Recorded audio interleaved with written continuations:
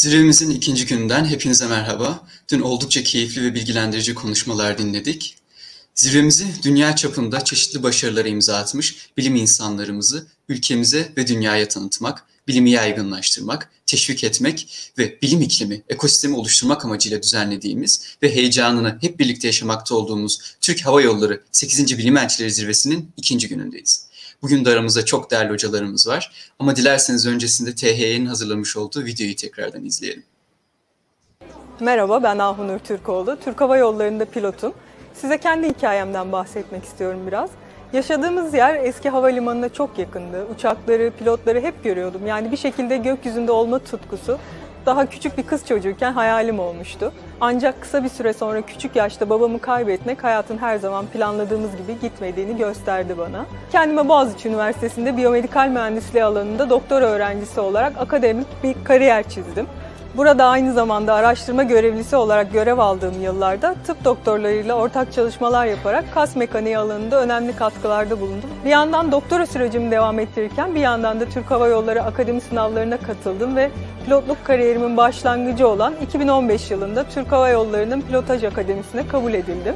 Yaklaşık iki yıl süren kapsamlı bir eğitim aldım ve Boeing 737 filosunda ikinci pilot olarak uçmaya başladım. Türk Hava Yolları vasıtası ve desteğiyle ön yargıları kırmayı ve pilot olmak isteyen genç kadınlara yol göstermeyi umut ediyorum. Unutmayın ki hayallerle gerçekler arasında yalnızca bir adım vardır. Merhaba, ben Elif Özsoy. Bugün size kendi hikayemi anlatacağım. Türk Hava Yolları Uçuş İşletme Başkanlığı Risk Değerlendirme Müdürlüğü'nde süreç geliştirme şefi olarak görev yapmaktayım. Lisede geçirdiğim zor ve yoğun bir çalışma döneminden sonra İstanbul Teknik Üniversitesi Uçak ve Uzay Mühendisliği Fakültesine girmeyi başardım. Üniversiteden mezun olduktan sonra NATO bursu ile onurlandırılarak Von Karman Enstitüsü'nden kabul aldım. Türkiye'ye döndüğümde İstanbul Teknik Üniversitesi Uçak Mühendisliği Anabilim Dalı'nda doktora eğitimime başladım. 2004'te ülkemizin bayrak taşıyıcısı Türk Hava Yolları Mühendislik Başkanlığı'nda çalışmaya başladım. Havacılık meslekleri seçiminde kadın erkek için fırsat eşitliği yaratılmasına olanak tanıyan bir kurumun parçası olduğum için de her zaman gurur duydum. Kadınların toplam dünya nüfusunun hemen hemen yarısını oluşturduğunu düşünürsek, nüfustaki büyüklüğümüzle orantılı olarak sosyal gelişimde eskisinden daha fazla rol oynamamız gerektiğine inanıyor ve bu gelişim için üstüme düşeni yapmaya hazır olduğumu söylemek istiyorum. Bazen bir zorluk yeni bir yolculuğun başlangıcı olur. Tüm kadınların kendi seçtikleri yolculuklarını yaşaması dileğiyle. Merhaba, ben Selin Sevimli. Türk Hava Yolları'nda en genç kaptan pilot olarak görev yapmaktayım. Size bugün kendi yolculuğumdan bahsedeceğim. Hayatımda ilk kez yaptığım uçak yolculuğunda kokpitten yapılan anonsta bir kadın kaptanın sesini duyduğum an aslında birçok şeyin benim için değiştiği andı. Artık hayallerimde pilot olmak vardı ve Anadolu Üniversitesi Sivil Havacılık Pilotaj bölümünü kazanarak bu hayalimi gerçekleştirmek için ilk adımı atmış oldum. Okulumu bitirdikten sonra Ocak 2013'te Türk Hava Yolları'nda ikinci pilot olarak görevime başladım. Yaklaşık 4 yıl Boeing 737'de, 3 yılda Boeing 777'de ikinci pilot olarak uçtuktan sonra geçen yıl kaptanlık eğitimimi tamamlayarak 29 yaşında Boeing 737 uçağında sorumlu kaptan pilot olarak görev yapmaya başladım. Bir kadın olarak bu mesleği seçerken asla tereddüt etmedim. Bu mesleğe gönül veren tüm kadınlara küçük yaşlarda duvarıma yazdığım ve her gece yatarken belki binlerce kez göz göze geldiğim ve en büyük hayalim olan kaptan pilot Selin Rudar yazısının gerçeğe dönüştüğünü, gönül verdikleri şeyi bir defterin köşesine, odalarındaki duvara ama en önemlisi kalplerine yazıp çalışmaktan ve istemekten asla vazgeçmemelerini söylemek istiyorum.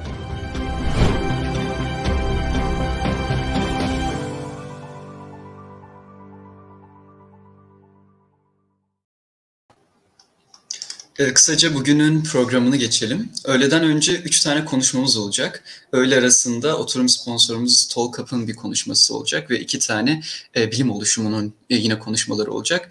Bunun ardından sevgili Eylül ve Asya'dan yine bir müzik dinletimiz gerçekleştirilecek. E, öğleden sonra da üç konuşmamızla yak, e, zirvemizin de yavaş yavaş sonuna gelmiş olacağız şunu da tekrardan hatırlatmak istiyorum. Yoklamaları, yoklama formlarını her konuşmadan e, son 20 dakikasında doldurmayı unutmayalım lütfen. Onları yine e, biz YouTube'daki yorumlara sabitliyor olacağız. E, hiç vakit kaybetmeden ilk konuşmacımızla başlayalım. Doktora sonrası araştırmaları için Stanford Üniversitesi'nde kardiyotoresik cerrahi bölümünde üç boyutlu biyozyazıcılarla doku ve organ biyobasım üzerine çalışmalar yapıyor kendileri. Dün Osman Hoca'da da biraz bu konuya değinmiştik. O yüzden pek çoğunuzun ilgisini çekeceğini düşünüyorum kendisinin konuşmasının. E, Doktor Buğra Ayan sizlerle.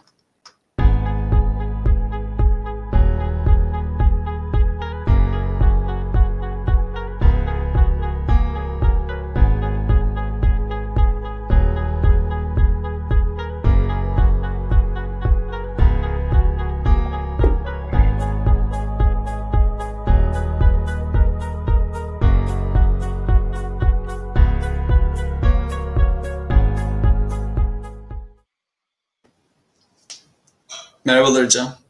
Merhabalar, nasılsınız? İyiyim, çok teşekkür ederim. Sizler nasılsınız? Ben de iyiyim, çok teşekkür ederim. Ee, şu an ben ekranımı paylaştım, görebiliyor musunuz? Ee, birazdan Sinan verecek. Evet, harika. Tamam, süper. Ee, herkese Kaliforniya'dan iyi akşamlar öncelikle. Ee, beni davet ettiğiniz için çok teşekkür ederim. Ee, online de olsa burada olmak çok güzel. Ee, bugün size üç boyutlu biyolojilerle doku ve organ biyobasım üzerine konuşmak istiyorum. Bir biyomedikal mühendisi olarak. Ee, sunumun ilk bölümünde biraz kendimden bahsettikten sonra e, daha sonrasında çalışmalarıma e, ağırlık vereceğim. En son kısımda soru cevap bölümünü yaparak olabildiğince soru almayı planlıyorum. Harika. Ee, öncelikle kendi kariyerimden biraz bahsetmek istiyorum. Ee, ben Ankara Türk Lisesi mezunuyum. Ee, lisede ilk defa biyomedikal mühendisiyle tanıştım. Ee, hem mühendislik hem de tıp alanı içeriğinden dolayı e, biyo, bir biyomedikal mühendis olmaya karar verdim. Ee, 2008 yılında Başkent Üniversitesi Biyomedikal Mühendisi bölümüne girdim ee, ve mezun olmadan iki önce e, lisans tezimle alakalı olarak e, bir startup firması kurdum. E, Sanayi Bakanlığı'nın desteğiyle. E, daha sonrasında yüksek lisans çalışmalarımı yine aynı üniversitede e, ve bu şirketle bağlantılı olarak tamamladım. Ee, daha sonra 2014 e, yılında Amerika'da Penn State Üniversitesi'nde doktoraya başladım. Ee, burada mikro akışkanlar, üç boyutlu biyoz, e, biyobasım üzerine çalıştım. Ee, Ağustos e, ayında doktoramı aldım. Eylül ayından itibaren de Stanford Üniversitesi Tıp Fakültesindeyim. Burada araştırmalarıma devam ediyorum. Genellikle mikrofabrikasyon, üç boyutlu basım ve doku mühendisliği üzerine çalışmalarıma devam ediyorum. Bugün genel olarak doku mühendisliği, üç boyutlu biyobasımdan bahsettikten sonra daha birazcık daha özele inerek aspirasyon temelli, benim doktor tezimde de çalıştığım aspirasyon temelli biyobasımdan bahsedeceğim. Daha detaylı ve teknik sorularınız varsa onları da teknik anlamda cevaplamak isterim.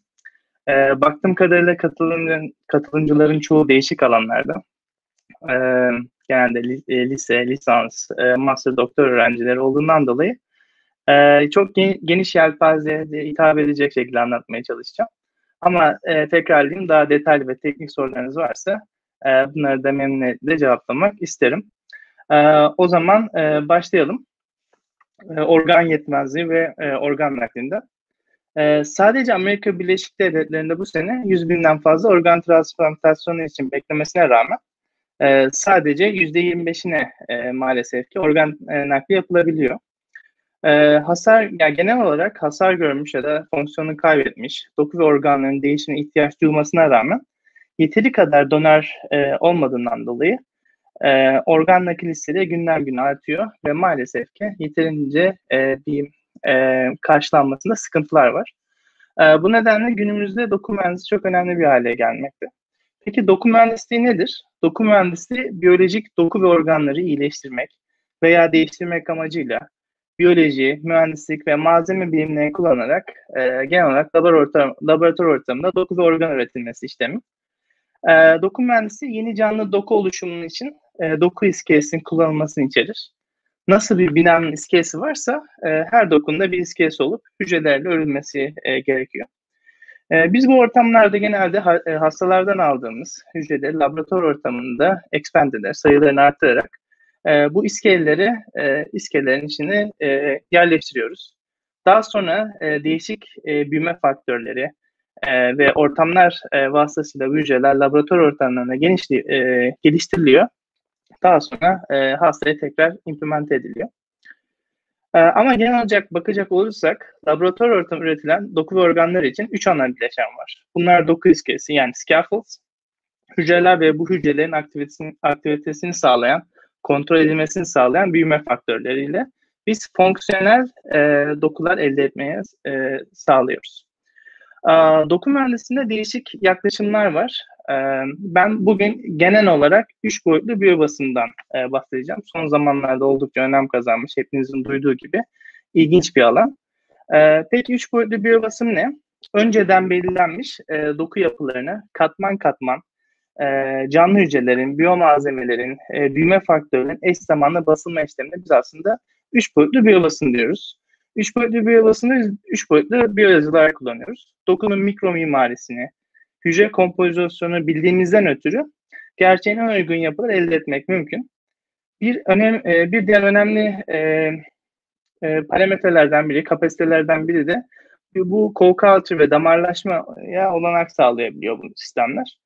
Ee, mesela biz yüksek oranda yani e, kalınca bir doku ürettiğimizde e, eğer damarlaşma sağlayamadığımız takdirde e, bu doku zaman içerisinde yaşa, yaşayabilirliğini yitiriyor. E, özellikle 400 mikrondan kalın dokular da nekrosiz dediğimiz hücre ölümleri meydana geliyor. Biz 3 boyutlu bir basım sayesinde damar yapıları açarak buralarda difüzyon sağlıyoruz ve hücreleri e, uzun e, termde, uzun zaman e, e, kültür ortamında canlı olarak tutabiliyoruz. E, tabii son yıllarda teknolojilerin özellikle gelişmesiyle e, 3 boyutlu ve 5 eksenli makine sistemlerinin kullanılması için e, kullanılmasıyla beraber e, bir yüksek kapasiteyle, yüksek doğruluk ve hassasiyetle biyobasım işlemi gerçekleştirilebiliyor. Bunlar e, temel olarak 3 e, boyutlu biyobasımın e, yenilikleri, özellikleri diyebiliriz. Şimdi peki biz bu dokuları bastık. Nerelerde kullanabiliriz? Üç boyutlu biyobasım tekniklerinin birçok aslında kullanım alanı var. E, bunlar ilaç tasınım, e, taşınım sistemleri var. E, yenileyici tıpta kullanılıyor, rejeneratif tıpta. Hastalık modelleri ve organ modelleri yapabiliyoruz. E, ben özellikle sağ tarafta da e, görmüş olduğunuz e, çip üstü organ teknolojisinden bahsetmek istiyorum. E, bu oldukça yeni bir alan ve e, çok da son yıllarda araştırmacıların ilgisini çekmekte. Bildiğiniz gibi özellikle COVID pandemisinden ötürü biz bunlara yeni ilaç, yeni aşı adaylarına ihtiyaç duyuyoruz ve bunların kısa sürede labdan e, kliniğe e, uygulanabilirliğe geçmesi gerekiyor. Ancak bir ilacın e, ilk baştan son kullanıcıya ulaşabilmesi yaklaşık 5 ile 10 sene sürüyor. Yani yeni ilaç keşfi oldukça uzun ve maliyetli bir işlem. Binlerce aday deneniyor. Önce laboratuvar ortamlarında işte e, hayvan deneylerinde kullanılıyor. Eğer başarılı olursa ilaç e, daha sonra klinik kliniğe geçiyor ve insanda kullanılıyor. Değişik fazları var. E, haberlerde de çok duyuyoruz. Faz 1, faz 2'ye e, geçtiği dair değişik ilaç adaylarının ya da aşıların. Bu oldukça uzun süren e, bir işlem. Özellikle hayvan modellerinde çalışan ilaç adayları insanla çalışmadığından dolayı maliyeti ve kliniğe çıkışı uzun zaman oluyor. Eğer biz biyoyazılarla e, insan dokusunun benzerini küçük doku çiplerine basabilirsek e, biz aslında bu ilaç adaylarını direkt insan dokusunda test edebiliyoruz. Yani bir tane karaciğer, bir tane akciğer gibi bir sistem basarak bir kanser ilacının mesela böbrekler üzerine etkisini ya da kansere ne kadar etkisini e, çok rahatlıkla anlayabiliriz. E, aynı zamanda e, bu ilaç ilaçların e, doz kontrolü, dozaj kontrolü e, ve bu ilaç üretimine e, ciddi anlamda etki sağlayacak sistemler. Aynı zamanda bu çip üst organ modelleri ilaç geliştirmesi maliyetlerini, başarısızlık oranlarını azaltacak ilacın yeniden yerleştirilmesi, kurtarılması mümkün kılma, pazara sürme sürecini azaltma gibi Ayrıca e, hayvanların e, gereksiz yere kullanılmasını e, indirge, indirgeceli e, yüksek potansiyele sahip bir sistem. Şimdi tekrar biyoyazıma dönelim. E, üç boyutlu baskı nasıl yapılıyor? E, gelin hep beraber bakalım. Öncelikle ilk aşamada bizim e, model oluşturmak amacıyla X-ray yani halk arasında röntgen e, ya da bilgisayarlı tomografi, manyetik rezonans görüntüleme gibi tıbbi görüntüleme cihazları kullanılıyor. Ee, bir sonraki aşamada e, biz bu dizaynı gerçekleştiriyoruz. Yani görüntü analizi. Elde ettiğimiz kesit görüntüleri reconstruction algoritmalarıyla üç boyutlu hale getirmek ya da istediğimiz e, kısmı kesip alabilmek adına biz bilgisayar ortamında e, bunlarla CAD modellemeleri yapabiliyoruz. diğer aşamalarımız var. üçüncü aşamada mesela malzeme seçimi. Malzeme seçimi doku tipine göre e, uygun malzeme seçilmesi gerekiyor. Örneğin mesela biz bir kemik dokusu yapacaksak e, takdir edersiniz ki mekanik dayanım çok önemliyken e, kalp dokusunun elastik önem kalp dokusunda elastik önem kazanıyor.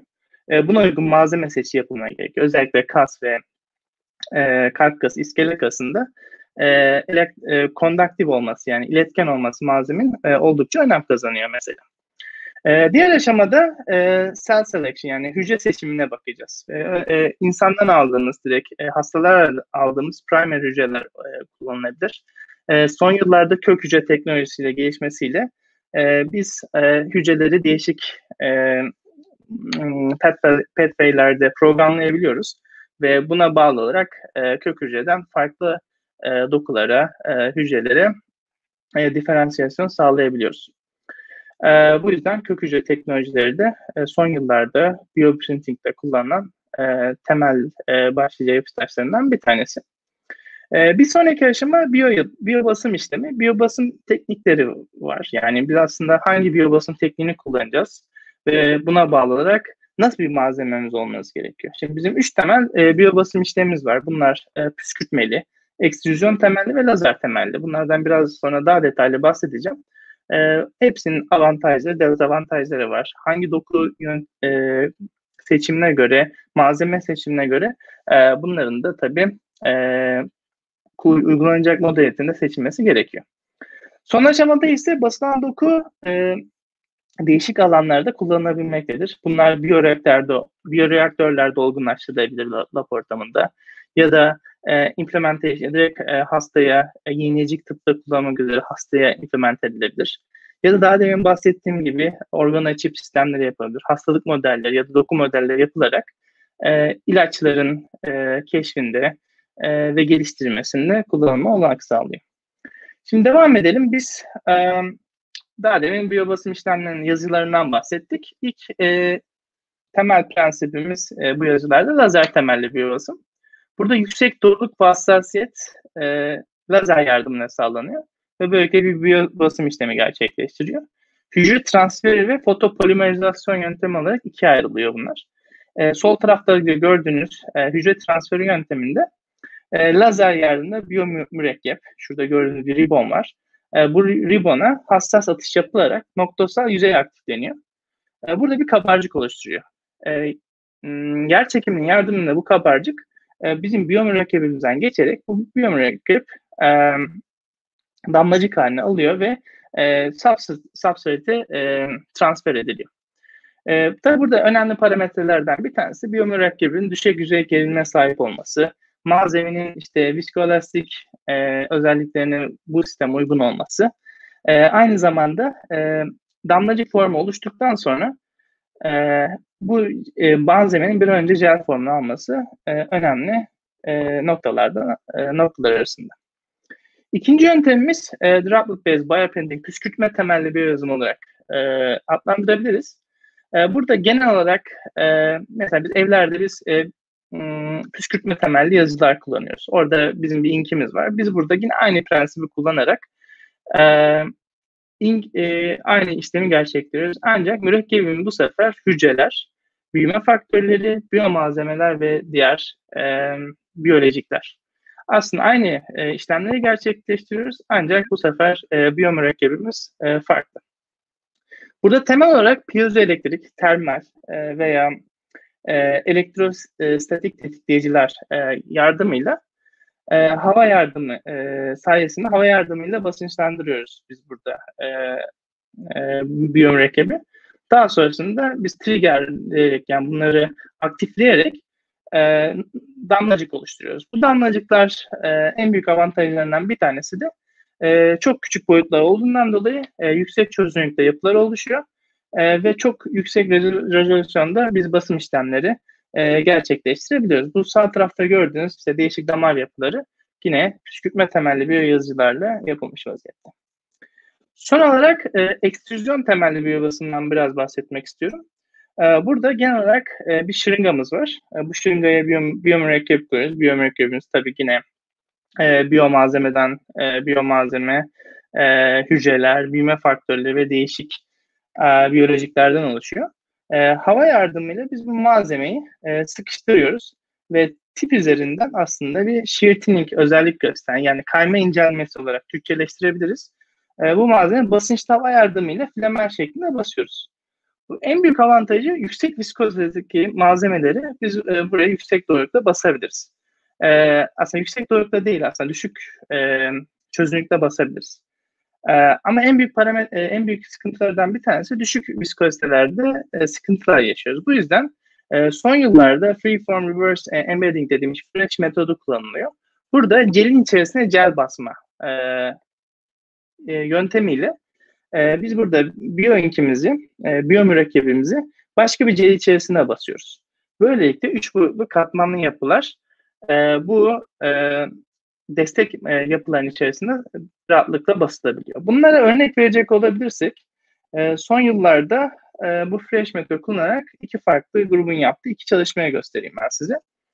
E, oldukça ilginç çalışmalar açık söylemek gerekirse. Sol tarafta bu yöntem kullanan, Fresh yöntemi kullanan gelin içerisine gel basarak e, yaklaşık e, 2 santim büyüklüğünde işte 1,5 santimetre çapında kalp benzeri yapılar e, basıldığını görüyorsunuz.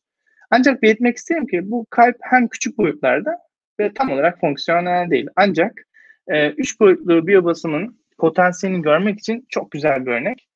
E, yine aynı metotla başka bir grubun gerçekleştirdiği e, kalp kapağını görüyorsunuz. E, kolajen, yüksek e, konsantrasyonu kolajen in kullanarak e, destek banyosu içerisine basılıyor ve gördüğünüz gibi asörleri olan bu kapakçık e, su yardımıyla su gönderildiğinde açılıp kapanabiliyor. E, bunlar e, üç boyutlu biyobasımın e, şu an geldiği noktayı ve gelecekte bize neler beklediğine dair e, en basit örnekler arasında yer alabilir. Şimdi bu noktadan sonra ben biraz e, kendi araştırma konularımdan bahsetmek istiyorum. E, bunlar genellikle ben e, üç boyutlu kültürlerle uğraşıyorum. E, peki iki boyutlu kültürlerden bahsedecek olursak bunlar genellikle hücre kültürü olarak e, nitelendirebiliriz. E, buralarda genellikle hücre kültüründe e, hücre hücre, hücre extracellular matrix proteini yani bunun hücrelerin kaldığı e, odacıklarda e, e, e, etkileşimler limitli. Bu nedenle üç boyutlu kültürler var. E, sağ, altta, e, sağ alt tarafta gördüğünüz gibi hücreler bir araya gelerek iskelesiz bir şekilde spiroid yani kürecikler oluşturuyorlar. Bunlar yaklaşık 300'de 400, 500 mikron büyüklüklerinde çapları. E, ve e, tamamen malzemesiz hücrelerin kendi arasında etki, e, etkileşimlerinden oluşturdukları üç boyutlu kültürler. Bu spiroid küre, e, spiroid ya da organoid kültürleri son yıllarda önem kazandı. Neden? Biz aslında bu e, kürecikleri e, bir tool olarak e, düşünebiliriz. Nasıl bir e, duvar örerken e, tool'ları üst üste yan yana koruyorsak biz bu kürecikleri, e, spiroidleri, organoidleri e, değişik kombinasyonlarda koyarsak e, bunları e, e, füzyona zorlayabiliriz.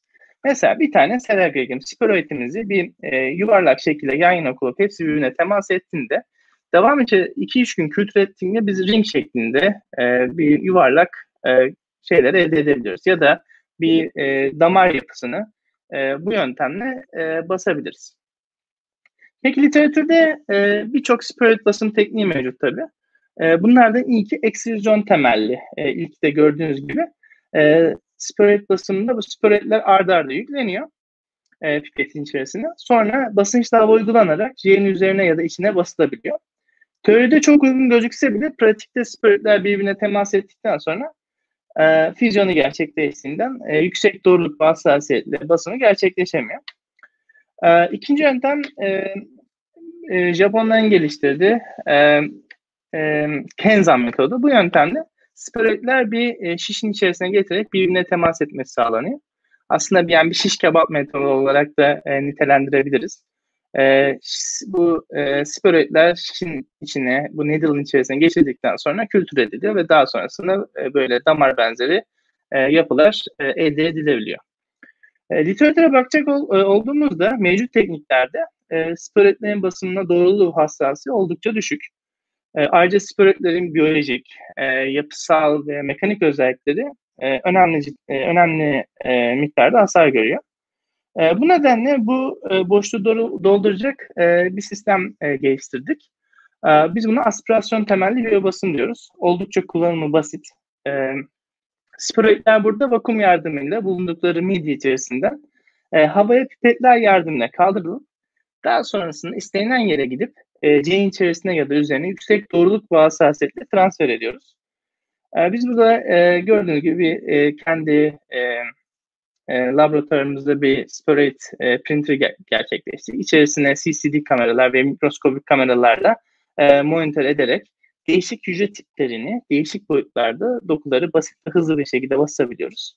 Oldukça kolay e, ve e, kullanması kolay ve uygun bir e, metot.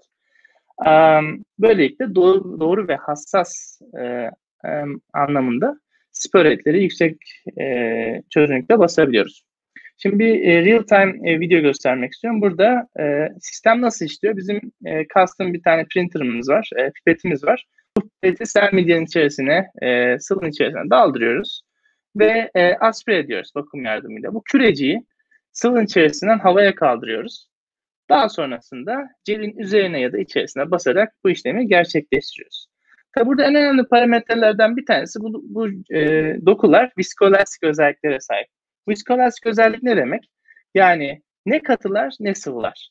Biz ondan öyle bir e, renk yakalamalıyız ki e, hem spirite zarar vermemeliyiz hem de e, bu işlemi başarıyla gerçekleştirmeliyiz en kısa zamanda. Şimdi e, bizim şemaya bakacak olursak ilk aşamada biz bu pipet yardımıyla spiriti sıvının içerisinden e, vakum yardımıyla havaya kaldırıyoruz. Daha sonrasında iki tane e, option'ımız var bizim. İki e, scalpel free dediğimiz malzeme kullanmadan ama e, böyle destekleyici malzemeler kullanabileceğimiz bir sistem. E, bu spiroidleri değişik konfigürasyonlarla birbirine temas etmek e, suretiyle e, değişik e, e, şekiller, e, değişik e, yapılar elde ediyoruz. Mesela burada piramit şekli basıyoruz. Ve daha sonra bu e, sacrificial material e, dediğimiz e, bu malzemeye bizim yapımıza destek sağlayacak. E, kültür ortamında bir, çünkü bunların füz olabilmesi için e, laboratuvar ortamında en az 2-3 gün kültür edilmesi gerekiyor. Bu da bağlamda da e, bize bu, bu sacrificial malzemeler um, destek sağlıyor. Daha sonrasında e, fusion işlemi gerçekleştikten sonra biz bu celi liz yardımıyla çıkartıyoruz ve aslında e, dokunun kendisini elde ediyoruz.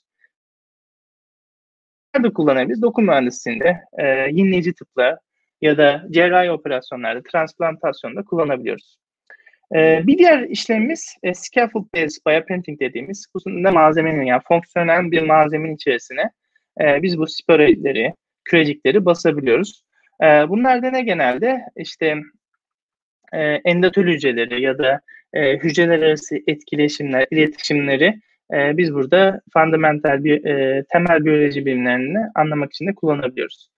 Aynı zamanda organ açık teknolojilerinde, e, in vitro e, hastalık modelleri yapımında e, ya da drug testing e, platformlarında kullanabiliyoruz. Aspirasyon temelli e, biyobasım işlemin uygulanabilirliğini görmek adına biz e, değişik farklı e, hücre tipleri kullandık. Bunlar endotel hücreleri, farenin deri hücreleri, yüksek metazazı me meme kanser hücreleri, fibroblastlar, e, mezenkimal kök hücreleri kullanarak biz spiroidler yaptık. E, spiroidlerin hücre sayısı yani bu küçük doku parçacıkları aslında küçük organ modelleri. Amacımız biz bunları birer tuğla olarak düşündüğümüzden dolayı tuğlalardan aslında bir e, duvar yapabilmek. Yani bizim gerçeğine uygun e, modeller yapabilmek. E, bu süpüretlerin hücre sayısı arttırdığımızda buna bağlı olarak çapların büyüdüğünü gözlemledik. E, ve e, daha devamlı biz bu hücre, e, şey süpüretlerimize e, farklı e, e, sistemlerle bastık. Mesela Penn State Üniversitesi'nin e, ilk harfleri PSU'nun e, ya da üçgen ve yuvarlak doku parçaları gibi e, şekilleri %11 hassasiyetle, bayağı yüksek bir hassasiyetle gerçekleştirdik. E, bir diğer uygulama önemli noktalardan bir tanesi e, aslında biz basım işlemi gerçekleştikten sonra bu dokuların ne kadar canlı kaldıkları. Yani biz burada bir mekanik kuvvet uyguluyoruz.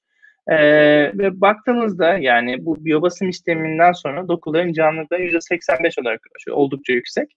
Yani biz biyobasım işleminde biz dokula ciddi anlamda bir zarar vermiyoruz ve birkaç gün kültür ettiğimizde bu %85 90-92 seviyelerine kadar yükseliyor.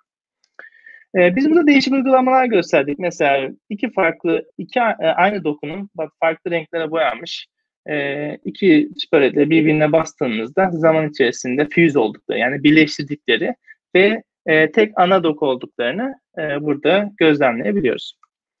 Şimdi aspirasyon temelli biyobasım sadece iki boyutlu değil, aynı zamanda üç boyutlu heterojen doku kompleksine basılmasına da ayrıca olanak sağlıyor.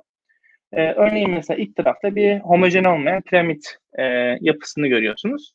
İlk katmanda e, kırmızı ya TD tomato ve endot hücreleri kullanarak e, bunların çapları aşağı yukarı e, 150 mikron. E, biz bunları üçgen şekline basıyoruz.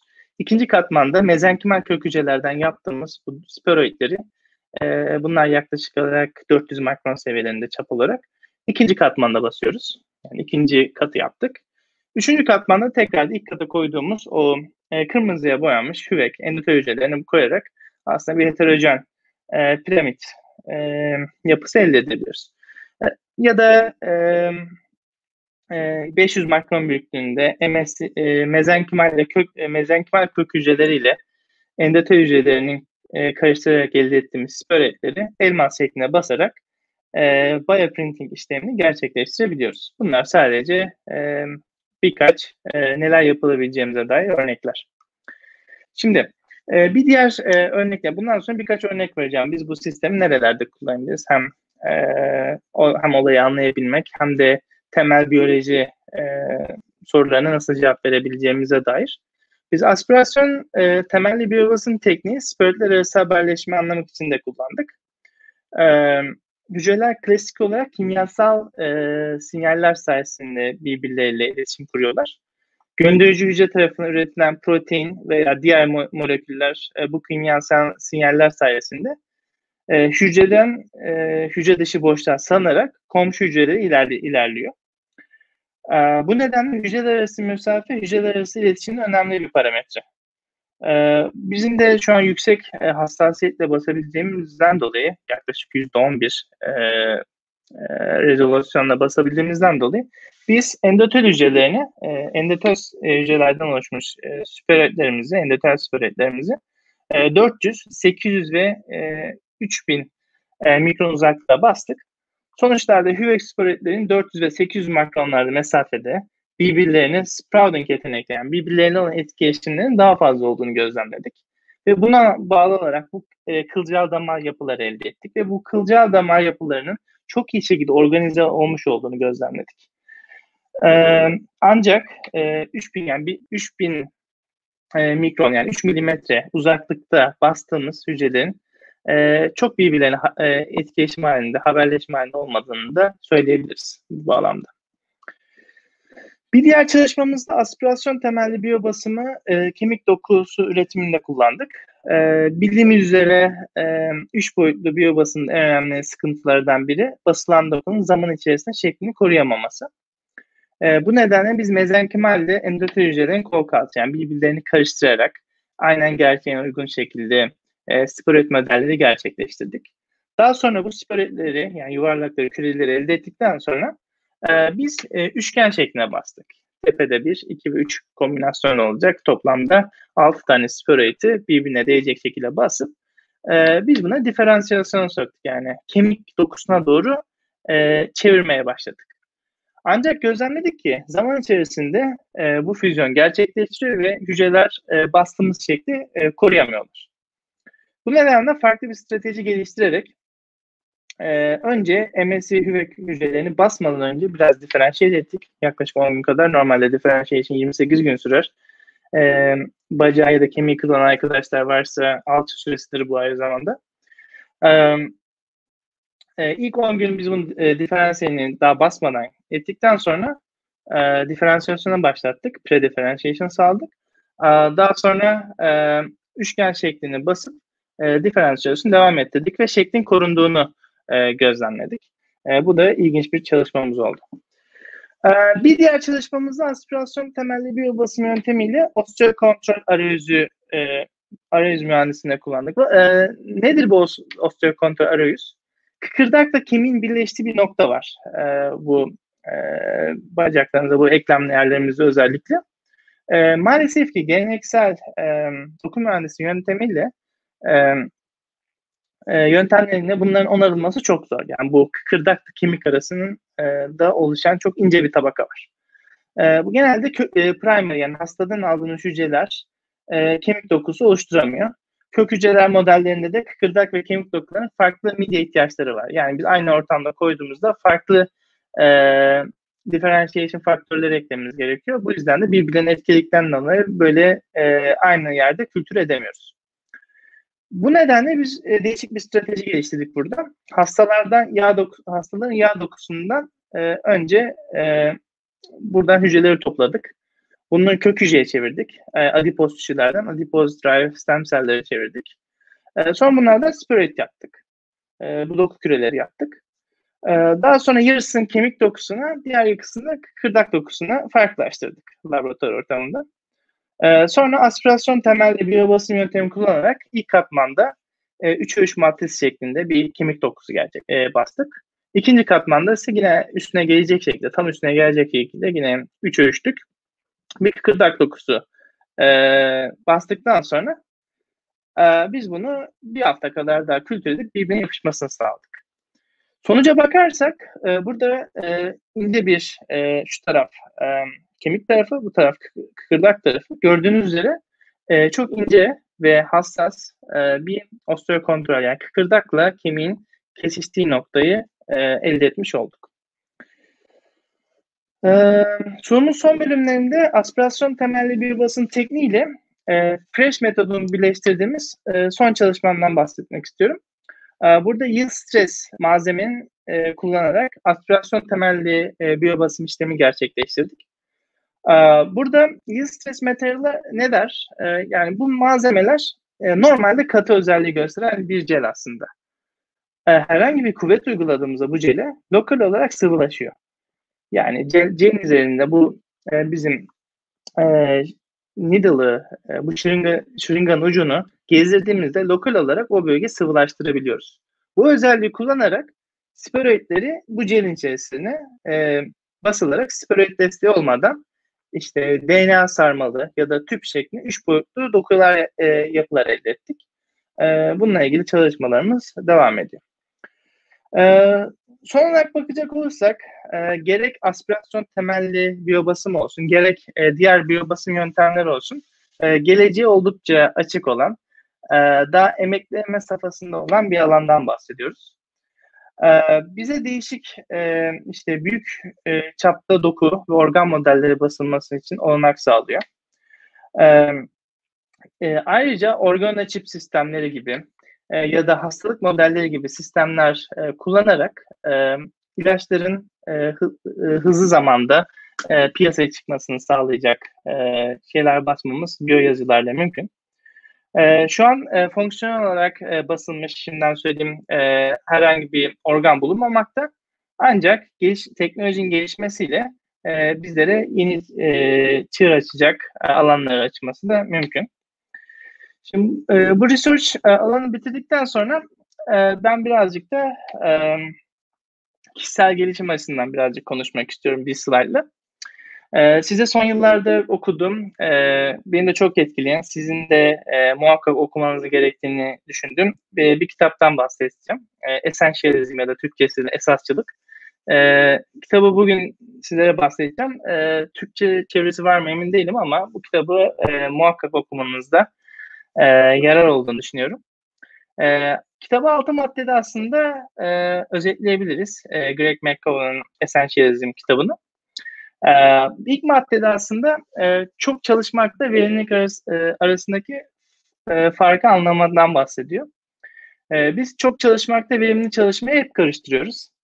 E, önemli olan çok çalışmak değil, daha stratejik ve daha verimli çalışabilmek. E, genellikle ne kadar çok çalışırsak o kadar çok başarılı olacağına dair bir e, önyargı var. Evet, kesinlikle çok çalışmamız gerekiyor ama vaktimizi efektif olarak yani verimli olarak e, kullanarak çok çalışmamız gerekiyor. Bununla e, dikkat çekiyor. E, ikinci temel noktada e, büyük e, çoğunlukta önemli olan azınlığı fark edebilmekten bahsediyor kitap. Aynı anda vaktinizi birçok farklı şeye harcayacağınıza sizin için önemli olan noktaları belleyip Bunlara odaklanmanız gerekiyor. Örneğin üniversiteye, üniversitede olan arkadaşlarımız e, yakından bilirler. E, birçok sosyal kulüp var. E, okulun ilk haftası öğrenciler birçok sosyal e, kulübe yazılırlar. Belki bir hafta, belki iki hafta giderler ve daha sonrası hiçbirine gitmezler. E, bu nedenle e, yani e, çoğunluktan azınlığı fark etmemiz gerekiyor. Yani bizi amacımız ne olduğunu önce belirleyip e, devamında bu amacımıza yönelik ne yapmamız gerektiğini e, spesifik olarak anlamamız gerekiyor. Üçüncü aşamada, e, üçüncü temel nokta, e, eğer cevap net bir şekilde evet değilse, cevap net bir şekilde hayırdır demiş kitap. Eğer bir şeyi net bir şekilde istediğini önemsemiyorsan, aslında bu seçenekler senin için hayırdır. Bu nedenle öncelikle ne istediğini bilmemiz gerekiyor.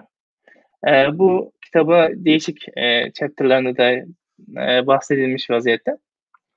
Dördüncü olarak e, sıfır tabanlı sahiplik ve bütçe oluşturma modelinden bahsedilmiş.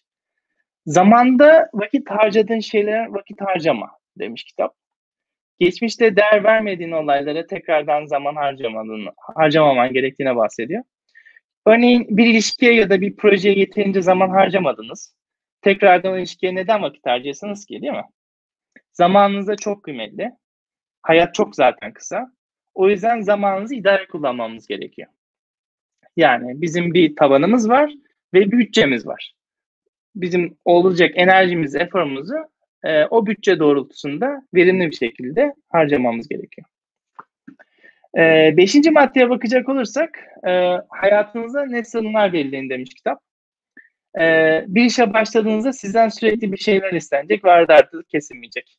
Çünkü hiçbir şeyin sonu yok hiçbir zaman da bitmeyecek. O yüzden önceliklerinizi belirleyin ve hayır demeyi öğrenin. Yani bir önceliğiniz var e, ve sizden sürekli bir şeyler istendiğinde sizin önceliğiniz ne olduğunu hiçbir zaman unutmayın. Bu devamında gerekecek. Son olarak da e, aslında en önemli madde e, daha az şeyi daha iyi yapın demiş. E, Birçok şeyin üstünü e, üstün körü yapabiliyoruz e, tek bir şeyi daha düzgün yapmaya çalışmamız gerekiyor. Birçok alana ilginiz olabilir. Bu gayet normal. E, ama sizin önceliklerinizi belirlemeniz gerekiyor. Bir noktaya fokus olup ve onun için elinizden geleni yapıp o alanda en iyisi olmaya odaklanmanız gerekiyor. Benim e, söyleyeceklerim bu kadar. E, sorularınız varsa memnuniyetle cevaplamak isterim. Oldukça güzel bir sunumdu aslında. Görseller de oldukça iyiydi bu arada hocam video vesaire. Her şey net bir şekilde kafamda çizdi benim. Bunun yanı sıra bir yandan da YouTube'daki yayını takip ediyorum. Oldukça güzel sorular da geliyor. Onları isterseniz size birer birer aktaralım. Tabii.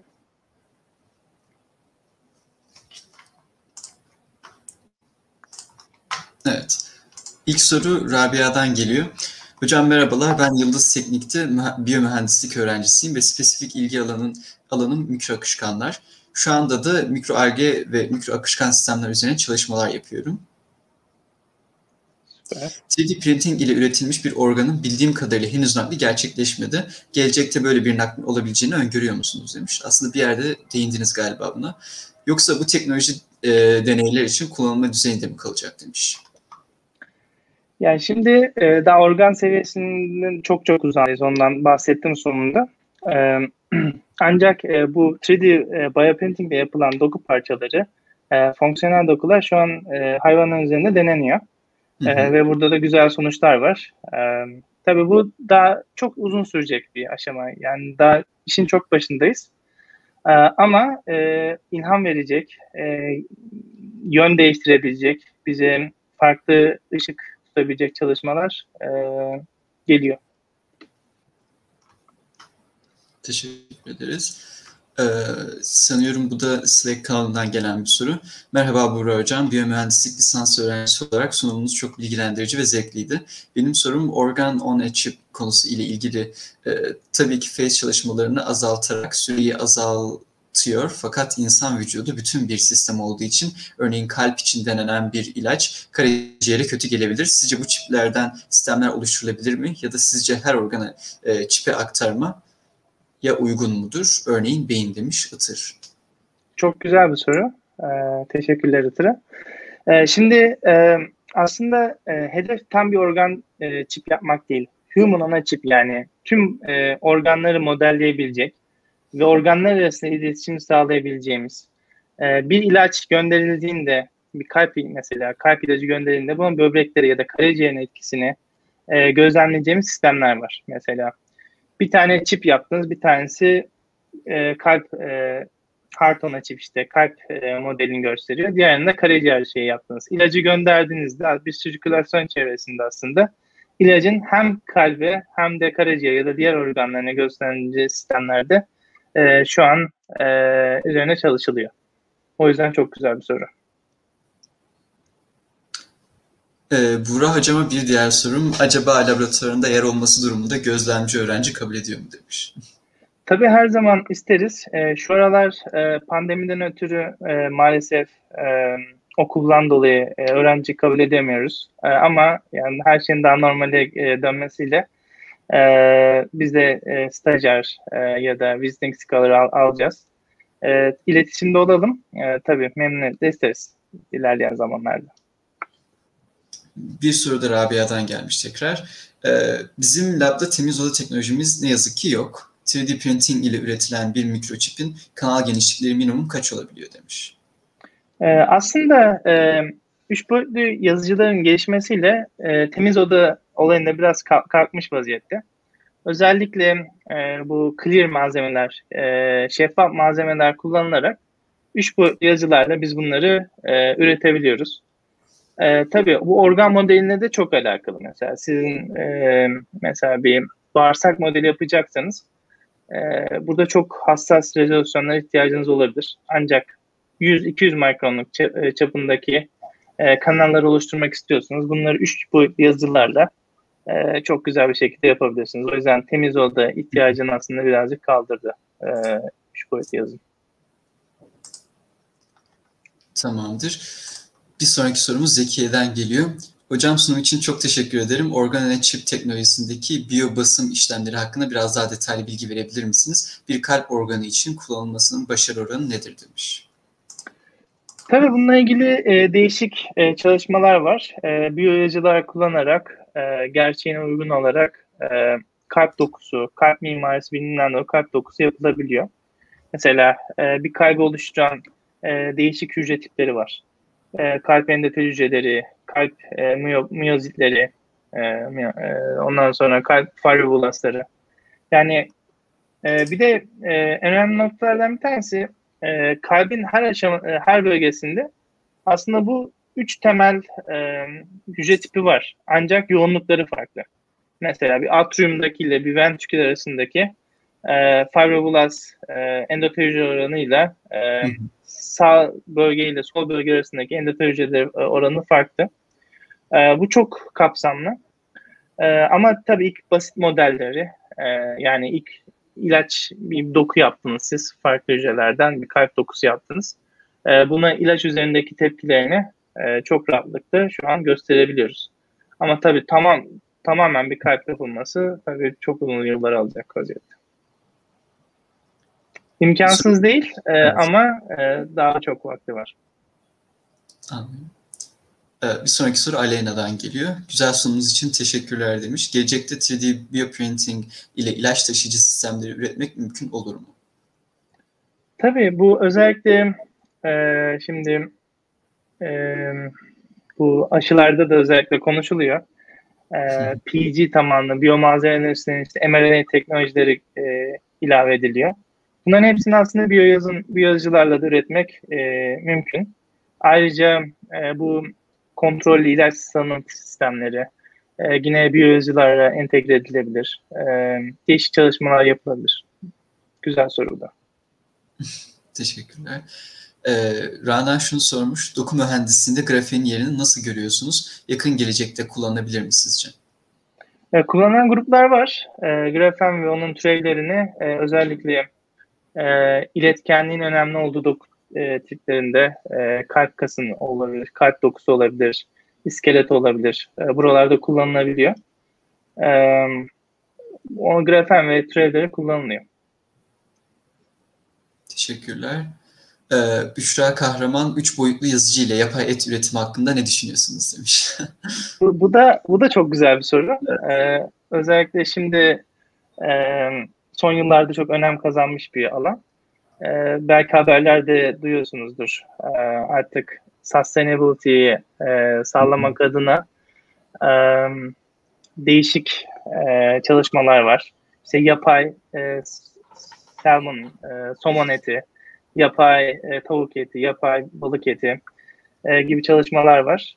E, bu da e, 3D bioprinting'de yapılacak bir alan. Çünkü siz mesela bir e, biftek düşünün. Biftekte aslında değişik e, oranlarda yağ dokusu var, et, e, kas dokusu var.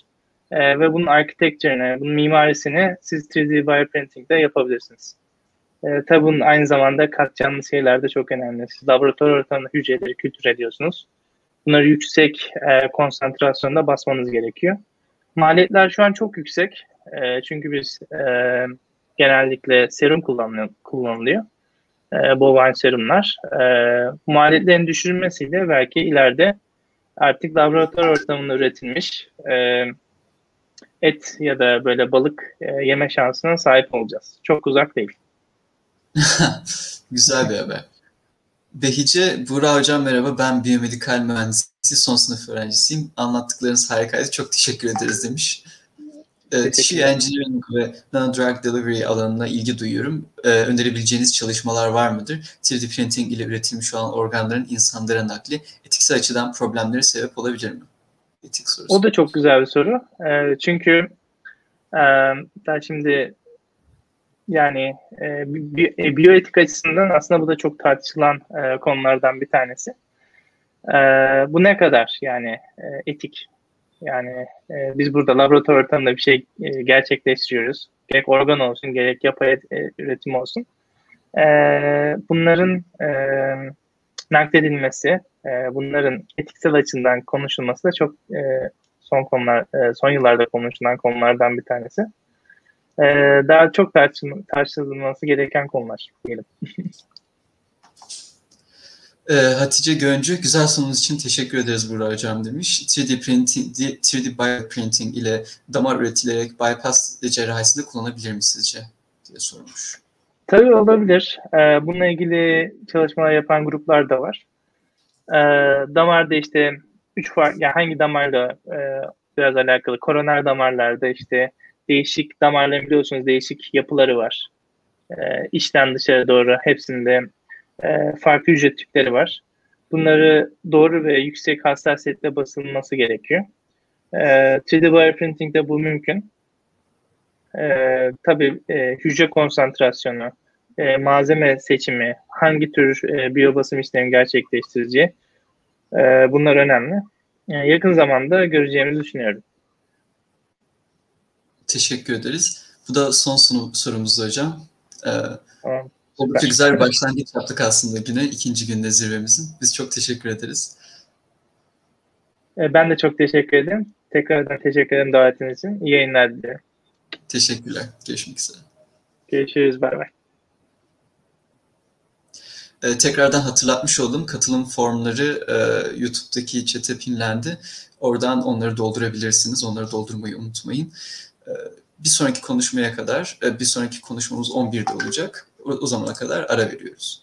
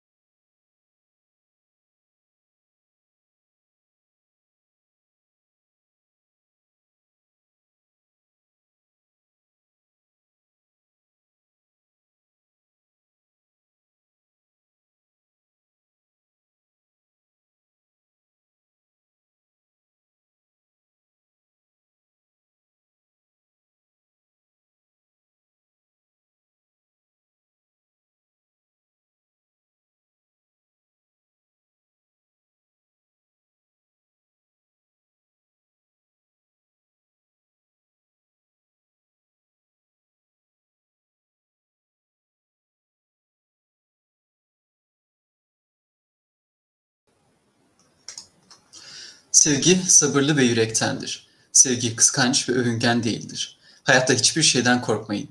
Yalnız her şeyi anlamaya çalışın diyor Mary. Şimdi e, sıradaki konuşmacı çok değerli bir isim. Benim de epistemde e, mentörlüğümü, mentörlüğümü yapmıştı. Avrupa Biyoinformatik Enstitüsü'nde yaşlanma ve yaşla ilişkili, e, ilişkili hastalıklar üzerinde hesaplama çalışmaları yapan Doktor Handan Melike Dönertaş'a sözü bırakıyoruz.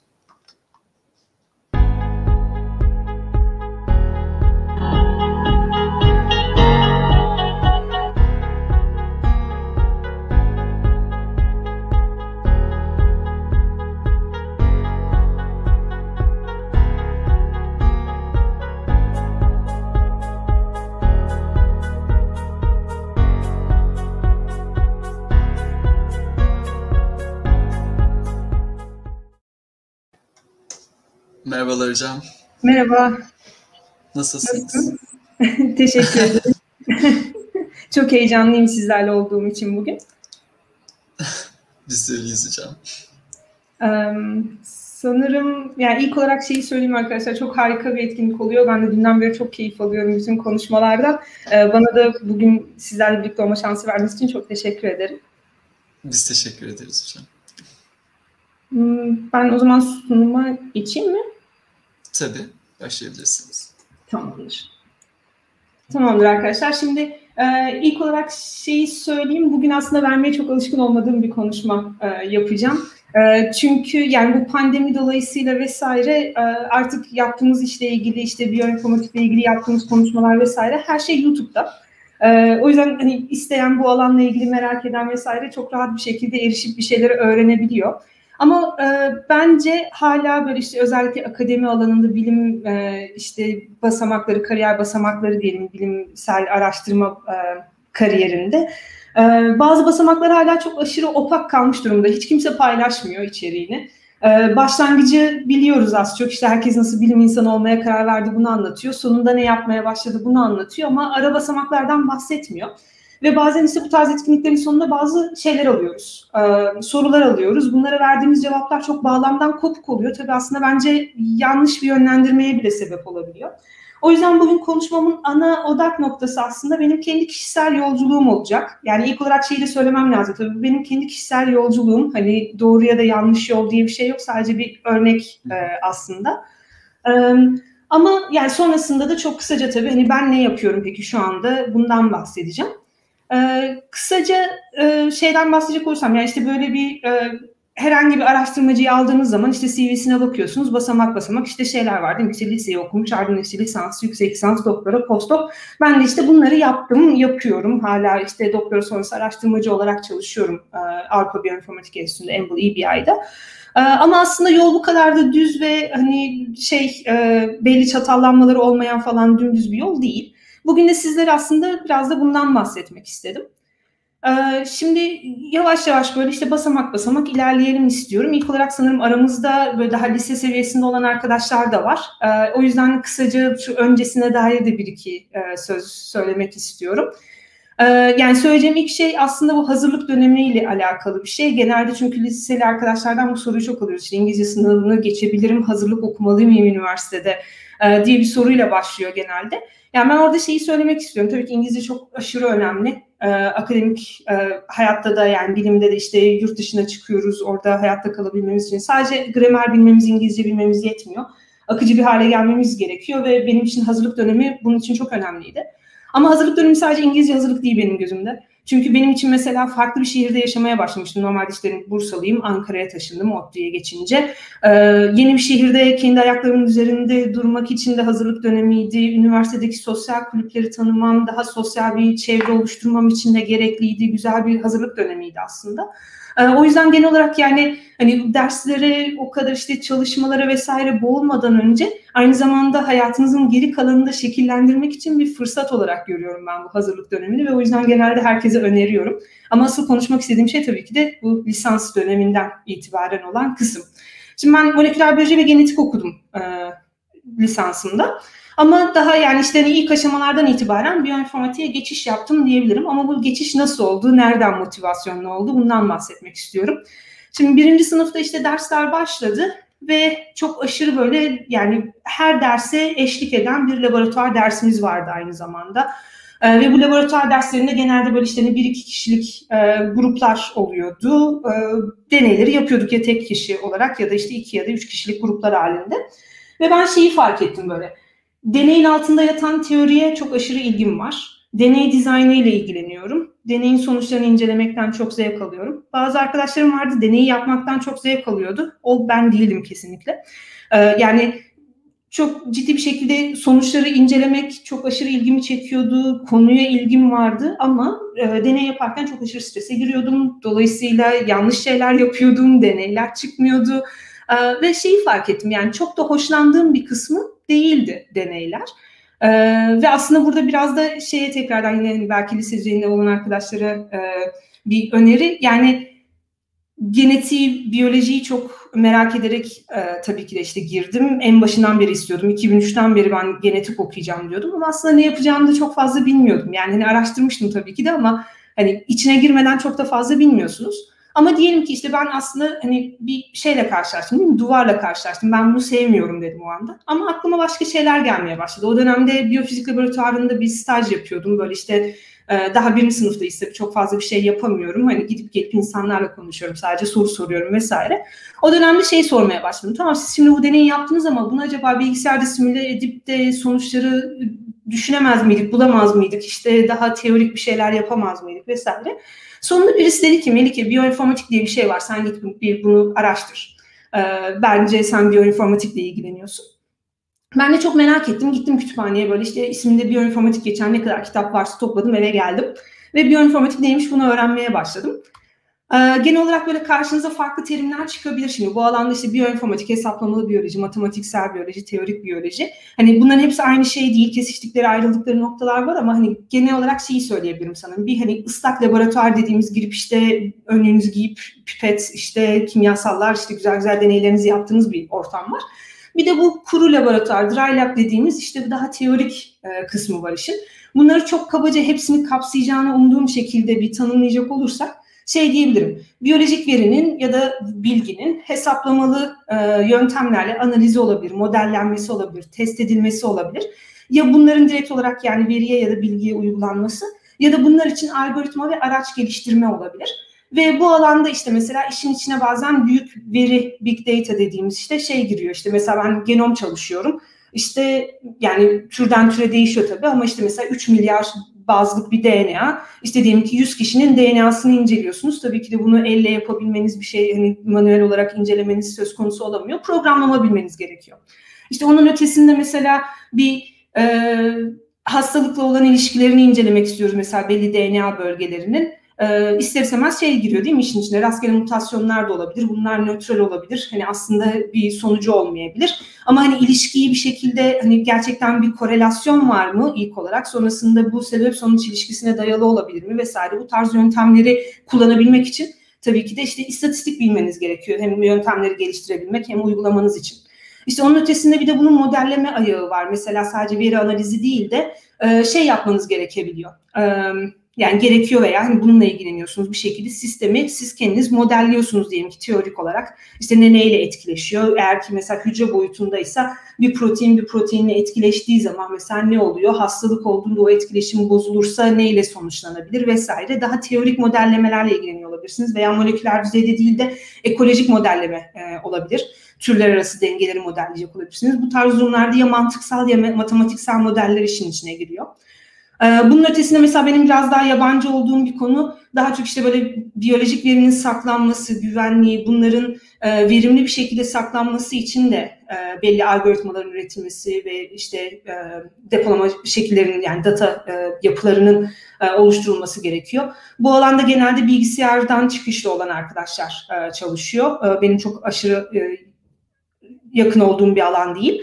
Ve aslında hani en başından itibaren daha metodun geliştirilmesinden, bu metodun insanlara bir bilgisayar programı olarak sunulup hani kullanılmasının sağlanmasından, bunların biyolojik veriye uygulanmasına kadar en başından en sonuna kadar aslında bu alanlar içerisinde inceleyebiliyoruz bu konuyu. Yani genel olarak böyle şeyde bilgisayar başında oturup biyoloji yapmak. Ee, ve bu çok aşırı ilgimi çekti benim. Dedim ki evet istediğim şey buymuş işte benim. E, ve fark ettim ki işte hani programlama çok e, önemli gibi gözüküyor. Her aşamasında programlama kısmı var. O yüzden gittim işte programlama öğrenmeye başladım. O zamanlar Perl diye bir dil çok e, şeydi, popülerdi biyoinformatikte. Perl öğrenmeye başladım.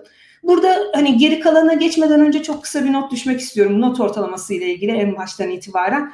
Ee, bu işte daha lisans e, ilk ilk yıllarda olan arkadaşlar genelde şeyi soruyorlar. Hani not ortalaması önemli mi? Sizin işte hayatınızda ne kadar önemi oldu vesaire. Yani çok net bir şekilde şeyi sanırım söyleyebilirim. Bence not ortalaması hani iyi bir bilim insanı olup olmayacağınızı gösterme açısından bir hiç yani hani ne iyi not ortalamanızın olması iyi olacağınız anlamına gelir ne de kötüsü kötü olduğunuz anlamına gelir. Ama e, pratikte yararlı olduğu noktalar var arkadaşlar. Yani sadece bu hani belli bir barajın üstünde olmak evet programlara başvurabilmeniz, yüksek lisans doktora yapmanız için şart zaten belli bir limiti aşmış olmanız. Ama bunun ötesinde eğer ki bir şekilde burs alıp çalışmak istiyorsanız veya işte mesela ben yüksek lisansımda araştırma görevlisi olmuştum. Ee, onun için mesela hani özellikle rekabetçi bir ortamdaysanız sadece iyi bir not ortalaması hani or, bir bir değerin üstünde bir not ortalaması değil bayağı iyi bir not ortalamasına sahip olmanız işe yarıyor. Ee, eğer ki daha rahat bir şekilde işinize odaklanırken hani ayrıca bir ek iş yapmanıza gerek kalmadan çalışacaksınız. Not ortalaması önemli arkadaşlar ne yazık ki. Ee, yani bir gösterge değil, bir ölçü değil ama dikkat etmeniz bence önemli. Sonra ikinci sınıftayken bir İGEM projesine katıldım. Bu İGEM projesinde birazcık bundan da bahsetmek istedim. Çünkü e, bu tamamen öğrenci güdümlü bir projeydi arkadaşlar. Şeyde MIT'de düzenlenen bir yarışma vardı. Bu yarışmaya katılmak için e, bizim şeyde okulda işte dördüncü sınıfta olan arkadaşların girişimiyle aslında bir projeye başladık. Ve dediğim gibi yani bir danışmanımız vardı ama neredeyse tamamen öğrendiğim her şeyi e, o dördüncü sınıftaki arkadaşlardan öğrendim diyebilirim. Bu işte makale okumadan dikkatli düşünmeye, işte eleştirel düşünmeye, proje geliştirmeye, proje yapmaya kadar. E, yaptığım ilk projeydi aynı zamanda tabii. Ama çok şey öğrendim. Yani bundan da özellikle bahsetmek istedim çünkü dün öğle arasındaydı sanırım. Bu grup topla şey e, gruplarla ilgili tanıtım yapan arkadaşlardan biri şeyden bahsetti. Hani öğrenciler olarak bir proje geliştirmek istiyoruz diye. Hani kulağa garip geliyor olabilir belki ama aslında hiç değil. Ee, yani bu tarz girişimlerde bulunup işte uygun danışmanları da daha deneyimli arkadaşları da bulduğunuz zaman çok harika şeyler olabilir. Yani hani sonucu çok da önemli değil ama çok şey öğrendiğim bir süreçte. Bu tarz etkinliklere girmenizi öneririm kesinlikle. Ee, ardından işte başka bir laboratuvarda staja başladım. Ee, birazcık da şeyin etkisi tabii. ODTÜ'deki bütün laboratuvarlar neredeyse o dönemde en azından çok e, wet lab ağırlıklıydı. İşte direkt laboratuvar deneysel ağırlıklıydı. O yüzden hani laboratuvarlara girip çıkıp hani başka şeyler öğrenmeye çalışıyordum sadece. Ama aynı zamanda bu stajda benim hayatımda çok önemli rol oynayan başka bir şey daha oldu.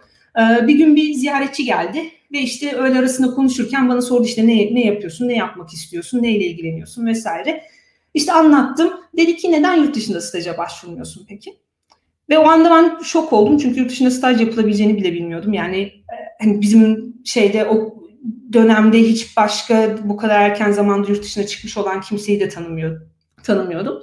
E, o günkü motivasyona gittim eve böyle bir tane mail yazdım. Bir, bir senedir falan işte takip ettiğim böyle bu alanda çok iyi olan bir hocaya. İşte böyle anlattım şey maile dönüp baktığım zaman bazen hani utanıyorum böyle ama işte şey yazmışım böyle neden bu alanda çalışmak istiyorum falan uzun uzun anlatmışım. Sonra da demişim ki ama çok da bir şey bilmiyorum ama şunları öğrenmem gerektiğinin farkındayım. Bunu öğreneceğim, şunu öğreneceğim böyle. Bayağı güzel bir mail yazmışım aslında bir yandan da bakınca bakacak olursak hani profesyonel değil ama güzel motivasyonumu aktaran bir mail olmuş.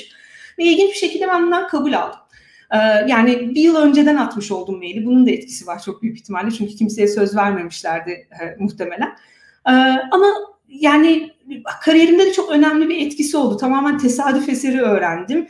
Ve bu arada şeyi de söylemek istiyorum. İlk attığım yerden staj için kabul almışım gibi duruyor olabilir ama daha sonra daha ileriki aşamalarda daha deneyimliyken attığım maillerde şansım bu kadar yaver gitmedi arkadaşlar. Bu bir hani şey falan değil. Aa çok iyisiniz hemen cevap alıyorsunuz gibi değil. Tamamen şans eseriydi ama benim için çok güzel bir şans oldu. Ve üçüncü sınıf aslında şey üzerine kurdum ben. Bu staja hazırlanmalıyım işte ders programı bir anlamda yeniden yarattım. Çünkü dediğim gibi işte dersler çok fazla bizi biyoinformatik konusunda e, hazırlayacak olan dersler değildi. İşte böyle gittim bilgisayardan, matematikten, istatistikten dersler aldım vesaire. İşte bir yandan da o dönem tam edX, Coursera gibi platformların kurulma yılı. E, edX'te daha sadece üç tane ders var. Şansıma bunlardan bir tanesi de Python dersiydi. E, bir programlama dersi. Ee, ve hani o, o zamana kadar aslında hem Perl biliyordum hem C biliyordum işte onları öğrenmiştim ilk iki sınıfta. Ama hani Python dersi aldım bir de. Bunun aslında hani çok önemli olmadığını düşünüyordum ama yine şansım yaver gitti biraz da. Bu staja gittiğim zaman beraber çalıştığım doktor öğrencisi zaten hali hazırda Python kullanıyordu. Hani bu sayede ben stajımda aslında e, yani bir öğrenme aşamasını, dil öğrenme aşamasını yaşamadan direkt olarak soracağımız e, bilimsel soruya odaklanarak çalışma şansı elde etmiş oldum. Bu çok büyük bir avantajdı. Ama burada bir de şeyi de söylemek istiyorum. Aslında ben mesela işte birinci sınıfta başlamış oldum biyoinformatik, ikinci sınıf, üçüncü sınıf hani hep şey hani programlama öğrenerek gitmişim gibi duruyor. Ama aslında bir yandan bu şeyi de gösteriyor. Umarım hani bunu e, verebilirim. Yani bir dili öğrendikten sonra diğerlerini öğrenmek gerçekten de kolay. Hani birinci sınıfta başlamış olmam bir işime yaradı mı? Tabii ki de mutlaka yaramıştır yani. Ama hani üçüncü sınıfta direkt Python'la da başlasam çok aşırı bir şey kaybetmiş olmazdım bence. Sonra bu stajda ne yaptım? Biraz daha bilimsel kısmından da bahsetmek istiyorum. Şimdi e, mesela şu anda bahsettim işte yaşlanma çalışıyorum dedim. E, hiç yaşlanmayla alakası olmayan bir şey yaptım. Önceki bu İGEM projesinde de mesela sentetik biyoloji çalışıyorduk. Sonra bu stajda ne yaptım? Keminformatik çalıştım aslında. Yani biyoinformatik gibi düşünün ama kimya informatik. Burada işte proteinleri, enzimleri falan değil bunların e, katalize ettiği reaksiyonların e, arasındaki ilişkileri çalışıyordum. İşte gittiğimde ilk staja e, oradaki işte o doktor öğrencisinin e, tezini verdiler. Oku bakalım ilgini çekecek mi falan dediler. Böyle işte okurken şeyi fark ettim. Ee, birden fazla enzim, e, birden fazla reaksiyon katalize eden enzimleri e, şeyin dışına bırakıyorlarmış. Yani bütün alanda herkes bunu yapıyormuş. Analizlerin dışında bırakıyorlarmış, inceleyemiyorlarmış. Ee, hani dedim ki ama peki bu enzimler ne yani hani bir özellikleri var mı bu reaksiyonların bir özelliği var mı neden incelenmiyor? Hani işte istatistiksel sebeplerle incelenmiyor çünkü datayı hani şey yapacak e, yani belli testleri uygulayamayacaksınız. Ama yine de incelemek ilginç olur. Bunu yapmak ister misin dediler. Ha dedim evet yaparım. İşte ilk bir ay böyle şeyle geçti. Ee, bu enzimlerin birbiriyle olan ilişkisini manuel olarak enzim reaksiyonu çalışarak işte e, bulmaya çalıştım. E, bu arada şeyi söylemem lazım sanırım. Yani bütün lisans hayatım boyunca en kötü olduğum dersler hep kimya dersleriydi. Ee, yani organik kimyam, analitik kimyam hepsi kötüydü aslında ama bir şekilde bu projeden hem zevk aldım hem de yani becerebildim. Sonuçta tekrardan şey noktasına gelecek olursak hani not ortalaması bir şey demek zorunda değil arkadaşlar. Hani o notlar aslında gerçekten de e, ölçücü olmayabiliyor. E, ardından işte ben bu projeyi yaptım bir şekilde. E, öncelikle işte o manuel analizden sonra e, bunları otomatik bir şekilde e, analiz edebilecek bir algoritma geliştirdim. Bunu bütün enzimlere uygulayacak da bir tane kod yazdım. Mesela şimdi hani onu yazacak olsam mesela muhtemelen birkaç saatte çalışacak bir kod yazabilirim. O zaman yazdığım kod böyle iki haftayı buluyordu çalışması. Ama bir şekilde yapması gereken işi yapıyordu ve sonuç alıyordum yani. Sonuçları inceleyen bir, bir rapor yazdım. Ee, hem işte sunumumu yaptım, raporumu verdim ve tam ayrılacaktım 3 ayın sonunda. Hoca dedi ki bunu makale olarak gönderelim. Şimdi benim için çok büyük bir şoktu bu. Bir kere çünkü e, bir lisans öğrencisinin makale yazabildiğini bile bilmiyordum. E, ve yani aslında birazcık şey oldu tabii. Bunu söylemem bence gerekli. Yani hocamın çok destekleyici bir insan olması sayesinde bunu yaşadım. Çünkü hani yaptığım iş böyle çok olağanüstü evet bütün dünya bilmeli falan denecek bir iş değildi bence. Sadece hani gerçekten de benim kariyerimi desteklemek için e, yaptığı bir hareketti. Çok büyük bir şans. Her zaman bu kadar şanslı olamayabiliyoruz. Ama bu yüzden işte ben şimdi beraber çalıştığım lisans öğrencisi arkadaşlara falan hep şey öneriyorum. Yani bir şekilde hani rapor yazacaksanız bile bir şekilde hani makale formatında yazmaya çalışıp deneyimli insanlardan hani geri bildirim almaya çalışın. Çünkü benim bu kadar erken dönemde bunu deneyimlemiş olmam gerçekten hayatımı çok kolaylaştırdı sonrasında. Onu söyleyebilirim. Ee, ama bu deneyimlemek derken de yani şöyle söyleyeyim çalışmayı yapmam 3 ay sürdü. Makaleyi yazmam bir yıl sürdü. İlk submit ettiğimiz, ilk makaleyi gönderdiğimiz dergi bu yeterince ilginç değil dedi, reddetti. Başka bir yere gönderdik. Oradan işte belli öneriler yaptılar. Ee, ama esasında reddettiler. Sonra ben o önerileri bir yıl sonra tekrar üzerine çalışıp tekrardan yaptım ve başka bir yere gönderdik ve ardından kabul edildi. Hani bu gerçekten en sancılı bir süreç olabiliyor ama çok şey öğrendiğim bir süreçti. Özellikle yazım konusunda. Dün mesela işte hani Veli Hoca şeyden bahsetti. E, bilimsel iletişim, sözlü iletişime daha çok odaklanmıştı ama e, aslında hani yazılı iletişim de çok önemli ve hani bilim camiası içerisinde makale yazımı bile hani bir rapor yazmaktan, konuyla ilgili birisine yazmaktan çok daha farklı. O yüzden bir şekilde bunu deneyimlemeye çalışın diye e, önerebilirim. Ee, yani mutlaka işte deneyimli daha işte yüksek lisanslı doktora da olan arkadaşlarınız olabilir. Onlardan feedback alacağınız şekilde bir e, raporu makale formatında yazmanız yardımcı olacaktır bence. Ee, sonrasında genelde işte hani bütün genetik okuyanların, biyoloji okuyanların falan hani yaşadığı bir ikilem muhtemelen dördüncü sınıfa geldiğinde şey sorusuyla karşılaştım. Yurt dışı mı, Türkiye mi? Hemen bu konuda hani biraz daha hani rahat davrandım. Çünkü tam olarak o yıl e, yurt dışından yeni işte ODTÜ'de labını kurmuş olan hesaplamalı biyoloji çalışan bir hocamız vardı. Ve hani şeyi biliyordum yani hani Türkiye'de kalmak hani kötü çaresizlik etkisiyle kalmış olmazdım ve hani aslında iyi bir seçeneğim e, vardı zaten. Bunu bilerek aslında biraz da yola çıktım ve biraz seçici davrandım. E, bir kere işte master konusunda mesela yurt dışında genelde maaş alamadığınız durumlar oluyor. Yani ma- maaş alamıyorsunuz. Cüzi bir miktarda işte burs alabiliyorsunuz ama yine de başka bir şekilde desteklemeniz gerekebiliyor kendinizi vesaire. Ee, başka programlarda var tabii ki de ama çok fazla da araştırmadım belki de. Ee, direkt olarak bir doktora programına başvurmuştum. Orada mülakata davet edilmiştim. Kötü bir mülakat süreci yaşadım. Ee, bunda yani aslında biraz da hani kötü bir süreçti tabii ki de şimdi baktığım zaman ama aslında olum, hayatıma olumlu etkisi olan bir süreç. Çünkü iki ders çıkarmıştım o mülakat sürecinde. Bir, hani e, ne bildiğimi bilmediğim için kesinlikle kendimi ifade edememiştim ve e, özgüvenim de muhtemelen eksikti. Bu da karşıya yansıyordur çok büyük bir ihtimalle. Bunun da en büyük sebebi bilimsel bir ortamda olmamış olmam ve kendimi hani ne derecede bildiğimi bilmiyordum açıkçası. E, bu ciddi bir etki yapıyor. Hani o yüzden olabildiğince etrafınızda hani bir şeyler yapmış bir yerlere başvuran işte e, daha sizden üst daha nasıl diyeyim yolda ileride olan arkadaşlarla kendinizi çevrelerseniz belki biraz daha bilebilirsiniz ne durumda olduğunuzu. E, bir diğer etki de tabii yine işte iletişim meselesi. E, ben fazlasıyla heyecanlanıyordum insanlarla konuşurken böyle. Ve bunun etkisiyle de çok harika bir şekilde kendimi aktaramamıştım. Bunu fark ettim ve dönünce dedim ki yok yani başka yere başvurmayacağım ama ben bu yüksek lisans sürecini sadece teknik anlamda kendimi ilerletmek için değil bu tarz özelliklerle de kendimi ilerletmek için kullanmam lazım dedim. Yüksek lisans benim aynı zamanda yaşlanma biyolojisiyle tanışma noktam oldu. Yani hani yüksek lisansa kadar evet hani biyoinformatik çalışacağımı biliyordum dedim. Hani bir sürü şey yaptım ama aslında hani esas odaklandığım noktayla yüksek lisansta tanıştım. Ee, bu peki nasıl bir süreç oluyor? Ee, işte bir yandan dersler alıyoruz, bir yandan kendi tezimiz, kendi projemiz oluyor. Bir yandan laboratuvarda süre gelen diğer projelere katkıda bulunma şansını elde edebiliyoruz. Mesela ben bu açıdan çok şanslıydım çünkü çok üretken bir laboratuvardaydım. Ee, onun dışında bir de şey yaptım. Aslında TÜBİTAK bursum vardı. ama yine de bu işte özellikle iletişim yeteneğimi geliştirebileceğimi düşündüğüm için araştırma görevlisi olarak başvurdum. Ee, ve asistanlık yapmaya başladım. Üç tane ders vermeye başladım. Böyle işte şeyden e, lisans döneminden yüksek lisans doktora derslerine giriyordum o zaman. Ee, çok stresli bir süreçti benim için. Hani çok şey öğrendim. Şu anda harika mıyım? Kesinlikle değilim ama kesinlikle başladığım noktada da değilim. O yüzden bu süreç hani çok aşırı zorlaştırmış olmasına rağmen yüksek lisansım çünkü bir yandan işte projeler, dersler vesaire e, bana en fazla katkısı olan elementlerden biriydi yani o asistanlık dönemi. E, ve aynı zamanda işte bir de doktora başvurularıyla uğraşıyorsunuz. E, ve bunun sonucunda işte ben şeye başvurdum, Avrupa Biyoinformatik Enstitüsü'ne başvurdum, e, EBI. E, bu işte Cambridge'de bulunan bir enstitü ve olağanüstü bir doktora programları var aslında. Ee, şey yapıyorlar çünkü kabul ettikleri herkesi tam burslu olarak kabul ediyorlar. Bir yandan işte şeyde e, Cambridge Üniversitesi'ne kaydınız yapılıyor. Oranın ücretini ödüyorlar. Kolejinizin ücretini ödüyorlar. Aynı zamanda maaş da veriyorlar. Olağanüstü bir program gerçekten de. Ee, ve burada işte şey çalışmaya başladım. Böyle şey gibi bir sistem var. Amble EBI işte esas e, merkez Amble Heidelberg'de. İlk önce bir 3 ay orada ders alıyoruz. Sonrasında e, üniversiteye geldiğimiz zaman ders alma mecburiyetimiz yok. İstersek alabiliyoruz. Ben bu şekilde böyle kısa dönem dersler aldım işte bir haftalık falan. E, onun dışında yani 2017'de bir anlamda doktoraya başladım. İşte İngiltere'de doktora 3 yıl.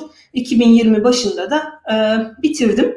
Ee, bu süreçte işte şeyden bahsedeyim bir de şu benim çalıştığım enstitü böyle şehrin dışında veya ücra köşede bir e, enstitü aslında.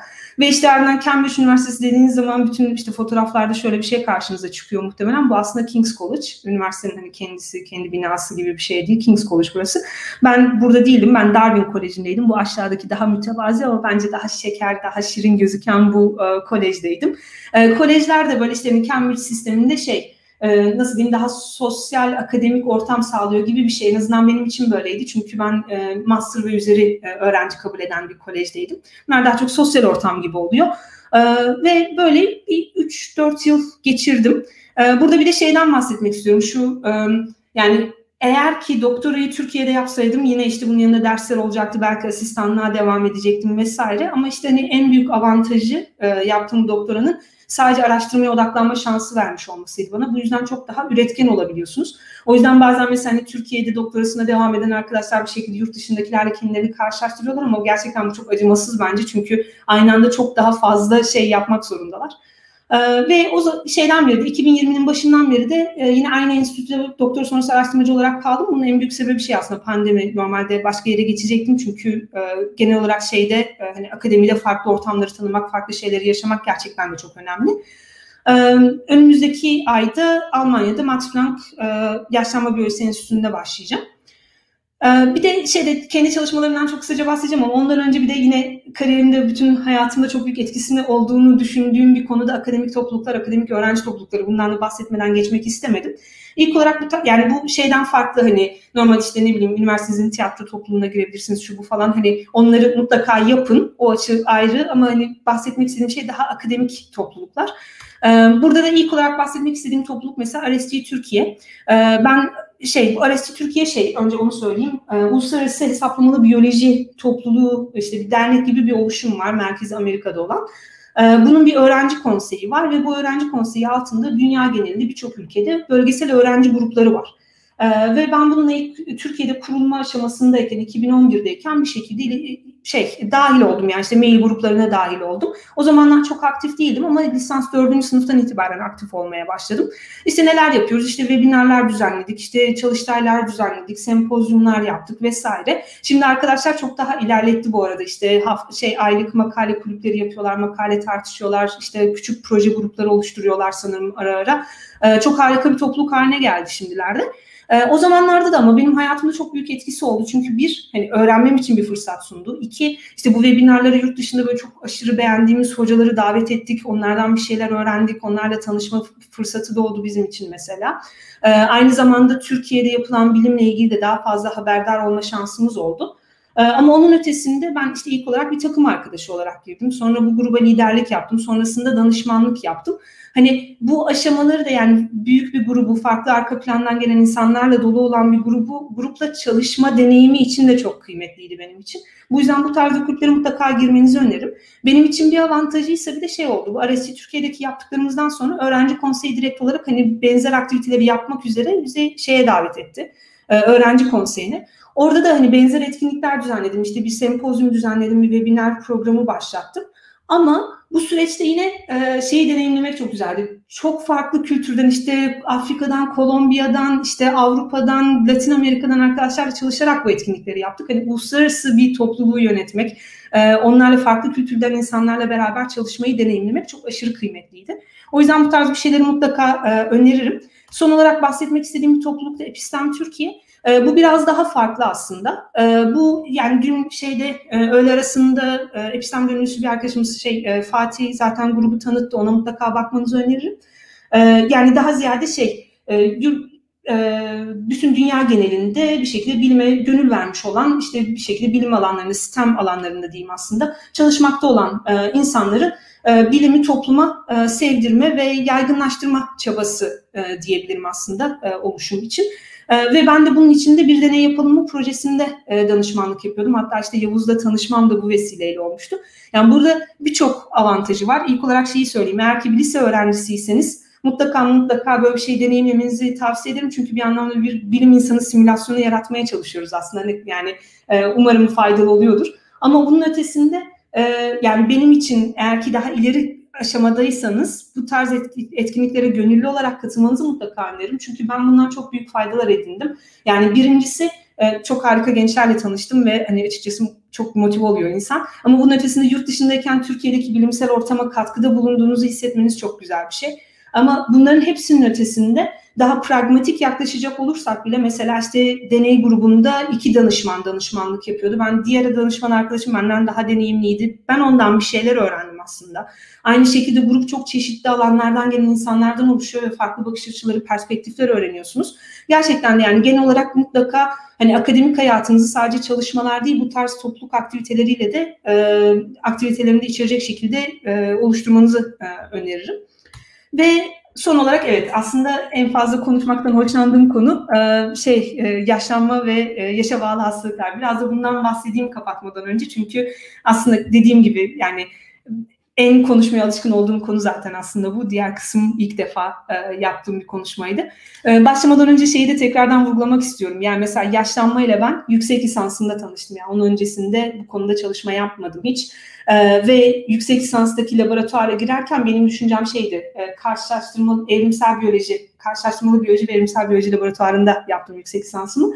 Gir, girerken ben o laboratuvara hocaya şey dedim. Ben enzim çalışıyorum, siz evrim çalışıyorsunuz. Enzim evrimi çalışırım ben bu labda dedim. Hoca da hayır demedi. İşte kolaborasyon olabilir tabii ilgileniyorsan falan dedi böyle. Sonra girdim işte ilk olarak genom evrimi çalışmaya başladım. Biraz evrim öğreneyim dedim. İşte popülasyon genetiği öğreneyim dedim. O arada labda çok ilginç bir projesi olan yaşlanma çalışan bir arkadaş vardı. Ee, yani onun çalışmalarını, onun yaptığı e, analizleri falan dinledikçe aslında yaşlanmaya olan ilgim arttı ve hani kendimi yaşlanma literatürünü okumaktan alıkoyamadım aslında. Ve bu şekilde tanıştım. Ee, ve o zamandan beri de yaşlanma çalışıyorum.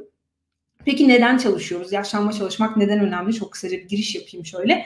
Ee, yani burada şeyi söylemem gerekiyor sanırım. Bütün dünya genelinde insanla şey e, beklenen yaşam uzunluğu yıllardır hep artış gösteriyor. Yani işte zamanında dünya savaşları vesaire düşüşleri olmuş ama hep artıyor günümüzde. Hani bu bazen şey olarak yorumlanabiliyor. O zaman yaşlanmayı çözdük daha yani gün geçtikçe daha uzun yaşıyoruz. Bu ne yazık ki bu, de, bu anlama gelmiyor arkadaşlar. Çünkü işte diğer etkenler, sağlık koşullarındaki etkenler, işte bulaşıcı hastalıklarla mücadele, mücadele konusundaki başarımız yani Covid bir istisna oldu sanırım ama e, genel olarak yaşam uzunluğunda uzatma, uzamayla ilişkili. E, ama yaşlanma hala ciddi bir sorun çünkü yaşlanma işte kardiyovasküler hastalıklar, işte demans, kanser bir sürü e, ölümcül hastalıkla aslında hastalık için risk faktörü. Bu yüzden de bütün yaşlanma camiası olarak aslında şey üzerine odaklanıyoruz şimdilerde. E, yani ileri yaşlardaki e, çoklu hastalık döneminin engellenmesi yani bir şekilde daha sağlıklı yaşlanmamız mümkün mü? Bu soru üzerine odaklanıyoruz. Ve bu konuda yani bunun paralel olarak yaptığım kimi çalışmalar var. Çok kısaca hani alanı tanıtmak açısından birkaç örnek vereyim. Mesela işte yaşlanmanın evrimsel teorileri üzerine yaptığımız kimi çalışmalar oldu. Veya yaşlanma uzunluğu, yaşam uzunluğunu regüle eden kimi genler e, genler üzerine yaptığımız çalışmalar oldu. İşte bu genler nasıl regüle ediyor, mekanizması neler bunları anlamak üzere. Onun dışında e, bu şey e, yaşlanmayla beraber gördüğümüz bir e, rastgelelik artışı var öyle söyleyeyim. E, bu da şu demek yani mesela işte gençler gençlerin e, yani şu, şekilde anlatayım aslında.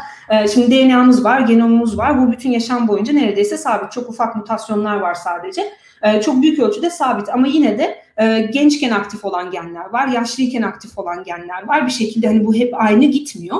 Ee, ama bir şekilde şeyi görüyoruz biz. Gençler mesela hangi genlerin aktif olduğu açısından birbirine daha benzerken yaşlılarda daha fazla çeşitlenme görüyoruz.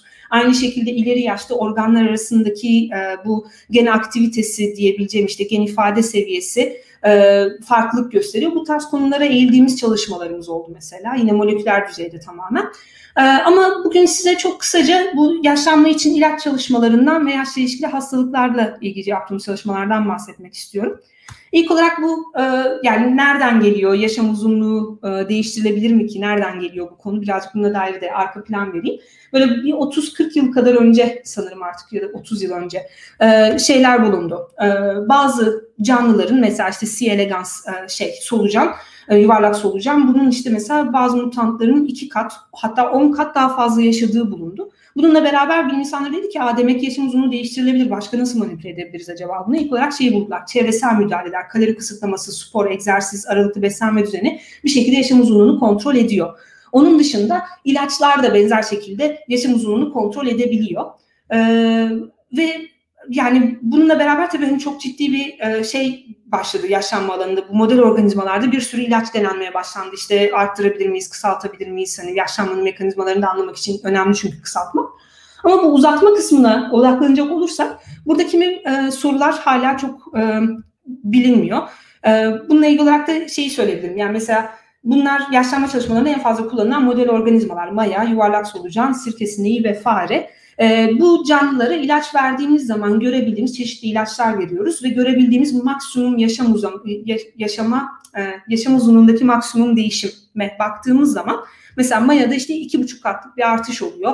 Yuvarlak solucanda bir buçuk kat, e, sirke sineğinde iki katına çıkmış yani 1.1 kat. E, fareye baktığımızda ise sadece 30 %30'luk bir artış söz konusu. Bu tabii şey sorusunu getiriyor insanın aklına. Peki yani gerçekten insana uygulanabilecek bir ilaç bulsak bile yani bu bir işe yarayacak mı ki insana uygulanabilirliği var mı bunların? Ama bunun ötesinde başka bir problemimiz daha var. Diyelim ki işte şu noktaya kadar yaşıyoruz. Ee, bu bütün işte yaşamımızı simgeliyor diyelim ki ama biliyoruz ki bütün hayatı e, sağlıklı olarak geçirmiyoruz biz. Sondaki %15-20'lik dilimi hastalıklarla geçiriyoruz.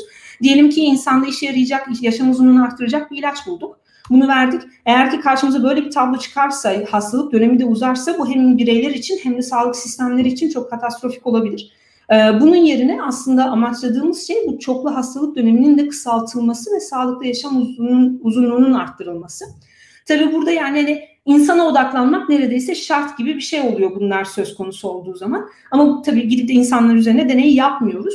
Ee, bu da aslında bu hesaplamalı çalışmaların daha teorik işte hani belli ön hipotezler oluşturmamız için veri analiz edip de insanda işe yarayabileceğini düşündüğümüz ilaçları önerebilmemiz için mesela çok güzel bir alan yaratmış oluyor.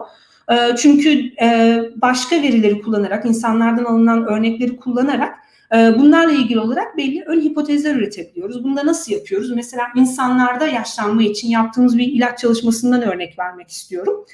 Ee, şöyle bir şey yapıyoruz. Bahsettiğim gibi e, genomumuz aynı ama gen aktivitesi değişiyor. Gen aktivitesini ölçebileceğimiz farklı e, boyutlar var tabii ki de. Biz şey kullanıyoruz. E, RNA seviyesini kullanıyoruz. Çünkü ne işte DNA, RNA, protein oluyor.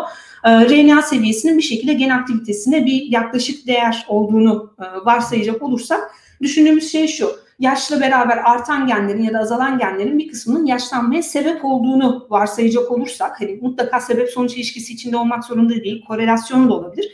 Ama en azından bir kısmının sebep olduğunu varsayacak olursak eğer ki yaşlanma ile ilişkili bu genleri belirlersek diyoruz ki bunları geri çevirecek ilaçlar da bulabiliriz. Bunu yapmak için de işte böyle e, insanlar işte deney yaptıkları zaman mesela işte insan beyninden aldıkları örneklerde RNA seviyesini ölçmüşler. Bunları belli veri tabanlarına, internette belli e, böyle şeylere, e, veri tabanlarına depoluyorlar. E, biz de bunları alarak böyle binlerce insanda 26 farklı veri setinde, 26 farklı laboratuvardan yapılan çalışmaları birleştirerek bir yaşlanma ile ilişkili e, genleri bulduk. E, burada işte farklı bir metodoloji uyguladık. Ee, ve ardından e, aynı şekilde ilaçların genler üzerine olan etkilerini de biliyoruz. Bu durumda bunları birleştirip hani acaba hangi ilaçlar yaşlanma üzerine etkili olabilir diye bir yani tamamen ilişki kuruyoruz aslında. Yine bir sebep sonuç ilişkisi iddia edemeyiz. Ama bu bir ön hipotez yaratmak için e, yeterli e, gördük. Ve bunun sonunda mesela işte 24 tane ilaç bulduk. Ee, bunların işte bir kısmı e, bilinen yaşam uzunluğu modülatörleriydi. Birini mesela şeyde e, deneysel işbirliği yap, içinde olduğumuz deneysel bir laboratuvarla beraber solucanlar üzerinde denedik ve mekanizmasını e, çözdük. Yani bunlar hala tabii şeyi bekliyor. Yani daha model organizmalarda bile denenmeyi bekliyor. Çok ön hipotez aşamasında. Ama en azından bu aşamaya getirebilmek için hesaplamalı çalışmaların işte hani ben umarım gücünü anlatabilmişimdir. Ama bu tabii sadece şey hala ha, sağlıklı insanlarda yaptığımız bir çalışma ama hastalık durumunda nasıl oluyor? Bu hastalığı kısaltma konusunda yapabileceğimiz bir şey var mı? Bunun için de yaptığımız bir çalışma var mesela. Çok kısaca bundan da bahsedeyim. Ee, burada da yaşlanma ve hastalıklar arasındaki ilişkiyi inceledik. Bunun için bir biyobanka kullandık. Bu biyobankalar işte insanlar işte anket soruları yayın, şey yanıtlıyorlar, genomlarını veriyorlar, işte bir sürü bilgi veriyorlar aslında. Ee, ve yani erişilmesi tabii ki de kısıtlı bir bilgi. Ee, buna erişim sağlayarak, buna bir proje yazıp buna erişim sağlayarak işte şeyi çalıştık. Genom üzerinde DNA'daki belli bölgeler belli hastalıkların oluşum riskinin artmasıyla ilişkili mi diye baktık. Ve bunu birçok hastalık için yaptık. Sonrasında ise hani test etmek istediğimiz şey şu oldu. Daha ileri yaşta ortaya çıkan hastalıklar acaba birbirinden bağımsız genetik ilişkilere mi sahip yoksa ortak bir şey bulabilir miyiz? Ve şeyi bulduk yani birbirinden bağımsız ilişkileri olsa bile bu ortak ilişkilerin olduğunu bulduk. E, bu da şey anlamına geliyor tabii hani en azından yani bir umut diyeyim. E, bu genetik bileşeni hedef alırsak belki de bu hastalıkların e, birden fazla hastalığı e, tek ilaçla, tek bir müdahaleyle belki de engellemek mümkün olabilir. Yani bu tabii ki de daha ileri aşamanın e, çalışması olacaktır ama yine hani bundan sonrasında bir ön e, ön hipotez oluşturmak için bu e, ilaçlarla ilgili. Yine bu tarzda ilaçlar var mı diye baktık mesela ve hani kimi ilaçlar bulduk. Bunlardan bazıları zaten işte belli hastalıklar için kullanımda. Hani umduğumuz şey ileride eğer ki bu ilaçların farklı hastalıklar için de işe yarayabileceğine dair bir e, işaret alırsak, bir klinik deney e, denemeler yapılırsa E, bu durumda hani ilaç etkileşimleri oluyor özellikle yaşlı bireylerde mesela bunların önüne geçebiliriz. Çünkü hani çoklu ilaç kullanmasını engelleyebiliriz. Ve hatta mekanizmaları anlaşılabilirse belki de daha önleyici e, yaklaşımlarda bulunabiliriz diye umut ediyoruz. E, yani aslında çalışmalarımla ilgili de çok genel olarak hani bahsedeceklerim e, bunlar. Ee, şeyden de çok kısaca e, bahsedeyim yani bundan sonrasında mesela hani çalışma odağımı yine çok e, bir, biraz değiştiriyorum yani yine yaşlanma üzerine çalışıyor olacağım ama e, bağırsak mikrobiyotası ile ilgili çalışmalar yapıyor olacağım mesela. Hani bir şekilde bağırsak mikrobiyotası, hastalık, yaşlanma bunlar arasındaki ilişkiyi çalışıyor olacağım. Biraz yine evrimsel biyoloji arka planımı katıyor olacağım. Çünkü işte yaşam boyunca mikrobiyotada yaşanan evrimsel değişimler olacak vesaire. Hani bir şekilde e, sanırım söylemeye çalıştığım şey e, farklı konularda çalışsanız bile hani hem önceki çalışmalarda yaptığınız şeylerden e, bir şeyler katabiliyorsunuz ve yine de onlar kullanışlı oluyor yani ileriki hayatınızda ve mutlaka bir alan seçip oradan ilerlemek zorunda değilsiniz bence. Ve bununla birlikte sanırım bitirebilirim. E, dinlediğiniz için çok teşekkürler ve eğer sorular varsa vaktiniz varsa alabilirim. Biz teşekkür ederiz hocam. Oldukça keyifli bir sunumdu. Şöyle hatta ben konuyu çok beğendim. Çünkü hani aslında bizim zirvenin amacına da hizmet ediyor bir noktada. Bizim için dediğiniz gibi oralar çok sisli özellikle kendi perspektifimden bakacak olursam hani yapmam gereken işleri hemen hemen biliyorum şu dönem. E, işte olabilecek çıkarımı görebiliyorum. Yani çıktığı görebiliyorum ama o arada hangi basamaklar olduğu şu an benim için büyük bir gizem ve bu insight'lar gerçekten çok şeydi yani değerliydi benim için kendi adıma. Ve böyle bütün eğitim hayatınızı açmış olmanız da çok mutlu etti. Şey, biraz yani YouTube'da yayınlanacak olmasından dolayı e, çok sorguladım kendimi. Acaba yapmak istiyor muyum gerçekten ama e, umarım faydalı olur. Çok teşekkür ederiz hocam. Bu arada hani red aldığınızı, iş yapmanızı belirtmeniz falan gerçekten çok iyi. Yani dediğim gibi kendi adıma bunları söyleyecek olursam. Aynı zamanda çalıştığınız konuda çok ilgi çekici bir konu. Güzel sorular da geldi. Onları da hemen size aktaralım. Evet. Eyüp sormuş hocam. E, merhabalar demiş. Sunumunuz için çok teşekkür ederiz. Farklı alanlardan öğrenciler olsak da sunumunuz çok kapsayıcı oldu. Benim bir sorum olacaktı demiş. Öğrenci olarak derslerden ziyade sosyal sorumluluk projeleri ile de ilgilenmekteyim. Sizce bir öğrenci olarak var olan bir projede mi yer almak e, yer almalı yoksa yeni bir projeyi hayata geçirip o projeyle mi ilgilenmeli diye soruyor galiba. Evet, o projede yani yer sosyal, almak daha efektif olur. Yani sosyal sorumluluk projeleri kapsamında diye anlıyorum bunu sanırım. Evet. Mesela yani, Eyüp mesela yani, bizim ekipte bu zirve sosyal e, projeleri dahil edilebilir galiba. Tamam yani şöyle söyleyebilirim aslında bu hani hem sosyal projelerde hem de bilimsel projelerde belki de bunu söyleyebilirim. Yani bence ikisi de çok değerli. Var olan şeyde yer alarak aslında öncekilerin e, öncekilerin aldığı yoldan bir anlamda deneyim kazanmış oluyorsunuz. Çünkü hani bir, o projelerin oluşturulmasında belli e, düşünce süreçleri oluyor. Bunları öğreniyorsunuz. E, bunlar üzerine kurarak gidiyorsunuz ve bunlara belki ufak katkılarda bulunuyorsunuz. Bu da çok değerli. Ama hani tabii ki de kendinizin ortaya attığı bir proje ister sosyal sorumluluk olsun ister bilimsel proje olsun. Ee, o süreci gerçekten de en başından itibaren yönetmek, o deneyimlerinizi hayata geçirmek ve aldığınız dersleri e, bir anlamda yani çıkardığınız dersleri uygulamak çok da kıymetli oluyor tabii ki de ve belki de en büyük etki oradan geliyor. Ee, o yüzden yani ikisi de çok değerli bence. Bir seçim yapmak gibi bir şey çok da şart değil benim gözümde. Teşekkürler. Bu soru Slack'ten gelmiş, Slack kanalından. Merhaba hocam, çok teşekkür ederiz samimi sohbetiniz için demiş. Umarım size soracağım soru hatalı değildir. Yalnızca temel biyoloji eğitimi aldım çünkü diye de eklemiş. Topikal hücre yenileyicilerin telomerler üzerindeki etkisi hakkında ne düşünüyorsunuz? Uzun vadede yaşlanma sürecini hızlandırmaları mümkün müdür?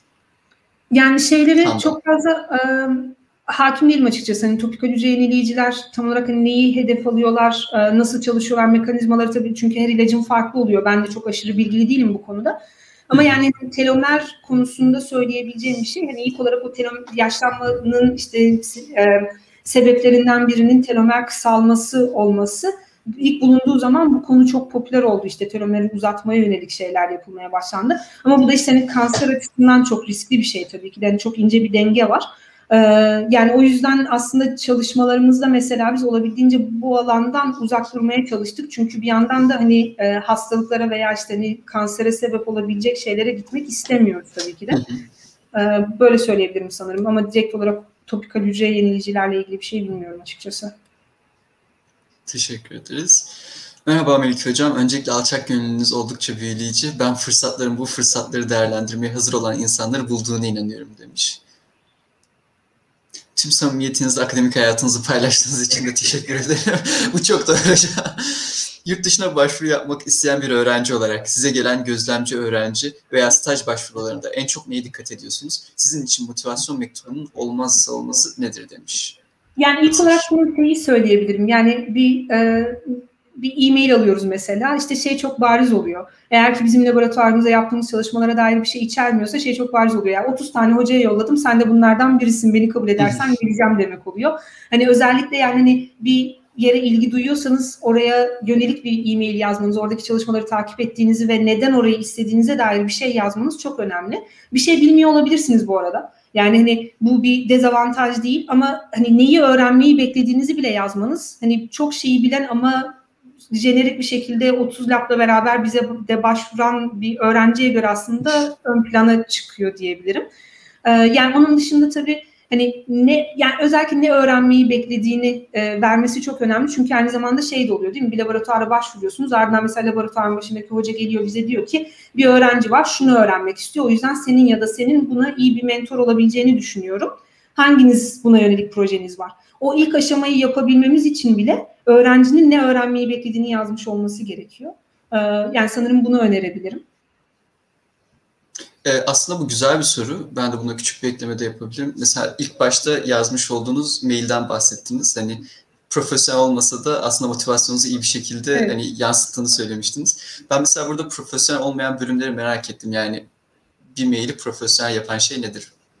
Yani bir şeyi e, kastediyorum orada. Çünkü ee, yani üsluptan hani şeye kadar yani sonuçta hani bilimsel bir çalışma bir proje nedir bunu bile çok fazla bilmeden yazdığım bir şeydi. Hani ne umduğumu bile bilmeden yazdığım bir şeydi. O yüzden böyle sanki bir anda 3 ay içerisinde bana sihirli değnekle her şeyi öğretebileceklermiş gibi bir izlenim yaratmışım. hani şunu yapıyorsunuz ben onu da öğrenmek istiyorum bunu da hani saymışım. yani. ee, aslında hani bu gerçekçi bir şey değil. Daha hani nokta atışı yapmak belki daha profesyonel olmasını sağlayan şeylerden biri olurdu. Hani onun dışında işte şey genelde o kadar uzun mail yazıldığı zaman okunma ihtimali düşer genelde. Hani kısa tutup artı bir motivasyon mektubu mesela e, eklemek e, bir PDF olarak daha daha doğru olabilir. Çünkü uzun bir mail yani bilmiyorum çok yoğunluğun arasında genelde gözden kaçırıyor ve okumamayı tercih edebiliyor oradalar mesela. E, bu tarz yani ufak nüanslar sanırım. E, ama yani dediğim gibi sanırım hani başarılı bir başvuru olmasında şey etken olmuştur muhtemelen. Yani gerçekten çok istiyordum o laboratuvarı ve bunu bütün benliğimle anlatmışım orada. Anlıyorum. Teşekkür ederim. Çalışmaların ticarileşmesi, kon- e, konvansiyonel kullanıma geçmesi için önemli. E, bu noktada planınız var mı demiş Yiğit. Ee, yani açıkçası yok. Yani şeyde e, bu, bu, bu basamağı hiç hani hayatım boyunca düşünmemiştim. Bu ilk ilaç çalışmasını yapıp yayınladıktan sonra birkaç tane şey iletişime geçti bizimle. Bu işte oluyor ya melek yatırımcılar şunlar bunlar işte hani şey startup kurmak ister misiniz bununla vesaire diye. O zaman biraz düşünmeye başladım. Ama hani sanırım bana yani onun araştırmasını yapıp bilimsel kısmını yönetmekle daha çok ilgileniyorum sanırım. Hani eğer yani bilmiyorum gelecek ne gösterecek tabii ki de belki de çok değişecek bu konudaki görüşlerim. Çünkü daha hayata geçmesi yani ticarileşmesi değil de sonuçta aynı zamanda bunun hayata geçmesi anlamına gelecek. Daha kullanışlı bir hale gelmesi anlamına gelir bunlar. Bunları yapma şansım olursa değerlendirir miyim ileride onu çok bilmiyorum. Ee, ama onun dışında şeylerle ilgili çalışmalar oluyor. Bir de ondan da bahsedeyim. Bu EBI'de özellikle mesela şirket akademi işbirlikleri oluyor. İlaç şirketleriyle akademisyenlerin işbirliği halinde çalıştığı ve direkt olarak hani e, bir şey olursa ilaç şirketi bunu hayata geçirecek şeklinde. Yani e, orada işte sanırım böyle büyük organizasyonlarla çalışıp hani güzel bir şekilde regüle edildiğini e, bilmek sanırım önemli. Çünkü hani bu konuda ben hani hiç çalışmadığım için e, çok fazla şey bilmiyorum. Hani bunun legal düzenlemeleri falan sanırım çok ciddi regülasyonlar evet. E, onların yani bilmek gerekiyor sanırım. Bu Nature'da yayınlanan hocam en son? Evet yani yok pardon bu ilaçla ilgili olarak bahsettiğim daha önceki bir çalışmamızdı ama e, yani bunun için de aynı şey aslında geçerli. Hı E, genelde ilaç çalışmaları olunca hep karşımıza çıkan şey oluyor sanırım. Galiba. evet bir soru daha gelmiş bu İsmo Samu Med'in çalışmaları e, tüm dünyada büyük ses getirdi. Temelde ele aldığınız hipotez e, ortak mı demiş. Ee, Samu Med'in çalışmasından birazcık bahsedebilir miyim?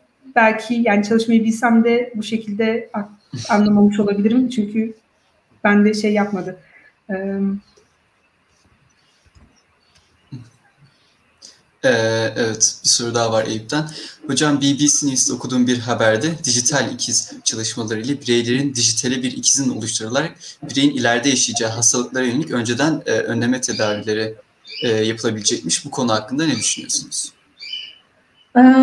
Yani bir yandan tabii ki şey bilim kurgu filmi gibi tabii ki de çok büyük hani şey veriyor. Yani çok güç veriyor bu tarz çalışmalara ve iyi bir motivasyon sağlıyor ama bir yandan da çok ciddi hani etik kaygıları falan olabilecek şeyler oluyor bunların. Hani gerçekten de o sürecin hani realistik bir şekilde gözlemlenmesiyle çok daha farklı noktalara da gidebilir. O yüzden işte yine şey noktasındayım sanırım. Aynı bu gene editing falan e, olduğunda da nasıl işte hani bilim insanları bir anlamda hani bir adım geri çekilip hayır insanlara bunu şimdi uygulamıyoruz e, dediler sonuçta. Hani Hı. aynı şekilde sanırım biraz bir inkübasyon süreci bu arada etik düşünceleri e, değerlendirmek falan önemli. Ama sonuçta hani her koşulda insan sağlığına faydası olabilecekse ve bu faydadan genel olarak bütün insanlık olarak faydalanabileceksek bence bu çok önemli bir nokta. ee, sanırım hani uygulanması tabii ki de çok harika olur ama bunun hani kimlere nasıl uygulanabileceği, herkesin o dijital ikizi yaratıp yaratamayacağı falan çok ciddi sorular sonuçta. Evet. Tuana'dan gelmiş sıradaki soru. Hocam şimdiye kadar yaptığım biyoinformatik uygulamalarında hazır paketler kullanarak veri analizleri yaptık. Bu paketlerin istatistikler yöntemlerinin geliştirilmesini alanda kimler üstleniyor?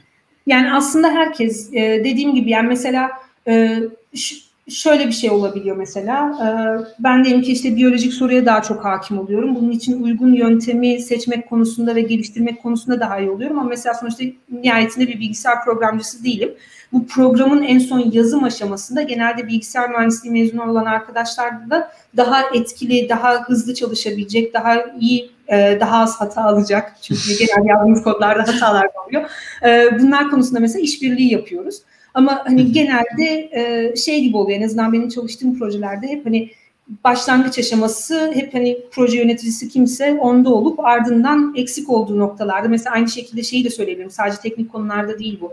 Tıpla alakalı diyebileceğim çalışmalar olduğu için işte hastalık çalışmaları. Mesela tıpçı olan arkadaşlarla beraber de çalışıyorum. Onlardan da fikir alıyorum. Hani işbirlikleri bu tarz şeylerde çok önemli tabii ki de. Semiha Çakır merhaba hocam demiş. Güzel sunumunuz için teşekkürler. Yaşlanmanın bir patoloji olarak görülmesinde nasıl bir bakış açısı var? Tıpta yaş gruplarında kabul ettiğimiz bazı fizyolojik değerler var. Yaptığınız çalışmalar bu değerleri değiştirmeye mi yönelik?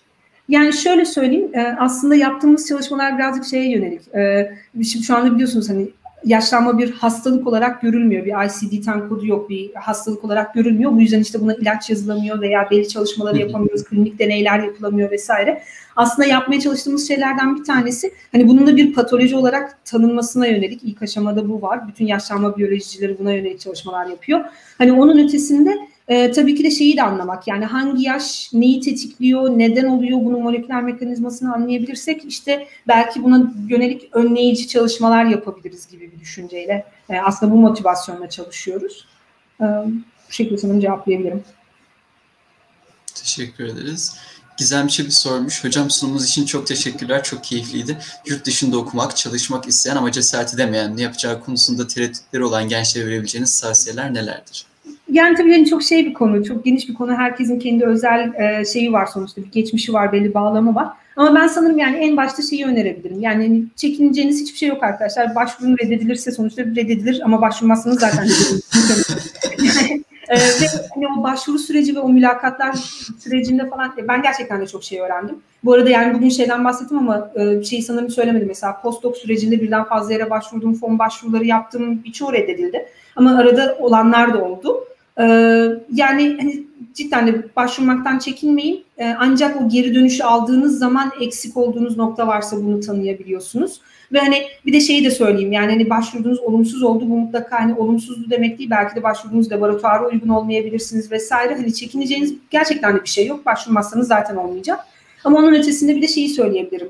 Ee, yani çevrenizde de bir şekilde hani akademik bir ortamın içinde olduğunuz zaman hani fikir almaktan, kendinizden bir adım daha ileride olan, bu aşamalardan geçmiş olan insanlardan mesela işte CV'nize, yapmak istediklerinize, mektubunuza mutlaka öneriler almaktan e, çekinmeyin, gönderin, feedback alın devamlı.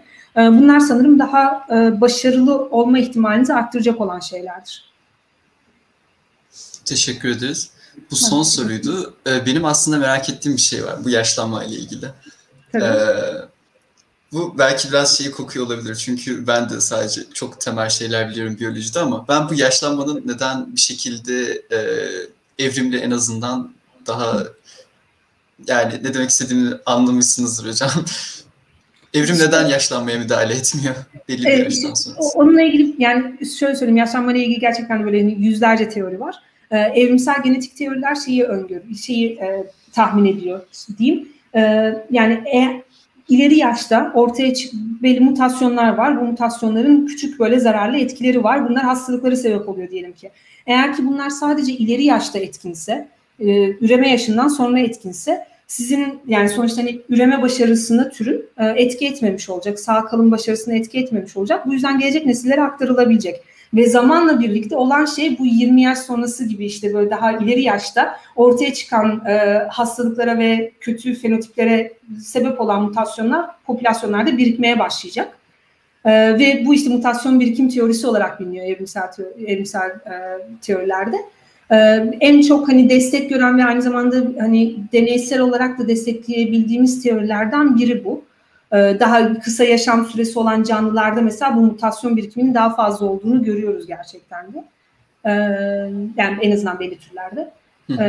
Yani sanırım hani bir açıklama bu olabilir. Onun dışında işte çok küçük bazı türlerde şey de öne sürülüyor. İşte bu büyük anne etkisi dedikleri şey işte hani ileri yaşta il, il, ileri yaş yani şey nasıl söyleyebilirim işte bu bir, bir şekilde işte üreme dönemi sonrasındaki yaşam uzunluğunun artması ve hani o yaşlı olan popülasyonun hayatta kalmasında e, kalmasının torunlara olan pozitif etki e, olduğu yönünde bir teori var ama bu şekilde hmm. bu sosyal yapıya sahip olan tür sayısı mesela çok az. O yüzden hani bazıları daha türlere spesifik ama bu bahsettiğim mesela mutasyon birikim teorisi gibi çok geniş açıklayan teoriler de var? Ama Son yani, şey... Tabii. Ee, bu ilk dediğinizle ilgili. Şimdi diyelim ki bir mutasyon var ve bu mutasyon bizim için üreme yaşından sonra oldukça zararlı. Ama bu üreme yaşından sonra zararlı olan şey aslında bizim e, ilk gelişme döneminde bize güzel faydalar sağlıyor. O zaman bu mu seçilir? E, eğer ki buysa, bu da bu arada antagonistik pleiotropi teorisi olarak geçiyor. Öyle mi? Eğer ki buysa aksine daha da fazla seçilir. Yani sadece nötral bir şekilde popülasyonda birikmesi değil, pozitif seçilim altında bile olabilir. Bu durumda bunlar aksine seçilir. Mesela kardiyovasküler şey koroner arter hastalıklarıyla e, şey arasında, üreme başarısı arasında mesela böyle birkaç mutasyon insanlarda yapılan çalışmada bulundu mesela. Wow. çok çok ilginç. Bir sorumuz daha gelmiş bu arada. Onu da alabiliriz arada. Tabii. Hocam öncelikle e, sunumunuz için teşekkürler. Benim sorum e, mikrobiyota ile yaşlanma arasında nasıl bir ilişki var demiş.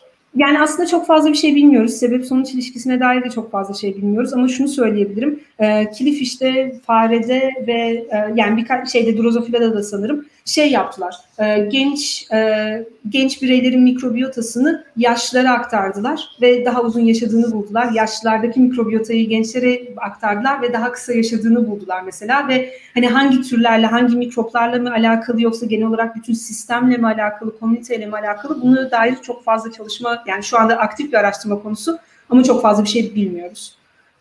Ben bir de bir şey daha duymuştum bu konuyla ilgili. Aa, önce sorularımıza geçelim ama. Zeynep'ten gelmiş. Yaşlanmayı, yaşlanmayı ilaçlarla geciktirmek sosyolojik olarak hangi sorun ya da sorunlar doğurabilir, doğurabilir diye sormuş. Yine etiğe gidiyor bir noktada galiba. Evet. Ekstra olarak bu ilaçlama yalnızca bir kereye mahsus mu uygulanabilir? Gelecekte bu ilaçlamayı belli aralıklar yapıp çok uzun ömür gibi bir durum gerçekleşebilir mi demiş. Yani şeyi sanırım burada sorgulamak lazım. Yani herhangi bir ilaç şirketi gerçekten de sadece bir kere uygulanmalık bir ilacın e, şeyine üretimine yeterli yatırım yapar mı yoksa hayat boyu kullanacağımız bir ilacın mı e, üretilmesine yatırım yapar? E, burada tabii çok ciddi şey uygulama şeyleri var. E, uygulama sorunları var yani. O yüzden hani sadece ne doğru ne yapılabilirden ziyade hangisi acaba ilaç şirketleri tarafından tercih edilir sorusu ortaya çıkmak durumunda kalıyor. Bu da ne yazık ki muhtemelen kötü olan seçenek. Ee, teorik olarak ama mümkün bir kere alıp e, daha uzun süre etkisi olabilecek ilaçların da olması tabii ki de mümkün. Ee, ben bir şey duymuştum. Yine Gökhan Tamışlıgil'in e, bir konuşmasında duymuştum. O da geçtiğimiz senelerde aslında konuşmacımızdı. Bir tane genden bahsetmişti e, farelerde yaptıkları deneylerde. Ve bu gen şu an tam net hatırlayamasam da ya değiştiriliyordu ya kaldırılıyordu. Ve bu aslında ömre e, müdahale et müdahale etmese de yaşlanmayla ilgili göstermiş olduğu farelerin belirtilerini e, ciddi bir şekilde azalttığından bahsetmiştim. Mesela işte bu beyazlama kıllardaki veya dökülme gibi hani yaşlanmaya ait olumsuz özellikleri azalttığını söylemiştim. Bu alanda da çalışmalar yapıyor musunuz? Ee, bu tür şey çalışmalarla şey, ilişkili e, insanlara yani, uygulanan bir şeylerden var mı böyle çalışmalar merak ettim doğrusu şu tarzda bir şey yaptık mesela. Bu tarzda şey e, fare üzerinde yapılan deneylerde işte hani belli genler kaldırıldığında sonuçta bu aynı zamanda bütün genom bütün genomda belli değişikliklere sebep oluyor transkriptomda. Bunların ortak noktaları neler ve bu değişimleri acaba insan yaşlanmasında görüyor muyuz? Tersine çevriliyor mu diye mesela baktık. Ee, ve hani bazı şeylerin genlerin etkilerinin gerçekten de insan yaşlanmasının tersine çevrilebilmesiyle sonuçlanabileceğini düşünüyoruz. Ama dediğim gibi işte hani hesaplamalı çalışmaların sanırım en kötü noktası bu. Hani girip de o deney kısmına geçip de gerçekten hep hani ihtimal oluyor ne yazık ki. Ee, ama umarım ileride bunları da deneme şansımız olur diyeyim. Çok teşekkür ederiz hocam. Ben teşekkür ederim. Çok ee, keyifliydi benim için. Oldukça güzel bir sunumdu gerçekten. Güzel bir, bir saat geçirdik sizinle. Görüşmek üzere hocam. Teşekkürler. Görüşürüz. Evet, şimdi bir sonraki konuşmaya kadar kısa bir ara vereceğiz.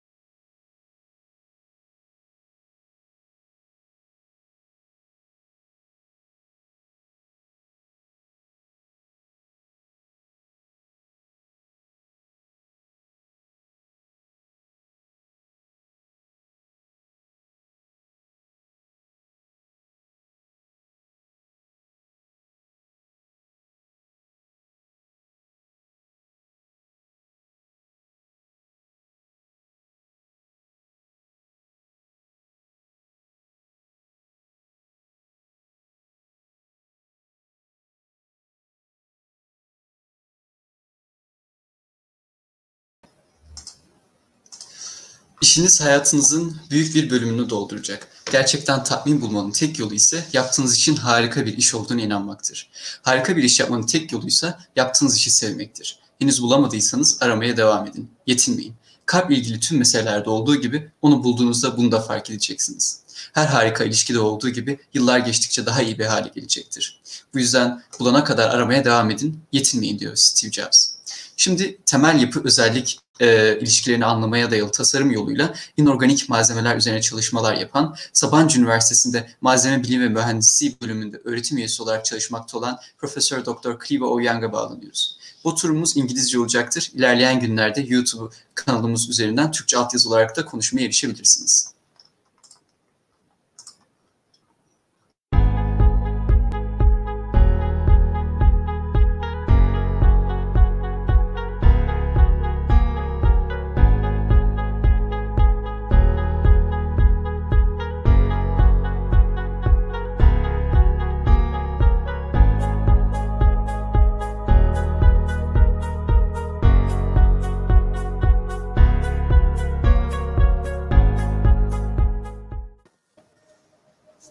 Hay hocam.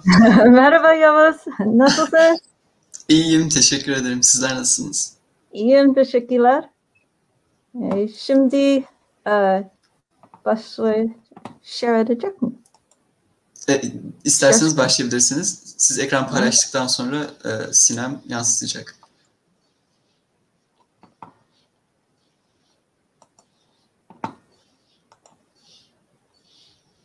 Şöyle. Hı hı. Oldu mu? Şu an görebiliyoruz. Evet. evet. Harika. Bu e, Bilim Elçileri platform için çok teşekkür ederim ve e, Türk Hava Yolları destek için çok teşekkür ederim. Ve hepinize bugün burada e, e, olduğum için çok heyecanlıyım, çok mutlu oldum. E, çünkü önemli bir fırsat. E, yani bu konu beyin, beyin gücü değil, beyin gücü. Yani Türkçe olarak bu deyim daha mantıklı. İngilizce çevir, çevirirsem farklı, anlam biraz farklı. Ama şimdi ben İngilizce devam edeceğim çünkü ben Türkçe konuşurken bazen tarzanca çıkıyor.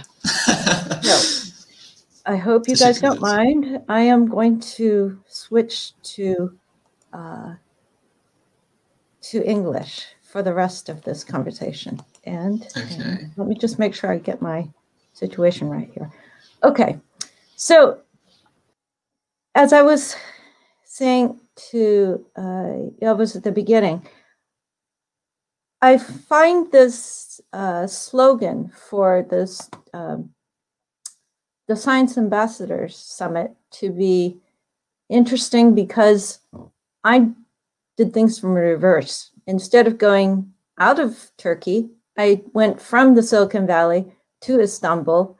I've been at Istanbul for 18 years.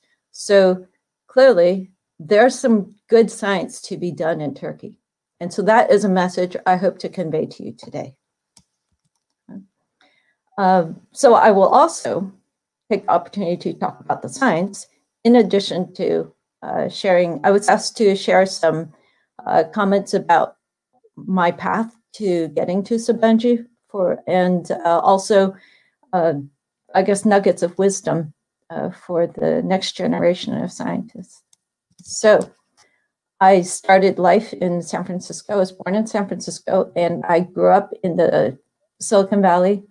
Uh, I went to public high school, Carmont High School, which it was not the most academically challenging, uh, especially when I talk to students in Turkey.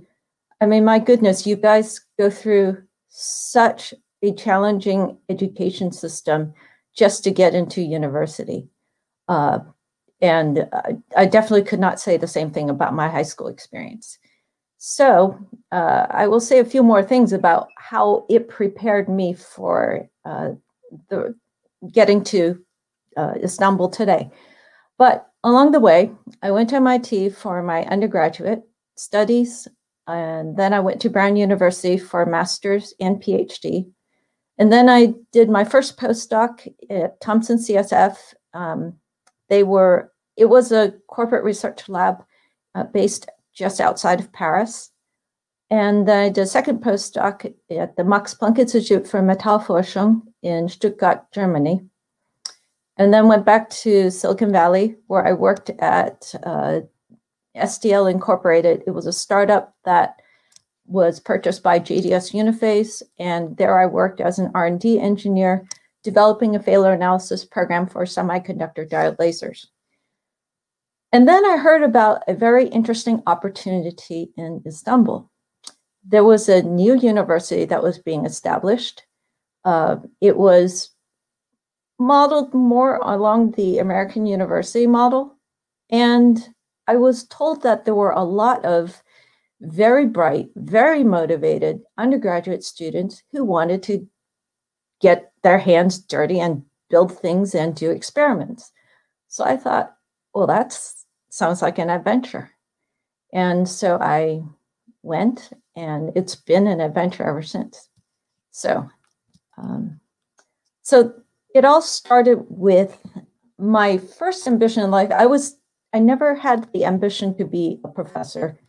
Um, instead, my first ambition was to be a fighter jet test pilot because that allowed me to fly the fastest planes possible. But I started wearing glasses when I was five years old, so you cannot wear glasses when you're a pilot. But the space shuttle program was thriving at the time. And I thought, well, if I can't fly the space shuttle, at least I could be a payload specialist. In other words, at least I could run some science experiments on the space shuttle. So with that guiding me, I took part in an astrophysics uh, high school summer program. Um, in this summer program, it was in Southern California, and it was for 36 high school juniors from all over the US.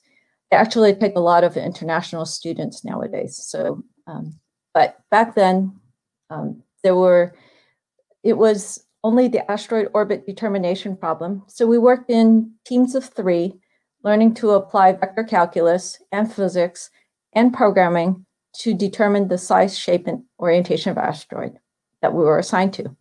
So we had to work together to figure out where to point the telescope for three observation sessions, collect our data, and then do the calculation. I knew none of this before I went. And so this program was a defining experience for me because that's when I understood a few things about doing science. First of all, you're never going to know all the answers. And the process of finding things out is the thrilling part of being a scientist. Um, and it really pays to collaborate because there's a satisfaction in learning and understanding and figuring things out for yourself. But the experience is so much more enjoyable when you are collaborating with a team of people who are, everybody brings their own uh, um, experience and expertise.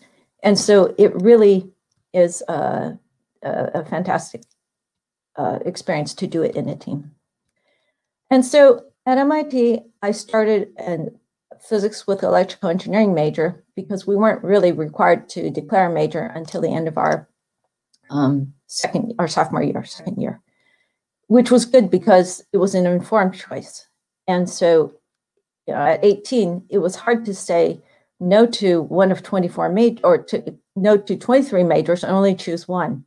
So one of the pivotal experiences there was this computer architecture course I took, where we step by step um, through the lab sections just gradually built learn to build a computer. And the very final lab, you input two numbers and the it the, the LEDs blinked the right hex number sequence. And that was so amazing to realize that, wow, I just built a computer. But the undergraduate research opportunities program was um, another more directly related influence to what I'm doing today. And so these images, these photos are all from uh, at Sabancı University. And so this is with the early team that I worked with um, all undergrads. And then these guys developed a new cement, um, a way to process cement, not at 1400 degrees Celsius, but at 700 degrees Celsius.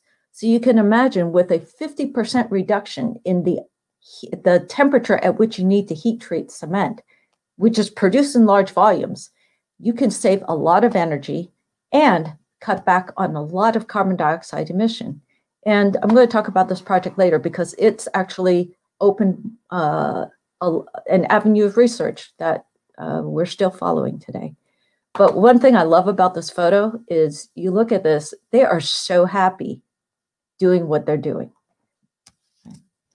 And so the third dividing experience for me was a microelectronics processing technology course. So we're basically building devices on silicon wafers, which you start with a bare silicon wafer and you deposit layers and you uh, transfer patterns on them, you add more layers, and eventually you have a device. Or in our case, for the, the lab course, we made a resistor, a diode, and a transistor, and we measured the current voltage characteristics of the, the resistor, diode, and transistor.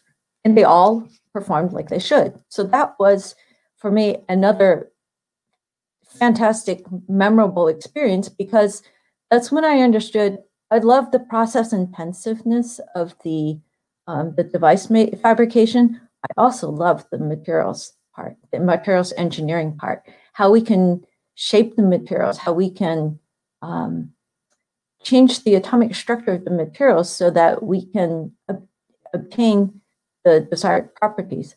And so that's when I switched majors to materials engineering, and it's been material science and engineering ever since. Although I tend to still work at the physics end of material science. So the last defining uh, experience for me in this, uh, in my education was when I met the transmission electron microscope. Now, this image that you see on the left, it's a schematic that many of you have seen in maybe a simpler form or other in, um, in textbooks. And most materials look more like the ceramic powder particle that I'm showing you here. So when you start to zoom in, you can see new particles and you zoom in on the particles and eventually you see columns of atoms. To be able to go from the schematics that we saw in the textbooks to actually seeing and being able to um, being able to to probe the the environment around atoms in the columns of atoms. Uh, for me, that was the confirmation of I was meant to be a materials engineer. I felt like I found my calling in life. And I still, to this day, even after doing so much work in the TEM, every time the image comes into focus, I get this adrenaline rush and this, these waves of joy. So, so this is a picture of the electron microscope, the TM that we have at Sabanci. And it's I'm here with my PhD student, Gülüz. She was the first PhD student that I graduated.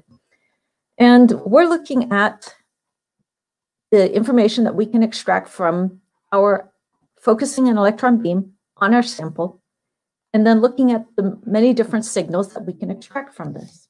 Okay, so the sample is just a little, a very thin three millimeter disk sitting in this part of the microscope. And so why are we using electrons to form images? Well, if you use light waves, which are electromagnetic waves, you typically have to use a glass lens so that you can refract the, lens, the rays and then bring them to a focus. And so you can see from this uh, typical light microscope chart, you need a different objective lens for each different magnification. But in the electron microscope, electron waves have electrical charge. So you can manipulate them and deflect them by applying electrical forces and magnetic forces. So we use electromagnetic lenses and use have a single electromagnetic lens here. Well, there's actually stack of electromagnetic lenses along the optical column, but I don't have to rotate to different parts. I just have to adjust the current that's flowing through the electromagnetic lens then I can change how much it deflects the electron beam. So I can manipulate, shape, and um, and and transform the electron beam or the, the electron waves simply by using electron the electron optics. And so so that's how an electron microscope works. And we apply it to understanding puzzles in materials engineering. So my passion project has been this uh, these materials. They're long afterglow phosphors, and they are strontium aluminate, aluminum oxide ceramic materials that are doped with mole, uh, mole, one mole percent of europium and one mole percent of dysprosium. Now, if you just use this stoichiometry, this material, if you turn off the lights, it will continue to emit light, luminesce, for about 10 minutes.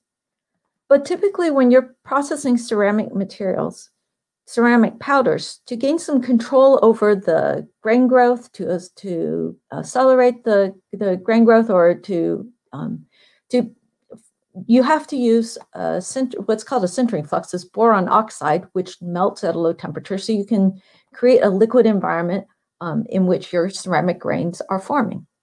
Well, it turns out that boron oxide is actually also contributing to the afterglow. In fact, if you use about 3 mole percent of boron oxide, it extends the afterglow for longer than 10 hours. This is pretty tremendous because this is 10 hours after you turn off the room lights, it's still emitting light. What I'm showing here is a, a falcon tube of our powders. About a few minutes after we turn off the light. And you can see that it luminesces with fairly high intensity, bright enough that you can read the periodic table behind it.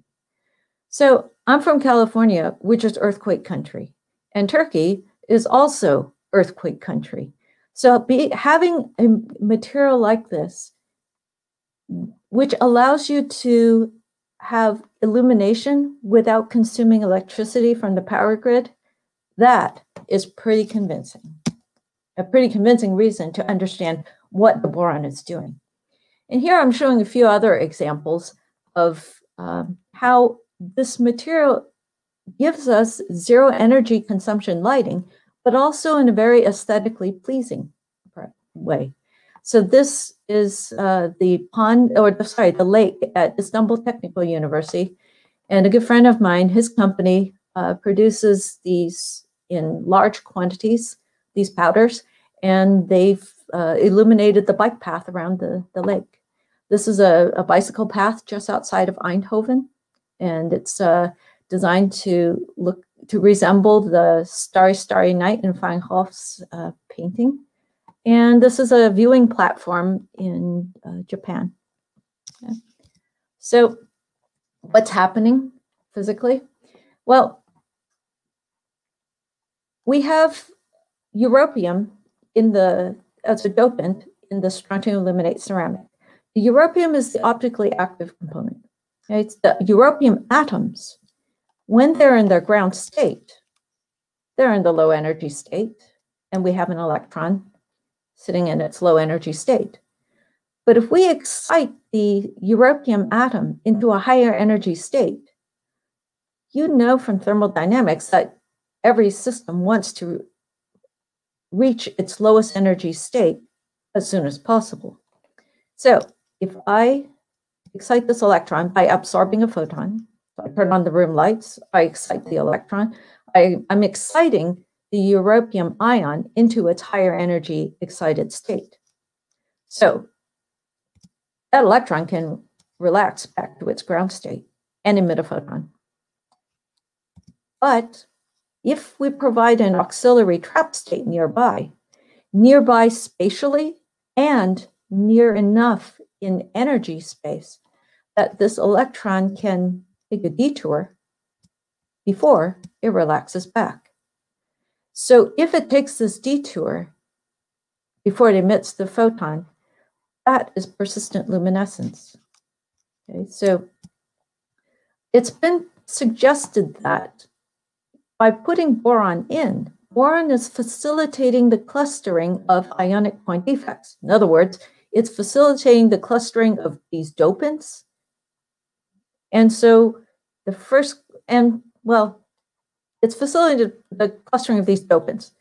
And so our first question was, well, okay, if we can cluster, we should be able to see this with the transmission electron microscope because with the transmission electron microscope, we can get information spatially to form images, and we can, at the same time, collect chemical information. So here I'm showing a, a, an image of these ceramic grains bordering a grain boundary. And so I formed the image using the high angle annular dark field scattered electrons. And I can also, because my atom, my electrons are interacting with the, the sample, I'm ejecting or ionizing atoms when it's interacting with the atoms. And so therefore, I should be able to collect the ionization fingerprints of the dopants that are present and be able to map them. And so I can see that within that grain boundary, I have an accumulation of boron. But for the europium and dysprosium, they are uniformly distributed through the microstructure. So it's clear that I have europium and dysprosium within the grains.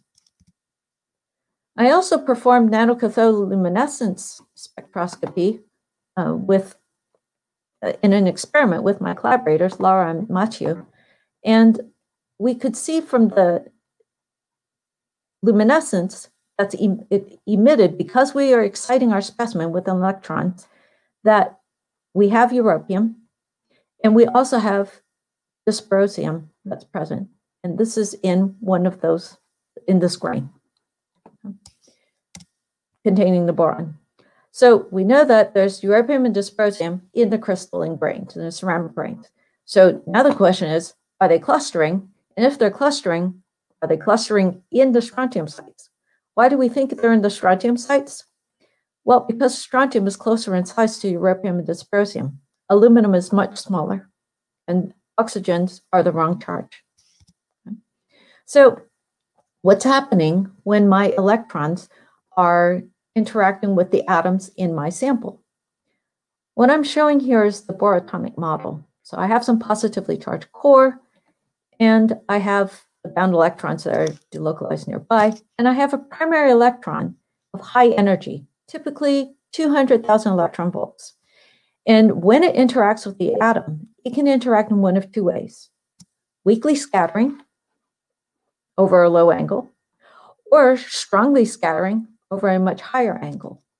So I have a particle of charge that's undergoing scattering, and if it's interacting strongly with the positively charged core, that means it's going to tell me information about the atomic core. And so by looking at the high angle annular dark field images, STEM images, then I should be able to see information about the atomic positions. So when I I'm showing two images here. On the left side, I'm showing what we see sitting at the microscope. We have the electron beam coming from above and hitting our, our sample from the top. What I'm showing on the right is what things look like if you are the electron. Okay, so as I'm tilting in the microscope, I'm tilting through different, I'm tilting the, the sample until I can see clearly columns of strontium atoms only and columns of aluminum atoms only. So this way, when I see some intensity in my annular dark field image, I know that that intensity is coming from the strontium site only or from the aluminum site only. And so, in fact, instead of just seeing a single unit cell, most of the time I'm looking at a crystal which contains many repeat units in all three directions or all three dimensions. Okay? So this is what we see in the electron microscope. These bright dots correspond to the high intensity or the high, highly scattering um, strontium, columns of strontium atoms. And in between, you see some contrast. Those are coming from the aluminum atoms, which have a much lower atomic number, so they don't scatter as strongly. And so uh, the scattered intensity scales with the atomic number squared. So now we want to see where's the europium and dysprosium going, and do they are are they in, incorporating into strontium sites? And if they are incorporating into strontium sites, can we say something about clustering? So looking into the, this is what we expect to see. If we have europium dysprosium incorporating into strontium sites, we should be able to see some enhanced intensity in the columns containing them. So we took a look at an experimental image and we simulated what the uh, image should have looked like based on the crystal structure information and how we set up the, um, the electron optics. So the reason why we do this is we want to be able to quantify the information, the intensity information inside our electron image. So it's not just uh, looking for where the atoms are, but real, recognizing that you can extract chemical information, quantitative information from the images as well. And that's one of the powerful things about the scanning transmission electron microscope.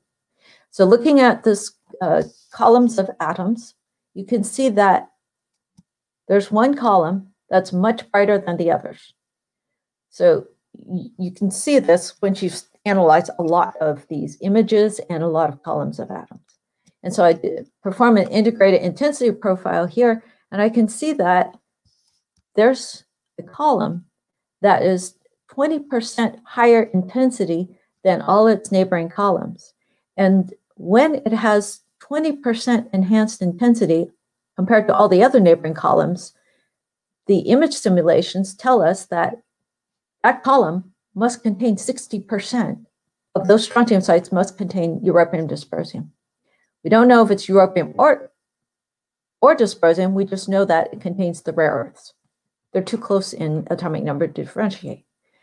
So this is the PhD work of Gilles, and she did a phenomenal job with the imaging and the image simulations and interpretation. So we saw that the from the cathodoluminescence studies that europium will incorporate into both types of strontium sites. And so the question is, okay, we have 60% of a column of strontium sites occupied by rare earths. Is this a stable structure? So to answer this question, we collaborate with Mate Comel from Josef Stefan Institute, and he performed density functional theory um, comp computational experiments, looking at the structures, and uh, so he populated the structures and then uh, relaxed them and looked at the lowest energy configurations. And what was interesting was, okay, first of all, they are stable. And we noticed that there are, there's a 75% probability that adjacent sites will be occupied by rare earths. So this confirms that we have clustering of the europium and dysprosium ions. So they have to be close enough, remember, in order to, for the energy transfer to occur, in order for the dysprosium to provide a, a detour for the excited electron of europium. So, okay, we could see that europium and where's the boron?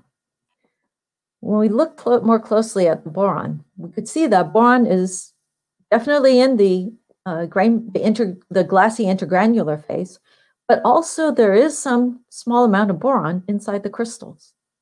And by looking at the ionization information, we can see that the uh, boron is coordinated by four oxygens when it's inside the ceramic grain. And when it's in the intergranular phase, it's coordinated by three oxygens. Why is this information important? Well, we want to be able to determine where boron goes. And if it does not incorporate into a um, into a, a, a, atomic column site, if it incorporates into an interstitial site in between uh, atoms, might be harder to see. So, so this was the first indication to us that, okay, boron is in the crystal and we need to figure out what the environment of the boron looks like inside the crystal. So uh, that we did some experiments uh, taking advantage of the fact that, well, if boron is in some crystalline lattice, that there's going to be some vibrational behavior that we can follow. So we performed Raman and FTIR studies um, that was that's the work of Arzu Coşkun Ergen's PhD work, and she's writing up right now. So I'll talk about that some, next time we talk. So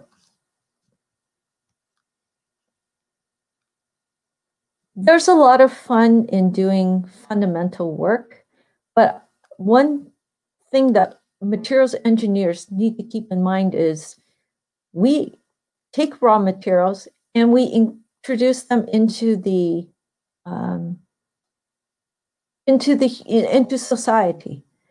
And so materials are necessary to enable modern life. However once they are introduced into the uh, into the material consumption you cannot take it back out.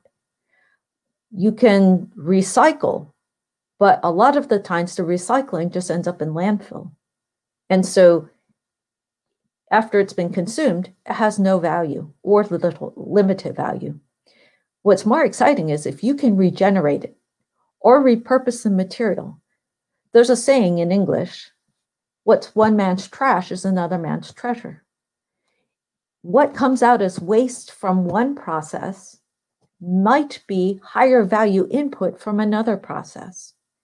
So, with that in mind, we've been focusing on developing circular economy models.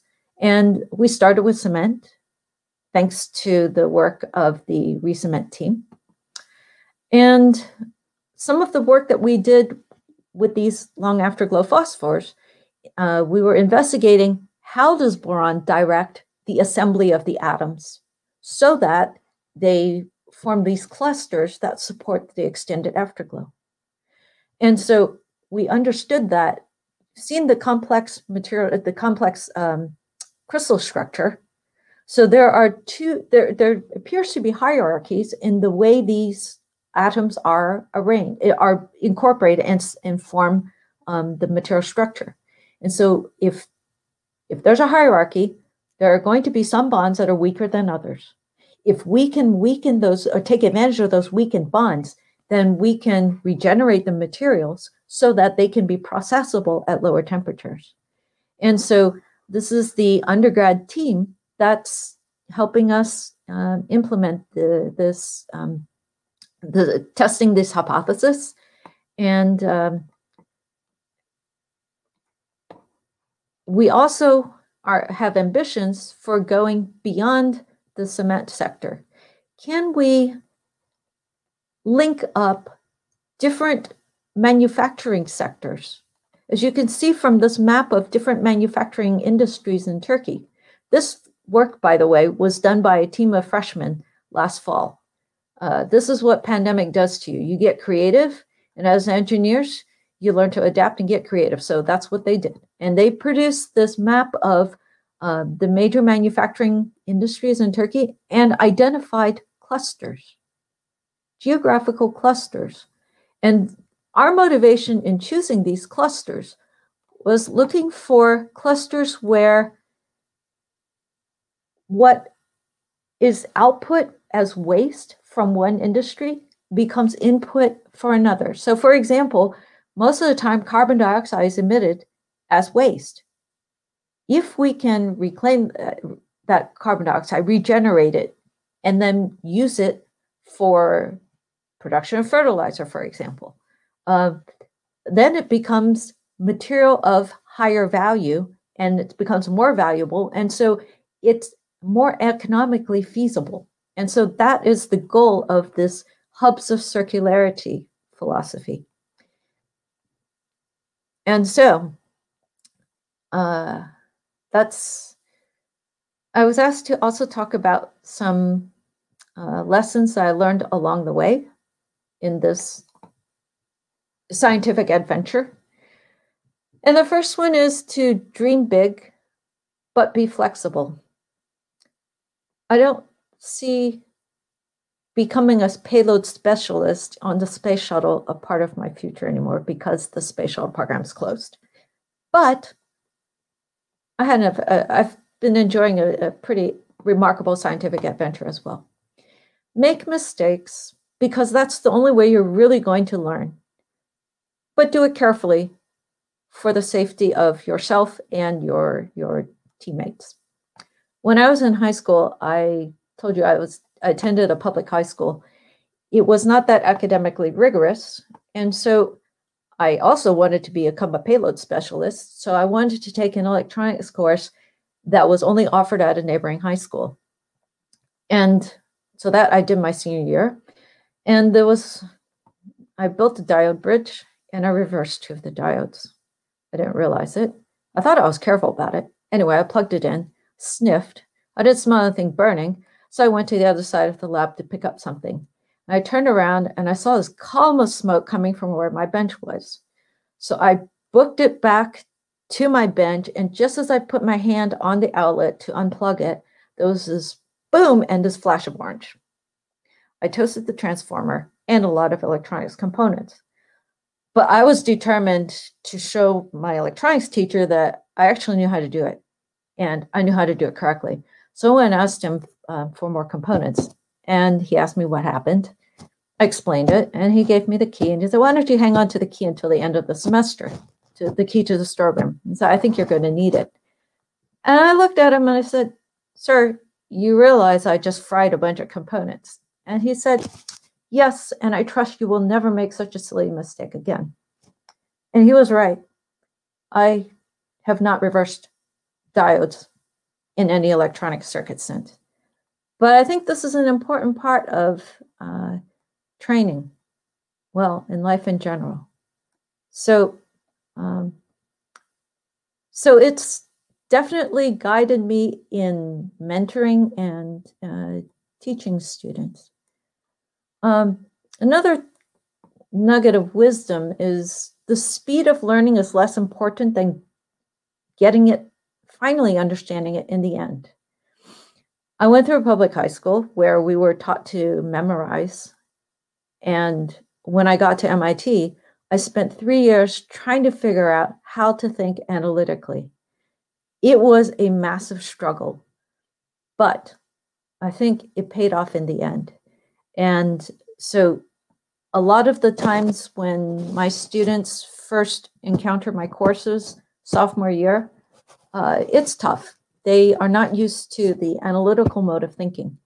But that is what you need to master in order to do science, in order to do research, because you cannot look everything up in a textbook. And so, how do you understand things? It's by uh, modeling, analyzing, and deriving. So, you have to be patient with yourself. And some people may under, learn some things faster than you, but you will certainly learn some things faster than other people.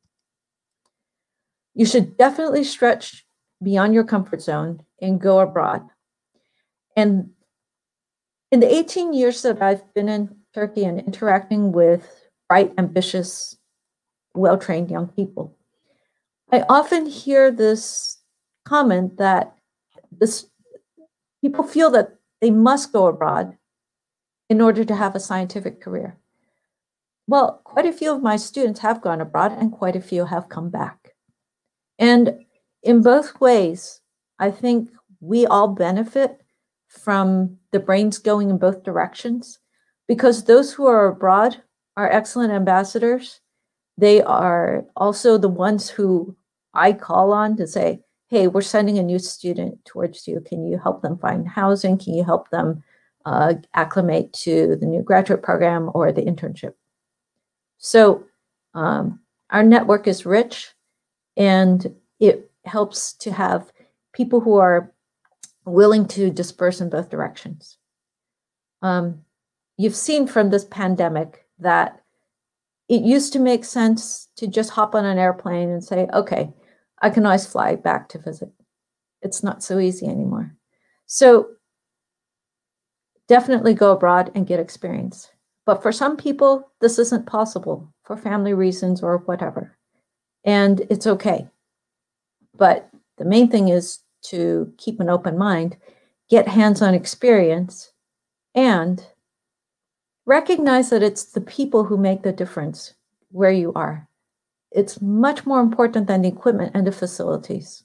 We did not get the TEM at, at Sabancı in Sunim until 10 years after I was there. Yeah, pretty much 10 years after I arrived. So we were trying to get that TEM for 10 years. But the 10 years where we were struggling to get the TEM, I've had so much fun with the students I've worked with. I've had so much fun with the collaborators that I've worked with because it was with my collaborators that I was able to get access to the TM and still continue doing work. I also learned a lot from collaborating with my friends who had expertise in different techniques at the TM that I didn't have uh, my friends at in in Orsay built the cathodoluminescent system. A home built system, and so it was a lot more fun to go do the experiment with them than try to uh, fight for money to purchase one for our institute. So the collaboration network is important, and you can see from this collaboration network, I have uh, a lot of fun collaborating with my friends in, in within Turkey I have some collaborations with Iran, um, in Europe, certainly. And it's a small world. I still collaborate with uh, my friends in Brown at MIT, Argonne, and Lawrence Berkeley Lab, as well as in Japan. So you can see that it's been a, a fantastic adventure. Uh, and I think this is an important part of the life of a scientist. It really is a lifestyle as opposed to just a job. And it's an incredibly rewarding one. Uh, when working with students, it's sad when they graduate because then you feel like you lost an arm. But then there's always a flood of new ones who come and then you regenerate. And so uh, because of the pandemic, I have not been able to update my uh, archive of team research team photos. So this is the last one from a retreat on Buyukada and the current, some of the current team members uh, that haven't appeared yet. And through all the years, we've had a lot of fun. And I think it's because because of my coll- my colleagues in the materials engineering faculty, uh, materials and engineering program at uh, University, the faculty members and the students, we are very close. We work very closely together, and it's like a family. So every time we go to a conference somewhere or go do an experiment somewhere in Europe, the U.S., or or in Asia, there's there's always a reunion to be had. So. Um, I'd like to acknowledge the funding that has supported, oops, that one didn't come through so well. Uh, the funding that has supported the, the work that I've presented and the many collaborators that have contributed. There's a long list of students who have uh, contributed to different aspects of experiments. And I would say half this list are undergrads or were undergrads. And yeah. So with that, oh, one more thing. So one of my enterprising students, he was trying to impress his Hebrew teacher, who he eventually married. And so he took his long afterglow powders, mixed it into paint. This is what, what it looks like when you illuminate it. And when you turn off the light, this is what his Hebrew looked like. So he was successful in marrying his Hebrew teacher. Anyway, and thank you for your attention, and I'd be happy to answer your questions. If you'd like to ask in Turkish, that's perfectly fine. I understand Turkish. I just don't speak it that well. Um, thank you so much for your presentation. It was actually pretty informative and um, insightful. We have some questions, and I think we can take them right now. They're in English, by the way. Wait, how do I just? Oh, oh my goodness! There's a lot of questions. yeah.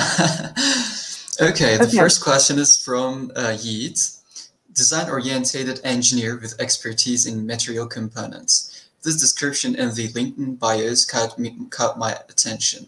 Are you inspired by Arda for this design focus? um, yes, I'm very often inspired by the artistic, uh, the aesthetics as well. Okay, thank you. Um, the second one is from uh, Rabia. At the beginning of your presentation, you said that you used to be an astronaut. And as I see, when you couldn't do that, you turned macro dimensions of universe to micro uh, and nano dimensions of universe. It is so wondrous to hear your story. Thank you very much for a wonderful speech. Yes, it's a good comment.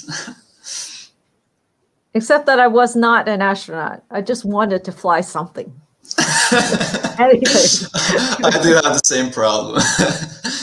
so, yeah. Um, okay, well. Okay, we have one more question from Yeet. How uh, should the balance between academia and entrepreneurship be established in order to become a material entrepreneur? How do you think the general trend in your students is in this regard? Well, okay. To innovate, you have to find the insight from somewhere. You find the insight from mostly from the fundamentals. So when we're taking courses, we look at the, the nitty gritty details of how the electrons are interacting with light, for example, or how they're interacting with an electric field, DC field, an AC field, or a magnetic field. But based on how those are interacting, that's when you start to question why is that? you know that we all use uh, smart devices now, which we interact with with our fingers, and it's all because of this marvelous material called tin doped indium oxide. It's a transparent conductive thin film. I did my PhD work in it, but even if I didn't, I still think it's the most marvelous material because it is electrically conductive and it's transparent to visible light. So it has enabled the way we live. Mm-hmm. And so this came about from recognizing that, okay, I need a material that's electrically conductive. But how do I make it transparent? So I could go with uh, I could go on about the answer to that question, but that would be yeah. Thank you for your, the answer. Okay, but I mean okay. that's an example of innovation. It's yeah. insight that comes from understanding the fundamentals. Good question, by the way. You know. Yeah. Anyway, the next question is from Eat again, but this is a different Eat. Another Eat. Okay. Yeah, another Eat. First of all, thanks for the presentation. What do you think uh, of graphene and graphene? Can they be used in the aviation industry? I know these materials are flexible and also light, I think. We are designing a UAV. Can they be used on the frame? I think this question also, you know, we can also apply these questions to normal cars, flying cars, and, you know, mm -hmm. flying other stuff. And yeah. Um, the fact that these two-dimensional materials are they offer different electrical properties but at the same time it, they uh, enable us to make materials with much reduced weight. Um, there's certainly applications or needs for such materials. But you also have to balance this with do they offer the load bearing structural uh, needs capabilities as well? And so um, I think when it comes to complex systems like vehicles of any sort, mm-hmm. uh, there's certainly a complex system of materials that are coming together. So uh, where you need the structural stability, then you give pri- priority to the materials that will give that structural stability, even though they might be heavier. And then you cut back mm-hmm. on the weight using the lighter weight uh, composite materials that give you the additional uh, electrical or or optical properties. Yeah. Um, okay. The next question is from Elif. Uh, oh, this is another question. Thank you very much for useful useful presentation. and thank you. thankful for having you. Okay, well, uh, lots of good comments on your presentation. it was it was exciting to listen to you. I'm filled with both hope and encourage. Thanks a lot, Kliva Hojam, from again. Okay, uh, thank you uh, for your inspiring speech. My question is, what are the important topics in the field, future and technologies of future, futurology, from Volkan? Well, I definitely think that to keep surviving on this planet, we need to change the way we're uh, the way we're living and the way we are producing uh, the things, the materials that we need for our modern lives, for enabling our modern lives. So we definitely need uh, materials and devices that, that are more sustainable, that enable us to uh, consume less energy, to leave a lower carbon footprint. Um, and but that's that's one dimension. I think in health, there's also a lot of need. I mean, this pandemic has been it's highlighted a lot of gaps and opportunities. And I think as engineers, our job is to be creative and, and adaptable.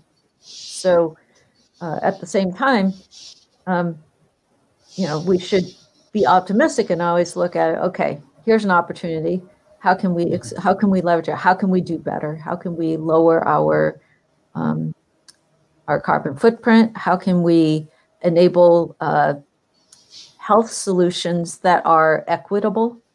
I don't know if you guys have been following this uh, oxygen pulsimeter. It's a very simple device that you just clip it on the finger and it kind of it measures your your oxygen levels.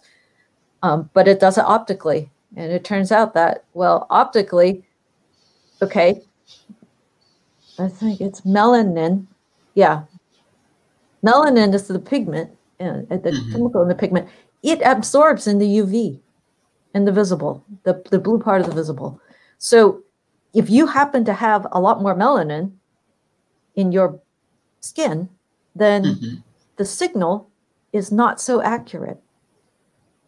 We don't think about things like this until somebody points it out. So the moment somebody points it out, the first thing you should be thinking about is okay, how do we come up with a, a different solution? Either shift it to a different uh, spectral range or mm-hmm. uh, come up with a different uh, a different sensing sensor technology. And I think, yeah. uh, you know, last spring when we first went into the sh- to lockdown, um, I think it was important for students to feel that they could be part of the solution. So instead of giving exams, I just gave term projects and everybody worked in teams and their job was just to come up with solutions for anything related to the pandemic. But showing, demonstrating mastery of some of the course topics. And uh, it was a fun challenge, and I saw a lot of creativity come out of that. Actually, I really like that, you know, the term projects. Um, well, the next question is, I love the way you said insight come from fundamentals. Thank you so much. Also ask if these fluorescent ceramic is cost cheap. They're not that expensive. Um, you can buy them on eBay for a lot of kilos for fifty dollars. I mean, I don't remember how many kilos I threw in. I, I just wanted no, not eBay, Alibaba, because you know I was I had a student who did a oh, okay, I should. There's a link on my my webpage to a student project, her graduation project. She painted these large panels that with some uh, C designs, and then you use a augmented reality app to project something else on top of that. So it was recognizing uh, designs that were glowing in the dark.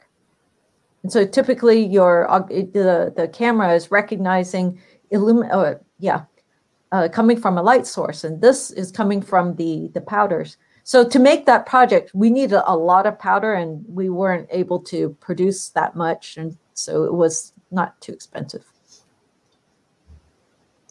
Yes. Um, it was a very inspiring speech. My question, my special interest in nanotechnological treatments for uh, immunological disease. Do you think uh, bio-nanorobots will, will be used in target treatments uh, one day or will will they remain only as laboratory studies? I'm optimistic about human ingenuity. And I think when you work with young people, when you work with students, you maintain this optimism mm-hmm. because just when you least expect it, the most creative solutions come out. And so um, years ago, I was following the work of these molecular robots. So it's not nano, it's a bit bigger in size scale, but still it was pretty impressive.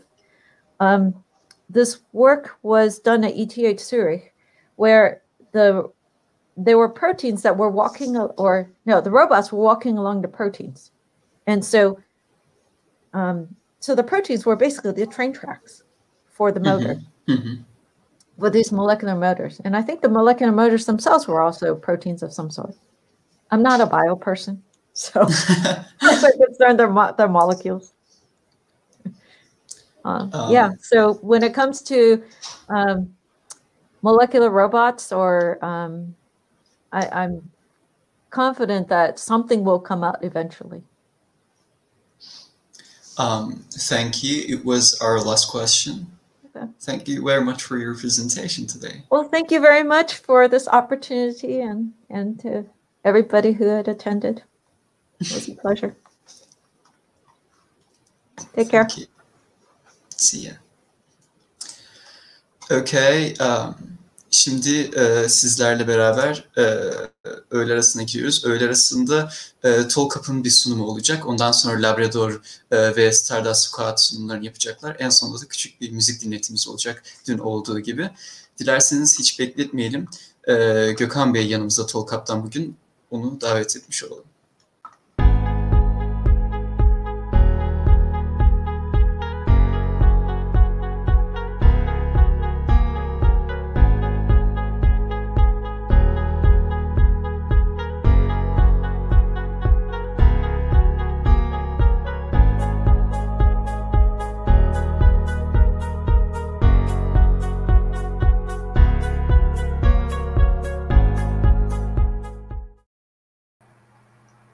Merhabalar. Merhabalar. Nasılsınız? İyiyiz, teşekkür ederiz. Siz nasılsınız? Teşekkür ederiz. Çok teşekkür ederiz. Çok keyifli bir zirve oluyor gerçekten. Hocamız da e, çok iyi kulakla dinledik. Teşekkür ederiz bize bu fırsatı tanıdığınız için. E, gerçekten e, harika bir e, iş yapıyorsunuz şu anda. Onu da kutlarım size. Biz teşekkür ederiz. Dilerseniz sunumuza geçebiliriz. Tabii. E, şöyle 20 dakikamız olduğu için çok fazla bir e, istatistik bir şeye girmek istemedim. Sadece genel e, karşılaştığımız e, konulardan bahsedeceğiz dil eğitiminde. Tabii. Nelerle karşılaşıyoruz diye. Öncelikle ben kendimi tanıtayım. E, Gökhan Ayvaz. E, yaklaşık e, 12 yıldır e, yetişkinlerle çalışıyorum. Onları konuşturmaya çalışıyoruz. E, bu konuda e, en son pandemi döneminde Tolkap'ı e, kurdum ben. Şu anda e, iyi bir şekilde ilerliyor. E, Tolkap'ın amacı e, Tokat birinci olarak yüzde yüz bir yerli girişim aslında. Amacı insanları akıcı bir şekilde konuşturma. Biliyorsunuz e, çoğumuz e, dil bilgisi kurallarına odaklanıp e, konuşmaktan başka her şeyi yapıyoruz. O yüzden bizim amacımız insanları iyi bir şekilde konuşturmak burada. Ve onların aslında korkularını yenmelerine yardımcı olmak, öyle söyleyeyim. Çünkü dil e, konuşmayı, dil üretimini, dil produktivitesini e, biz genellikle e, artık e, ülke olarak şey yapmaya başladık. Hani sahneye çıkmak gibi bir şey ya da şarkı söylemek gibi bir şey olarak algıladığımız için e, konuşma alanında gerçekten e, biraz gerilerdeyiz. Üzülerek söylüyorum ki bunu e, gerçekten diğer okullara da e, önce olmak için e, Tolkap e, bayrağı önde götürecektir diye düşünüyoruz. E, hedef kitlemiz genellikle e, yani çok geniş bir e, alanda e, insanlar var. Şu an sanırım evet, teknik bir şey var sanırım. yani başta e, da çok teşekkür etmek gerekiyor bu tarz bir zirveye sponsor olduğu için. şöyle bir durum var yani bütün sektörlerle aslında çalışılıyor dil eğitiminde. Şöyle bir durum var. işte pilotlarla, kabin görevlilerimizle, avukatlarla, hakimlerle, işte polis memurlarıyla, e, sinemacılarla, oyuncularla, müzisyenlerle çok geniş bir ağ var ve e, tek yapmamız gereken şey aslında biz e, anne dili nasıl öğrendiysek aynı şekilde gramere ihtiyaç duymadan ilk etapta survival aşamada gramere çok fazla ihtiyaç duymadan o dili e, sürekli pratik yaparak geliştirmek. E, biliyorsunuz ki biz çocukken kimse bize hadi gel sana e, geniş zamanı öğreteceğim çocuğum hadi gel bakalım geçmiş zamana bakalım diye bir şey söylemedi aslında. Ee, burada önemli olan şey e, kesinlikle ve kesinlikle e, bu dili ve öğrenmeyi zamana yaymak e, bizim için. Zaman çok çok önemli bir şey. Yani şimdi biliyorsunuz ülke genelinde çok fazla şeyler çıkmaya başladı. Atıyorum 3 günde İngilizce, işte 10 günde İngilizce diye. Bunlara kesinlikle katılmıyoruz. Sebebi şu sevgili Yavuz. Yani dilin ve onun öğrenmenin zamana yayılması gerekiyor. Çünkü duyduğumuz yüzlerce, binlerce ses aslında bizim e, herhangi bir dili hızlı bir şekilde e, konuşabileceğimizi gösteriyor. Bunun örneklerini e, yolun düştüyse e, Sultanahmet civarına ya da işte Antalya'da e, turizm sektöründe çalışan arkadaşlarımızın evet evet nasıl e, hızlı bir şekilde konuştuklarını, e, korkmadan konuştuklarını, nasıl iyi iletişim kurduklarını aslında bize gösteriyor. Bu da tamamen dilin nasıl konuşulduğuna değil de e, o şekilde dilin e, ne anlatmak istediğini aslında ortaya koymaktır burada. İlk e, yapılması gereken amaç e, bu bence bir dil bilimci olarak. E, ben de yıllardır e, hem İngilizce öğretmenliği yapıyorum. Büyük holdinglerle işte pandemiden önce altımızda araba bütün holdingleri gezerdik. işte şirketlerin yöneticilerine ders vermek, onları konuşturmak kadar ama şimdi pandemi bize gerçekten online eğitimin ne kadar disiplinli ve güzel e, ilerleyen bir şey olduğunu öğretti. Şu an Türkiye'deki çoğu ilde e, ve yurt dışındaki bir sürü şehirde e, bir sürü ülkede yine aynı şekilde aynı eğitim e, kolay bir şekilde e, alınabiliyor, öğrenilebiliyor. Bu bütün okullar için de geçerli bir şey ve bütün öğrenciler için de geçerli. Hatta şöyle şeyler de var. Yurt dışına gönderdiğimiz öğrencilerimiz var dil eğitimi için. Pandemide eve kapıldıkları için tekrardan bize döndüler geri. Onları tekrar görüyoruz sık sık konuşma pratiği yapmak için tabii bir e, programla gitmek için gidiyoruz. Şimdi neden konuşamıyoruz e, kısmı var aslında. E, çok fazla e, İngilizceyi yani genel global dil olan İngilizceyi biraz abartıyoruz şey olarak. İngilizce aslında baktığınızda yani bin yıllık tarihe sahip bir dil. O yüzden e, bin yıllık tarihe sahip olan bir dili öğrenmek çok çok kolay. Çünkü diğer köklü diller geçmişte e, atıyorum 1060'lı yıllarda e, biliyorsunuz e, kilise Latince konuşur. E, onun dışında işte aristokratlar Fransızca konuşurdu. E, bunun için İngilizce e, o dönemki ticaret yapan insanların e, bir araya geldiği ve 250 kelimelik e, dil olarak oluşturdukları çok açıklaması kolay bir dil olarak karşıya çıktı. O yüzden o kadar basit bir yapısı var ki yani ilerledikçe diliniz çözüldükçe gerçekten bunu diğer dillere göre özellikle Türkçeden çok çok daha basit bir dil olduğu için hızlı bir şekilde öğrenebiliyoruz. Bunun için e, tabii diğer dillerden Fransızcadan, Latinceden bir sürü kelime almış durumdadır. Yani sıfırdan e, hiç e, bu dili konuşamıyorum diyen insanlara tavsiyem şudur. Tamamen e, pratiğe odaklansınlar e, kitapta. Yani pratik yapmak çok önemli. Ee, özellikle biz ELT'ciler bilir, English Language Teaching Department'ta okuyan e, öğretmenlerimiz, hocalarımız çok iyi bilirler. Productivity dediğimiz şey çok çok ilerletir insanı. E, ilk önce biz doğduk, sonra e, belli bir e, dönemden geçtik, dili duyduk.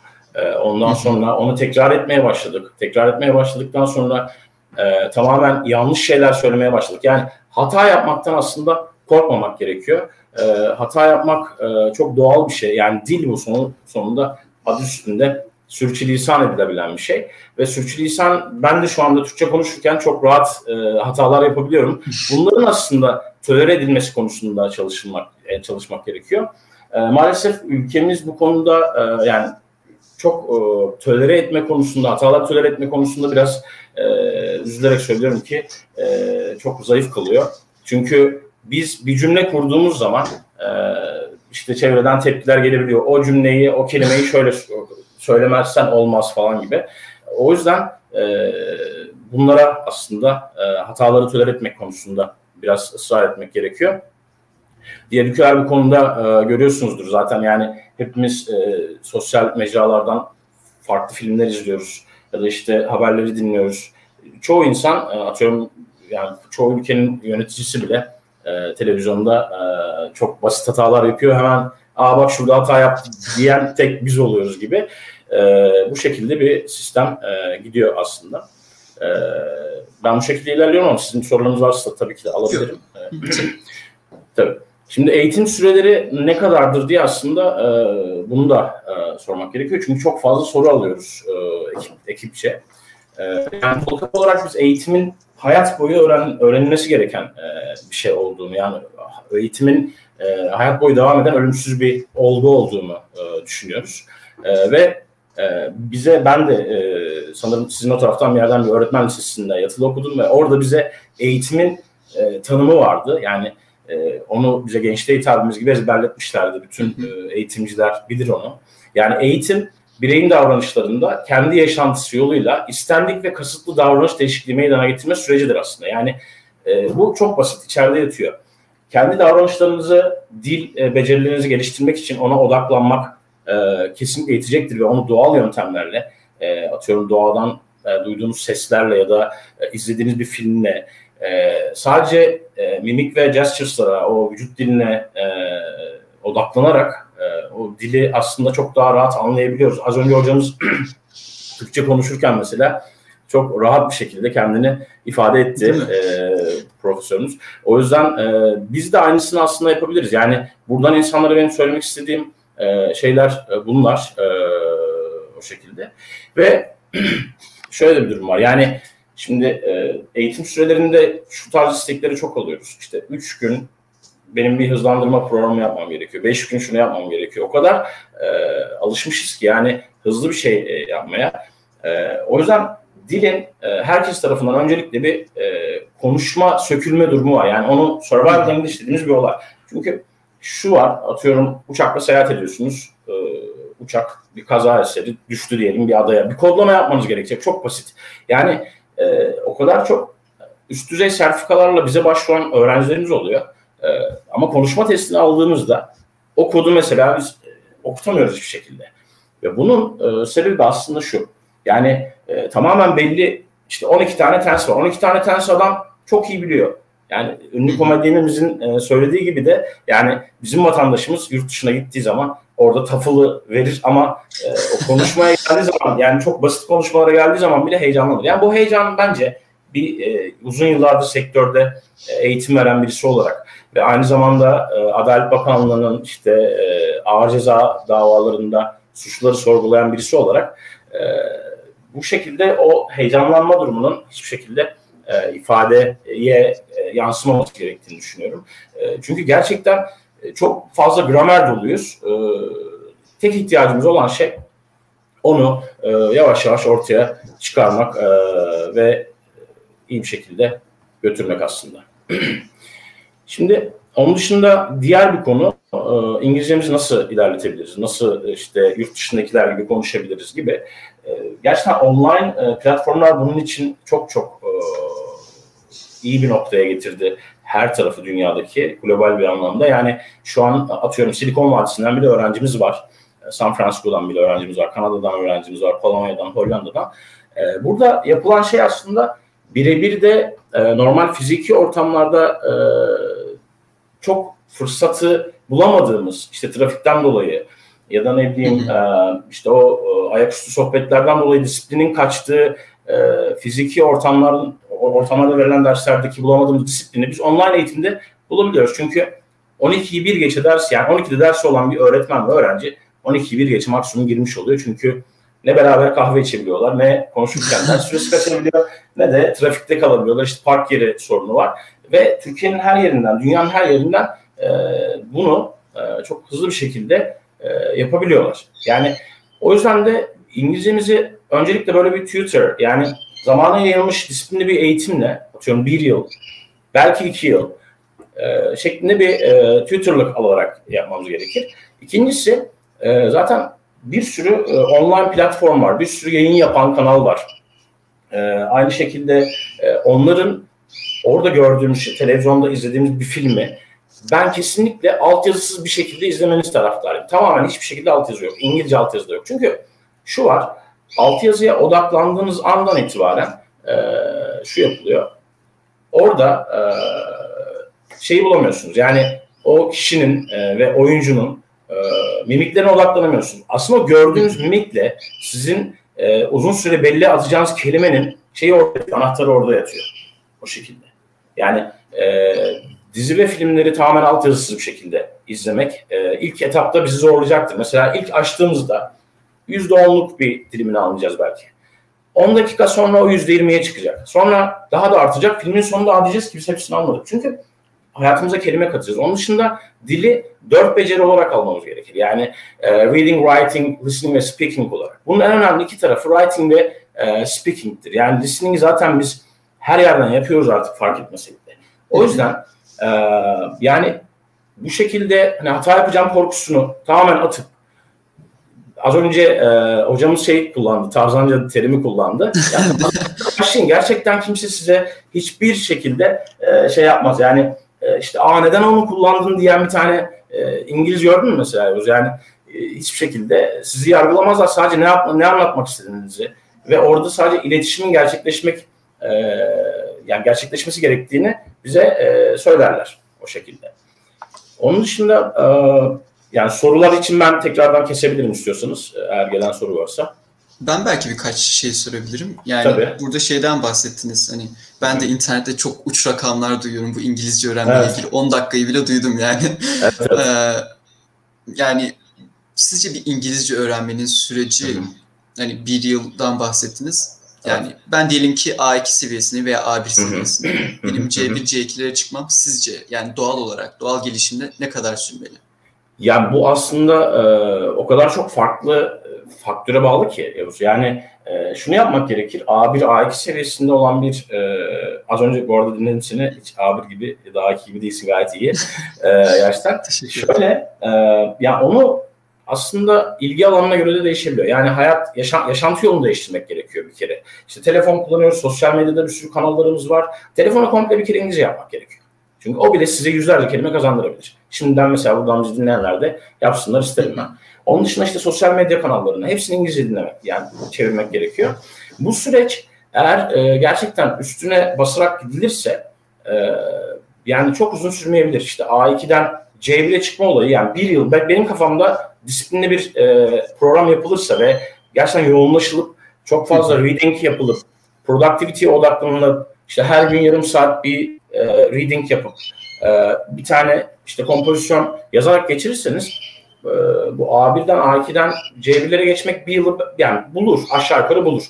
Ama e, burada önemli olan şey aslında sizin o e, şeyi yani e, yaşantı yolunu e, tamamen İngilizceye çevirmeniz diye söyleyeyim. Hı hı. Tabii bir, bir, bir yıl sonra bu da kalıcı olmayacaktır. Çünkü sizin öğrendiğiniz kelimelerin kısa süreli bellekten uzun süreli belleğe geçmesi gerekir.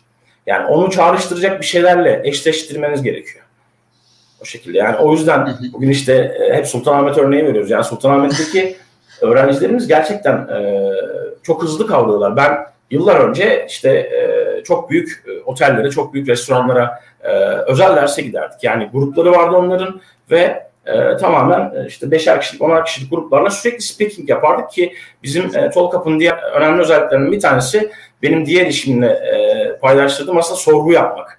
Şimdi Adalet Bakanlığı'na bağlı bir tercümanım aynı zamanda ben. Orada e, bu sorguyu yaparken öğrenciye dedim neden böyle bir şey yapmıyoruz? Şimdi öğrenci derse girdiği andan itibaren onu sorgulayan birisi var karşısında ve kitap, defter, kalem hiçbir şey yok. Tabii ki belli bir müfredata göre gidiyoruz. O ayrı. Ama e, öğrenciyi karşımıza alır almaz onu böyle sürekli soru soru cevap al- alarak e, ilerlettiğimiz için artık belli bir noktadan sonra dil sökülme olayı e, oluyor.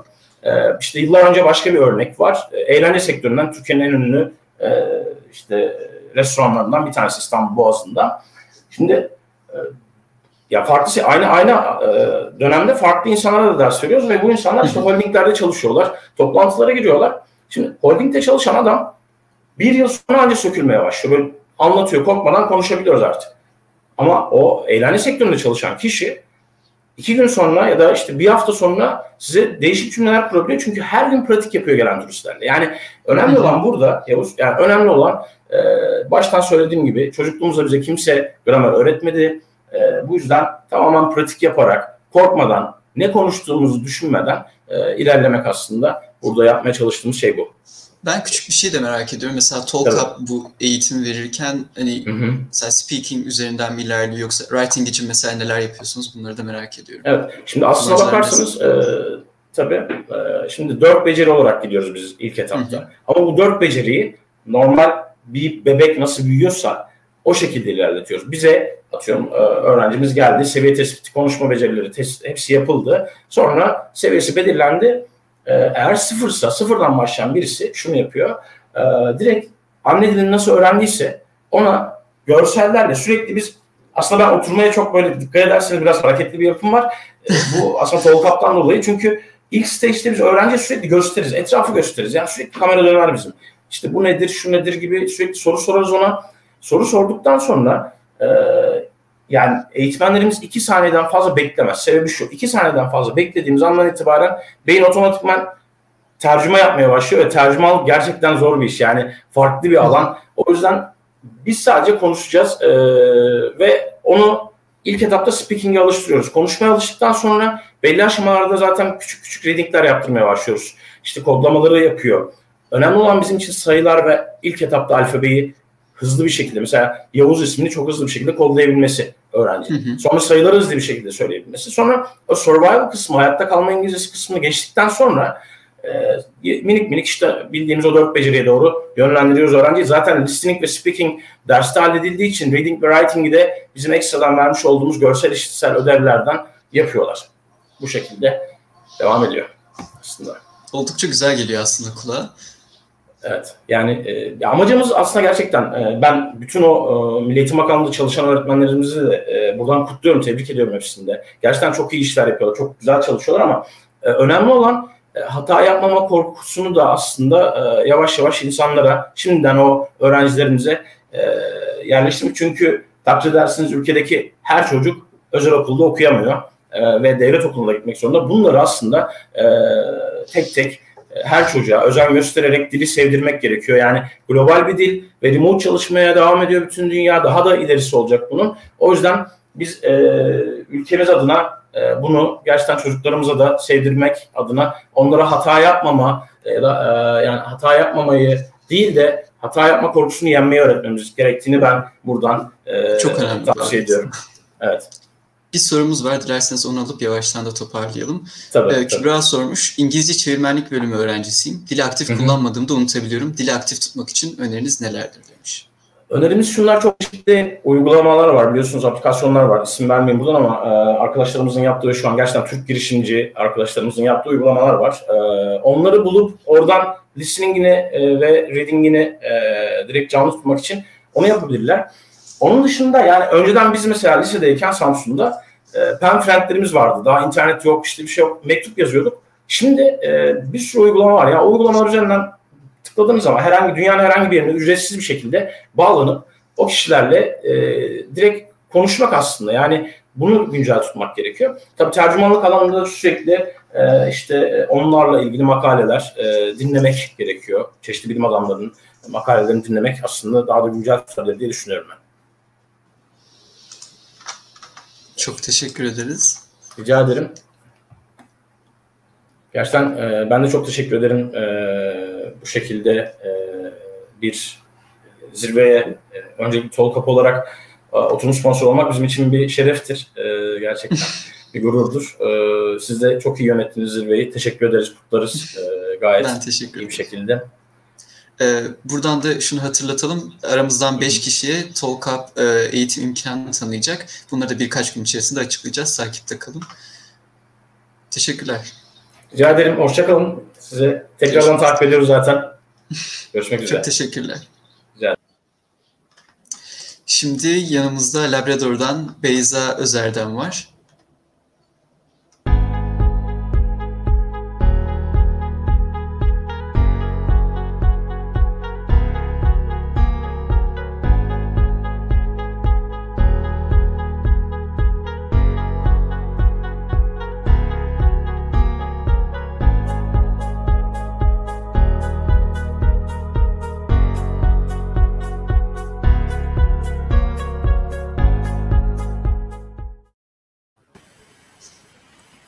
Merhaba. Herkese merhabalar. Ee, e, öncelikle hepiniz hoş geldiniz. E, herkese keyifli bir etkinlik diliyorum. E, ben Beyza, e, Labrador Genel Koordinatörüyüm. E, Labrador'dan kısaca bahsetmemiz gerekirse, e, biz 2019 yılında Eylül ayında kurulduk. E, bir teknolojik girişim odaklı ya da bağımsız bilimsel araştırmalar yapmak isteyen kişilerin bir araya gelerek oluşturduğu sosyal bir bilim ve teknoloji hızlandırıcısıyız aslında. E, size kısaca bahsetmem gerekirse burada e, istekli ve meraklı bireyler ortak bir inovasyon kültürü çatısı altında güven bağı ile bir araya geliyorlar. Bağımsız araştırmacılar, düşünürler ya da girişimciler burada destekleniyor ya da yetiştiriliyor. Ee, amacımız, bizim buradaki amacımız e, bilim ve teknolojiyi herkesin herkes için erişilebilir bir noktada tutmak, herkesin erişebildiği bir hale getirmek ve topluluğumuza has bir inovasyon kültürüyle bu inovasyon kültürünün e, otonom ve sürdürülebilir bir halde devamlılığını sağlamak. Topluluğumuzun içerisinde e, farklı yaş gruplarında, e, farklı sektör ve alanlarda yer alan üyelerimiz var ve bunlar bu kişilerle birlikte merak ettiğimiz çeşitli konularda, entelektüel ya da bilimsel konularda faaliyetlere girişiyoruz. E, çeşitli organizasyonlar düzenliyoruz ya da bunlara dahil oluyoruz. E, sunumumuz içerisinde de bunlardan size kısaca bahsedip sizi bilgilendireceğim. E, sosyal etkinliklerimizle başlamak istiyorum. E, bizim Intellektify aslında ilk düzenlediğimiz etkinlik serisiydi. Topluluk üyelerimizden gönüllü olan kişiler merak ettikleri, ele almak istedikleri konuları e, burada topluluk üyeleri içerisinde kendi aralarında bir sunumun arkasında tartışarak e, kendi içlerinde bunu e, irdeledikleri kapalı sunumlardı. Spark etkinlikleri ise topluluğun dışından olan kişilerin de katılımına açık olan, e, alanında özelleşmiş ya da bizim dinlemek istediğimiz kişileri çağırdığımız, onları dinlediğimiz, sonra sorularımızı sorduğumuz açık etkinliklerimizde. E, bunun e, buna ek olarak edebiyat sohbetleri pandemi döneminde e, bir şey e, farklı etkinlikler e, yapmak istedik. Önceden belirlediğimiz bir edebi eser üzerinde yaptığımız bir sunum sonrası e, o kitap hakkında düşüncelerimizi ve tartışmalarımızı, fikirlerimizi paylaştığımız, sorular, sorguladığımız etkinlik serisiydi. Proper Librarian bilimsel bir konuyu ele alarak ya da belirlenmiş farklı bir konuyu e, gündem içerisinde e, sükse yapmış bir konu da olabilir. Bu konu etrafında tez ve antitez üreterek münazara kural ve yöntemlerine uygun bir şekilde yaptığımız sözlü tartışma etkinlikleriydi. Bu da topluluk içerisinde kapalı yaptığımız etkinliklerdi. E, burada biliyorsunuz ki pandemi öncesi fiziksel bir araya gelerek yapabildiğimiz e, etkinliklerden bazı kareler var. Spark etkinliklerimizde şöyle bir özelliği vardı. E, sunum sonrasında bir, bir masa etrafında yemek eşliğinde bu tartışmalara devam ettiriyorduk. Bunlara ek olarak bazı sosyal aksiyonlarımız da vardı. E, çeşitli hackathonlara katıldık, organizasyonlar düzenledik. Bunlardan birisi NASA'nın Space Apps Challenge'ı vardı. Challenge üzerinde yaptığımız, e, topluluk içerisinde çıkardığımız iki grup bulunmakta. Labrador Light ve Labrador Dark olmak üzere. Bu gruplar e, çeşitli sürdürülebilirlik sorunlarına yönelik bazı çözümler geliştirdi. E, Labrador Dark kendi e, alanında ulusal e, yöre, ulusal birincilik elde etti, ederken Labrador Light ise e, uluslararası alanda bizi temsil etme hakkı kazandı.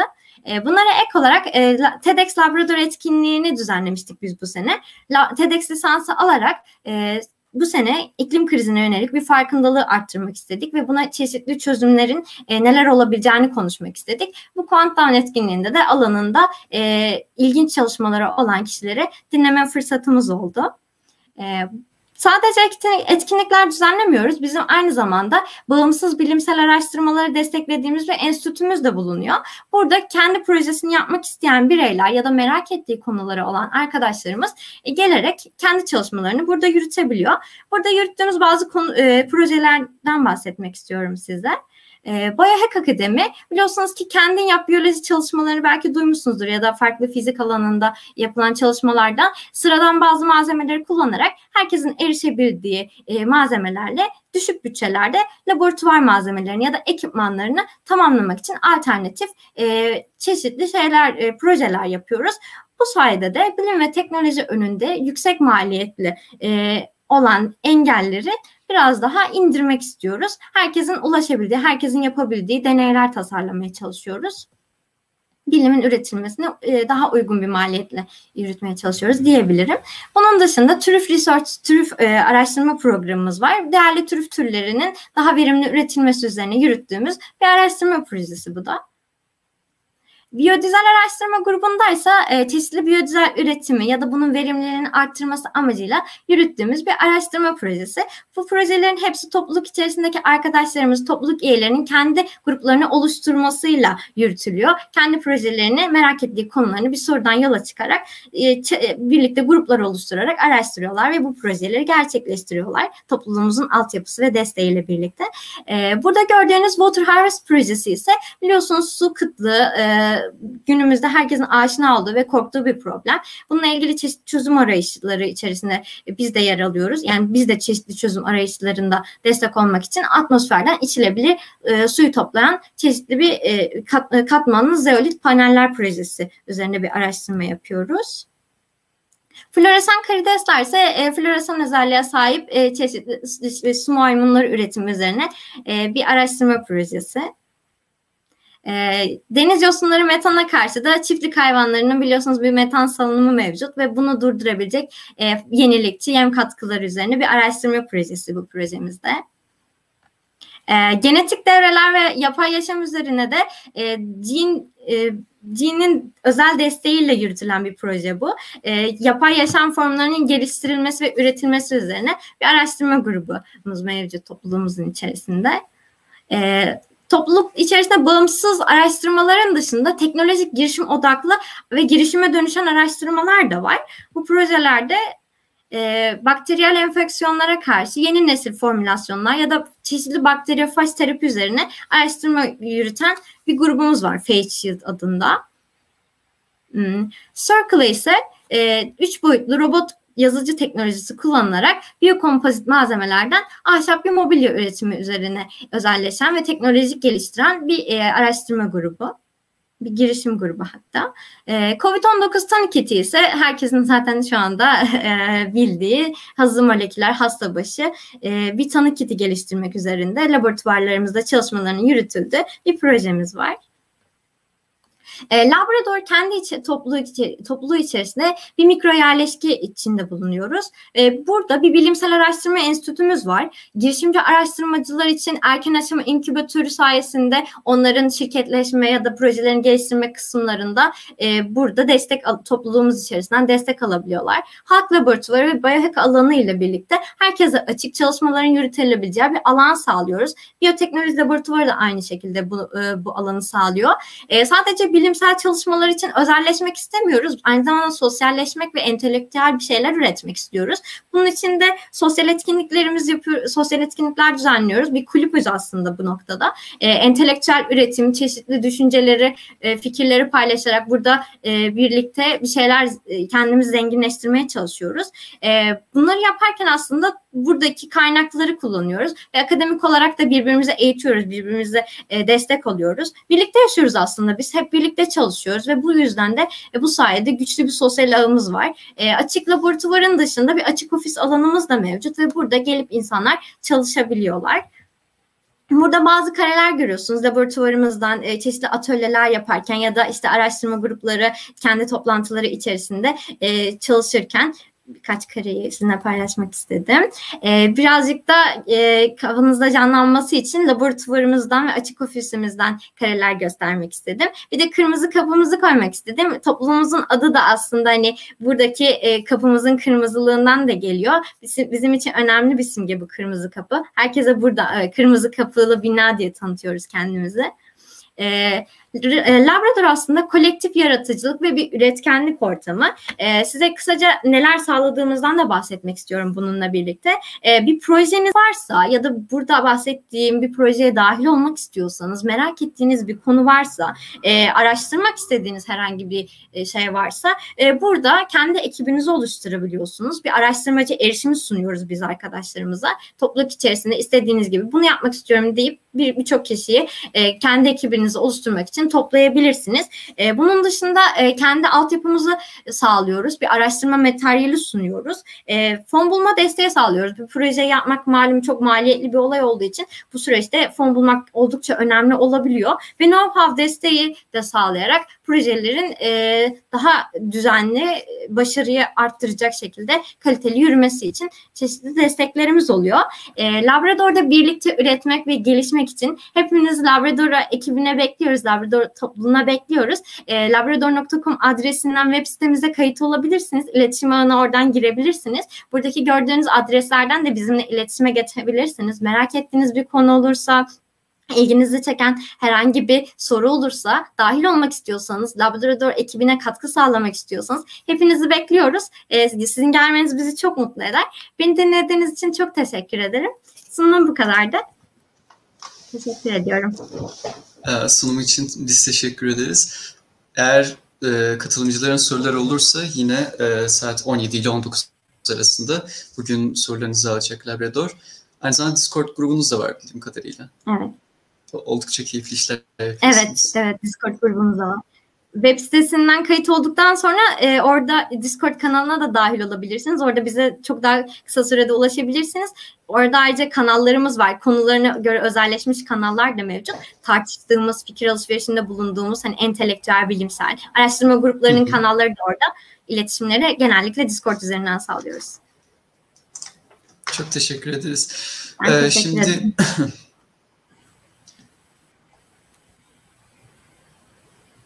Şimdi e, sırada bir diğer oluşumumuz var. Stardust Squad'la devam ediyoruz. Stardust ve Yerbatak ve Fatma Dilan Güneş aramızda.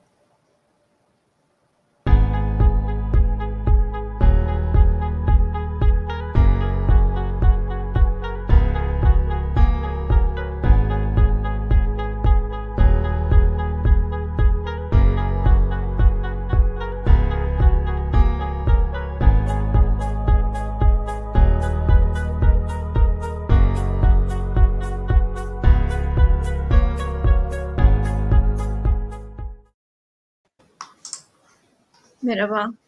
Merhaba. Nasılsınız? Teşekkür ederim. Siz nasılsınız? Bizdeyiz. Çok teşekkürler. Ee, başlıyorum o zaman. Tabii. Tamam. Ee, ekranımı görüyor musunuz? Evet. Tamam süper. Ee, öncelikle kendimi tanıtayım. Ee, ben Merve Ayarbatak, İstanbul Teknik Üniversitesi'nde gemi mühendisliği okuyorum. Ee, Stardust Squad Beyin takım üyesiyim.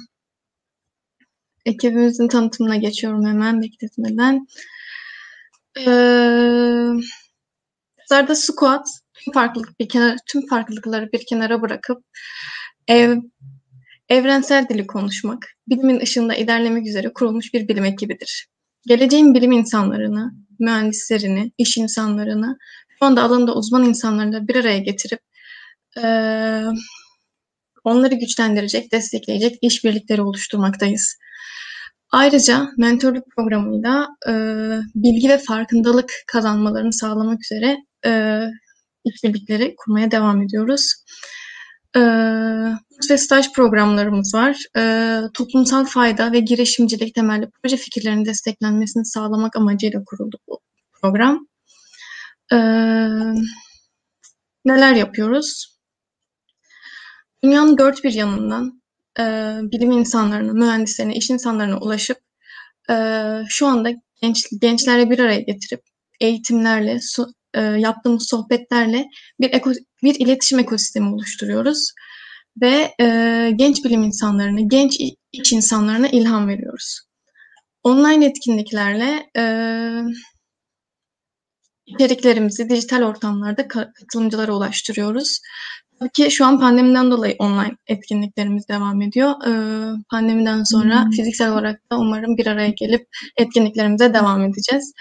Ee, burs ve staj programlarıyla gençlerin bilim alanında toplumsal fayda ve girişimcilik temelli proje fikirlerinin desteklenmesine aracılık ediyoruz. Ee, ayrıca yurt dışında bilim, iş eğitimi almak isteyen gençlerin destekçileriyle tanıştırma, tanıştırıyoruz ve bilimi üreten, destekleyen yeni ekosistemler kuruyoruz. Uluslararası proje ve araştırma ekibimizle yeni proje ve işbirliklerinin üretimi, daha geniş bir öğrenme olanağının sağlanması, fikir ve önerinin uluslararası ortaklıklarla hayata geçirilmesinin sağlanması, yeni bilimsel ürünlerin or- ortaya çıkarılması üzerine çalışmalarımız devam ediyor. Atölye ekibimizle e, genç bilim insanlarının farklı temalarda eğitim ve atölyelerle kendi alanlarının güçlendirilmesi, tartışma yürütebil bilecekleri ortamların sağlanması, eğit yeni eğitim içeriğinin oluşturulması, birçok dilden değerli kaynak ve makalelerin çevrilmesi, Türkiye'deki genç bilim insanlarının bunlara ulaşabilir olması, ayrıca Türkiye'deki gençlerin yazdığı makalelerinde uluslararası arenada yayınlanması için gerekli desteklerin sağlanması üzerine çalışıyoruz. Ayrıca bilim alanında ve girişimcilik alanında yenilikçi proje ve fikirlerin üretilmesinde teşvik et, etmek üzerine gençlerin ilham ya aldığımız eğitimlerle, yaptığımız uzmanlarla yaptığımız sohbetlerle gençlerin ilham verici hikayelere ulaşmasını sağlıyoruz. belki de bu şekilde kaygılarını azaltıp hedeflerine daha sağlam adımlarla ilet, ilet, yürümelerini teşvik ediyoruz. Ayrıca mentörlük desteği sağlayan mentor ve menti, mentilerin takip ve koordinasyonlarının sağlanması ve desteklenen gençlerin ve projelerin kamuoyu sunulması üzerine çalışmalarımız var. Ee, burs ve staj programı üzerine de biraz duralım. Hmm, özel şirketler, üniversiteler, sivil toplum kuruluşları, işbirliklerimizle burs ve staj programına ihtiyacı olan genç, bizim gibi gençlerin e, desteklenmesini sağlıyoruz. Ee, kuruluş kurulduğumuz ilk günden beri yaşam boyu öğrenme, şeffaflık, kapsayıcılık, ekip çalışması, girişimcilik, saygı, yenilikçilik, eğitimde her alanda fırsat eşitliği üzerine e, çok e, önemli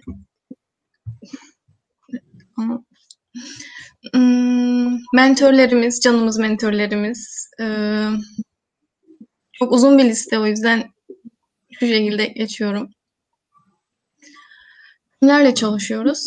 Sivil toplum kuruluşları, özel sektör kuruluşları, belediyeler, üniversiteler, ağlar ve topluluklar. Hmm, hikayemize ortak olmak ister misiniz?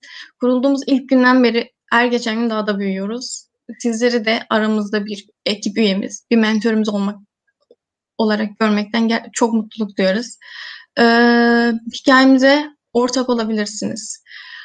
Ee, sizden çok büyük ilhamlar alabiliriz. Siz de bize ilham verebilirsiniz. Ee, ekip bizi güçlendirebilirsiniz. Ekibimize ekibimizden e, birkaç görüntü paylaşıyorum şu anda.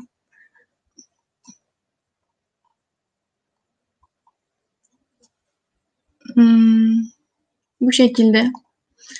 Biz ekibimize üye olmak için LinkedIn'dan, Instagram'dan ya da mail yoluyla bize ulaşabilirsiniz ve e, bize dahil olabilirsiniz. Çok memnun oluruz. Abdullah.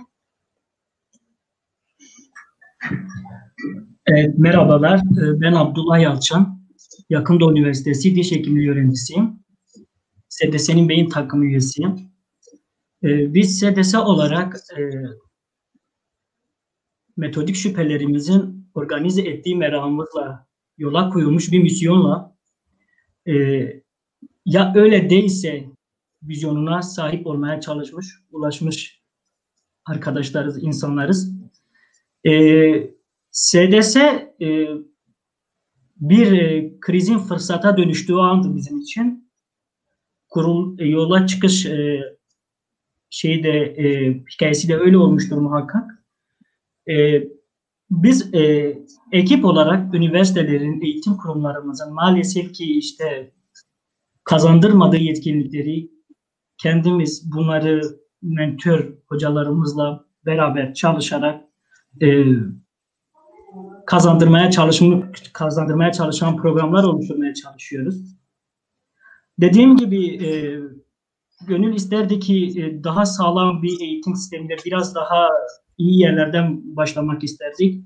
E, lakin de, e, şöyle söyleyeyim, e, fırsatlar krizlerden doğar. Krizleri fırsata dönüştürmek lazım. Fırsatlar krize dönüşüp bizi uyarmadan. E, şöyle oldu mesela kendimden biraz bahsedeyim. Okula gidince hepimizin şu meşhur bildiği hikaye vardır Ağustos böceği. Şu yazın e, saz çaldığı için kışın aç kalmaya mahrum bırakılan Ağustos böceği o bizi affetmeyecek olan Ağustos böceği. İşte o zamandan beri maalesef ki bizi çok e, zor kışlar bekledi. Çünkü sanatı kışın aç bırakmakla cezalandırdık. E, eğitimi sadece belli bir dar alana sıkışıp e, kalmakla yetindik. Oysa ki eğitim ilk önce bireye kazandırması gerektiği en önemli özellik bir otodidakt birey yetiştirmesidir.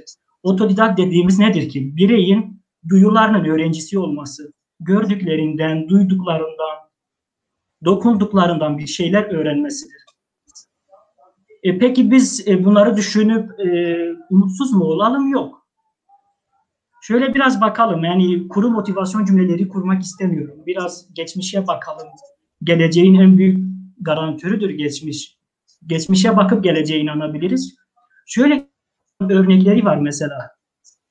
Krize dönüşmüş yani fırsata dönüşmüş çok e, güzel heyecan verici krizler var mesela dünyaya baktığımızda biraz evrensel olarak düşünelim. E, Hollanda mesela Hollanda örneğini ben hep örnek veririm. Hollanda'da hep şöyle bir şey var. E, toprak yok Hollanda'da istedikleri kadar. E, Amsterdam olan başkentlerini bile kazıklar üzerine inşa etmiş ülkeden bahsediyoruz. Bunların topraklarını suya kaybetmeleri yani denize kaptırmaları, okyanusa kaptırmaları endişesiyle çalışmaları sonucu dünyanın en iyi tarımı yapmaları seviyesine gelmesindeki en büyük nedendir. Bir başka örnek Japonya. Evet her gün beşi gibi sağlanan Japonya'da 9 noktalarla sağlanan Japonya bir bakıyorsunuz ki en büyük mimari, en iyi inşaatları oluşturmaya başladılar. İnşa etmeye başladılar. Ya yıkılırız korkusuyla bu çetin coğrafyada en iyi inşaatı yükseltmeyi başardılar. Finlandiya'ya bakalım. Dünyanın en iyi eğitim sistemi. Dünyanın en iyi eğitim sistemi bundan 30 yıl öncesine baktığımızda Finlandiya bir fiyasko eğitim sistemine sahipti. Biz hep böyle mi kalacağız korkusuyla onları dünyanın en iyi eğitim sistemlerinden birine sahip etmeyi başardı. Yani bunları ele alıp değerlendirmek lazım. Konfor maalesef ki öldürür. Gerçekten konfor öldürür. Ee, çok e, bereketli, e, güzel bir coğrafyadayız maalesef. E, yumurta bırakırsanız civciv olup uçar. Öyle e, rahata alıştıran bir coğrafyamız var. E, tarım arazileri olsun, ovaları olsun. Bu bizi konfora alıştırdı, rahata alıştırdı. Bu yüzden çok az geliştik. Ama şu an bizim de bir krizimiz var. Biraz geride kaldık. Bu krizi şu anda fırsatta çevirmeye çalışacağız. Hep deriz ya dünya genelinde ülke olarak biraz sistemde geri kaldık. Ülke içinde de doğu batıdan biraz daha sıkıntılı. Ki mesela SDS'nin çıkış yerine baktığımızda Van'dan çıkmış olması doğunun en doğusu. İşte bu yüzdendir ki ben hep buna inandım. Krizi fırsata çevirmek. Zaten başarılar eşit olmayan iki nokta arasında olur. Gerilimler arasında olur. Gerilim düşük ve yüksek enerjiler arasında olur. Van'dan bu yolculuğa başlayıp daha yüksek enerjili dünyanın bütün her yerine ulaşma çabamız bundandır. Tıpkı elektrikteki gibi voltaj farkından dolayı negatiflerden pozitif kutuplara akım olup gitmek gibi. Diyeceğim bunlar çok çalışmalıyız, başarmalıyız. Başarmaktan başka çaremiz yok. Teşekkür ediyorum.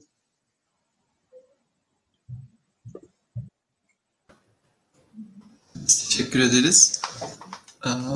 tekrar hatırlatmış oldum. Yine 17 ile 19 arasında Stardust'ta sizden gelecek soruları yanıtlayacaklar. Şimdi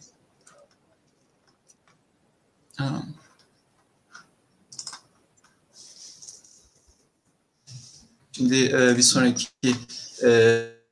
etkinliğimiz müzik dinletisi olacak. Yine Eylül ve Asya'nın bir kaydı var elimizde. Onu dinledikten sonra da kısa bir araya gireceğiz. Bir sonraki konuşmaya kadar. Bir sonraki konuşmada 2'de başlayacak.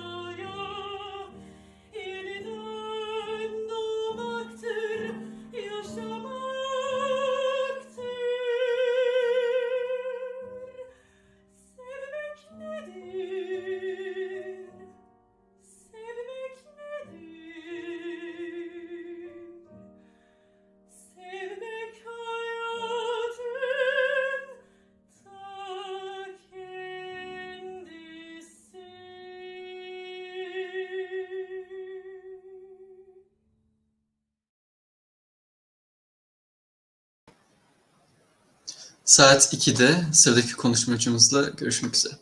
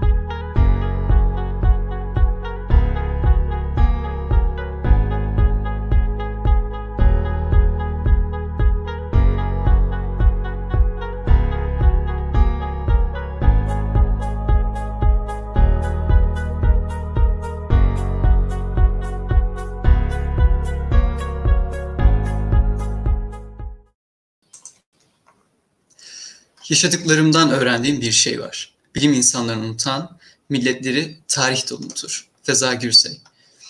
Şimdi sahneye Sabancı Üniversitesi'nden ses ve etkileşim dersleri veren Görsel Sanatlar ve Görsel İletişim Tasarım programında çalışmakta olan doçent doktor Selçuk Artus'a bırakıyoruz.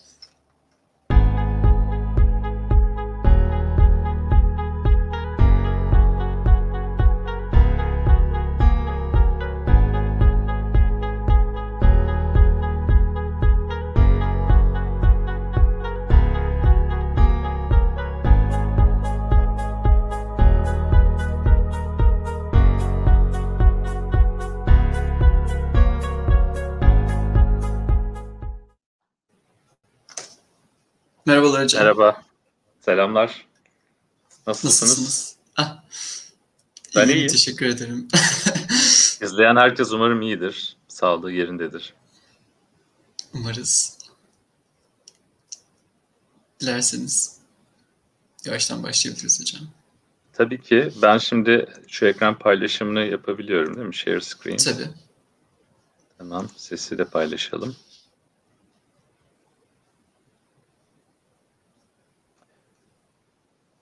Şu an sorunsuz Ne durumdayız? Tam ekran görüyor musunuz? Evet, sorunsuz bir şekilde. Tamam, harika. Ee, iyi pazarlar herkese. Ee, size ilk önce bir akademik yolculuğumdan bahsedeceğim. İzleyici kitlesini de düşünerek aslında nereden nereye vardığım kısmının önemli bir mesele olduğunu düşünüyorum. Biraz böyle bir labirent seçmemin sebebi de bu. İlk yolculuk aslında temel bilimler okumak üzere başlamış bir süreç. E, lisede de e, fen lisesinde okuyan, işte matematikle ilgilenen, e, laboratuvarlarda uğraşan, bilgisayarla içli dışlı bir çocukken e, üniversitede matematik okudum.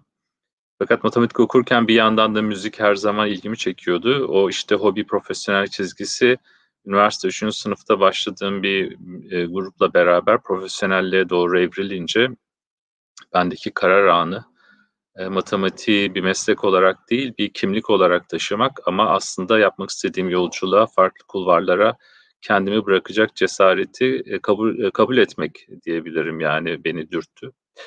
E, ve 2005 yılında da İngiltere'de ses sanatı Sonic Arts diye geçiyor İngilizcesiyle okudum. E, Londra'da Birleşik Krallık'ta. Sonra 2012'de de European Graduate School'da felsefe, medya iletişim felsefesi üzerine e, çalıştım diyebilirim. Nasıl bir yolculuk bu? Aslında matematik, sanat ve felsefe arasında giden bir kul var. E, işte hepsi farklı gözükse de aslında aynı dilden bahsediyorlar. Örtüştükleri yerler var. Bu disiplinler arası tutumda benim aslında kimliğimi oluşturan önemli kriterlerden bir tanesi. Bu yüzden eğitimden biraz bahsederek gelmek istedim.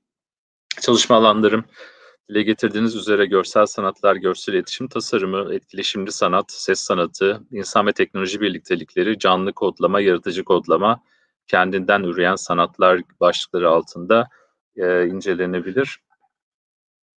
Biraz daha geriye gidelim çocukluk dönemine. E, işte küçük bir çocukken ben e, o zamanlar sağ tarafa da e, videosunu özellikle paylaştım.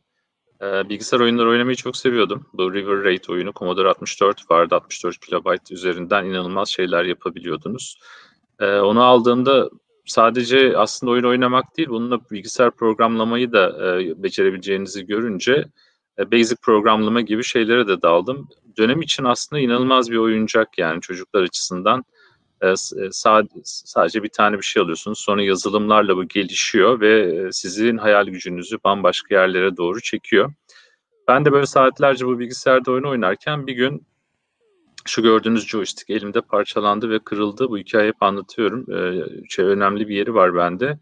O da kırılınca içindeki elektronikleri fark ettim ve aa burada düğmeler var. Bu düğmeye basınca bu uçak sağa gidiyor, sonra sola gidiyor derken peşi sıra e, kendime bir e, şey vardı. Atari salonlarının içine oturup sürebildiğiniz araba kokpitleri vardı. Ondan yapabilir miyim diye bir cesaret geldi ve işte eskiciden e, eski bir direksiyon alarak işte bu ben eski bir direksiyon alarak pedalları yaparak e, işte basit iletişim yani şey aslında iletim ya yani elektrik iletimi üzerine çalışıyor buton. Devreyi kapatarak derken bir masayı ters çevirip sandalye falan derken kendime bunu yaptım. E, o zamanlar daha küçüğüm. E, bunu fark edince bizimkiler de e, şey annem ve babam e, ne olacak acaba biz bu çocuğu oyun oynamaktan başka bir şey yapmayacak diye düşünüp bilgisayarı böyle paketleyip e, hadi sen biraz artık derslerine dön dediler ama o inat herhalde devam etti. Ben de çünkü bugün hala aynı şeyi yapıyorum. Artık bunu öğretiyorum. E, bu Sabancı Üniversitesi'nde verdiğim bir ders e, Görsel Sanatlar 455, 555 e, çift kodlu yüksek lisans öğrencileri de alıyorlar. Physical Computing, e, fiziksel etkileşim Türkçesiyle. E, bu derste biz e, çeşitli elektronik malzemeleri kullanarak, e, sensörlerle, kodlayarak vesaire e, çeşitli sanat ve tasarım projeleri yapıyoruz. E, biraz da şeye geçeyim. Yine böyle zaman içerisinde atlamalar olacak. Hikayeyi de anlatmayı e, tercih ediyorum bu konuşma bazı şeyinde, özelinde. E, üniversitede, üniversite 3. sınıfta işte o zamanlar 3 e, tanecikli, 3 tane problem, 3 tanecik problemi diye, three body problem diye bir problemle uğraşıyordum bu lineer algebra vesaire ve işte şu Silicon Graphics'in bilgisayarına matematik e, programında işte formülleri giriyordum e, bitirme projemde ve o formüllerin sonuçları 4-5 saatte falan çıkıyordu. O sırada da gidip işte şey e, rock grubumla Taksim'de çalıyordum. Kuliste matematik çalışıyordum. Gece dönüyordum. Formül yanlış olmuş, bir şeyler ters gitmiş tekrar formülü girip başında uyuyordum, sabah kalkıyordum vesaire falan bir çift enerjiyle ikisine de yüklenmeye başladım. İkisi de gayet iyi gitti ama dediğim gibi sonra ben yolumu müzikten seçtim ve Replikas isimli bir e, grupla beraber 2000 yılında ilk albümümüzü yayınladık. Köle Doyuran e, ve ardından da işte diğer albümler geldi. E, 2014 yılında da e, en son olan bu İstanbul Modern'de yaptığımız bir kayıt var. Sonrasında şu anda e, replikasla ilgili bir şey e, yok. E, devam etmiyor ama müzik hayatım e, devam ediyor. Ondan da bahsedeceğim. E, müziğe olan bu tutku aslında benim hayatımda şekillendirdi diyebilirim. Peki ne öğretiyorum? Biraz böyle başlıklar üzerinden gidelim. Üniversitede ne öğretiyorum'a dair birkaç şey öğretiyorum ama size bir örnekle e, şey geleceğim. E, ses ve görüntü, ses projeleri, işte yaratıcı kodlama, sanat, kültür ve teknoloji e, az önce bahsettiğim fiziksel etkileşim dersi, physical computing, interaction design gibi dersler anlatıyorum. Size bunlardan creative coding'i biraz e, göstereceğim ne olduğunu. İşte bu ders tamamen bilgisayar kodlayarak e, sanat ve tasarım e, şeyleri, projeleri yapmak üzerine kurulu bir ders. Daha çok sanat diyelim daha doğrusu. Tabii ki bunun içerisinde de kendini üreten, yani işte kendinden üreyen generative e, sanatlar, e, computational e, art gibi ya da var olan herhangi bir medya tool'una script yazmak gibi bir takım becerileri de edinebiliyorsunuz. Ama işin şeyi sadece bilgi edinimi değil, e, daha sonrasında yaratıcılığınızı neye dönüştürdüğünüze de gidiyor. İlk başta biz bilgisayar dahi kullanmadan, neticede bilgisayar bizden daha hızlı çalışan bir sistem.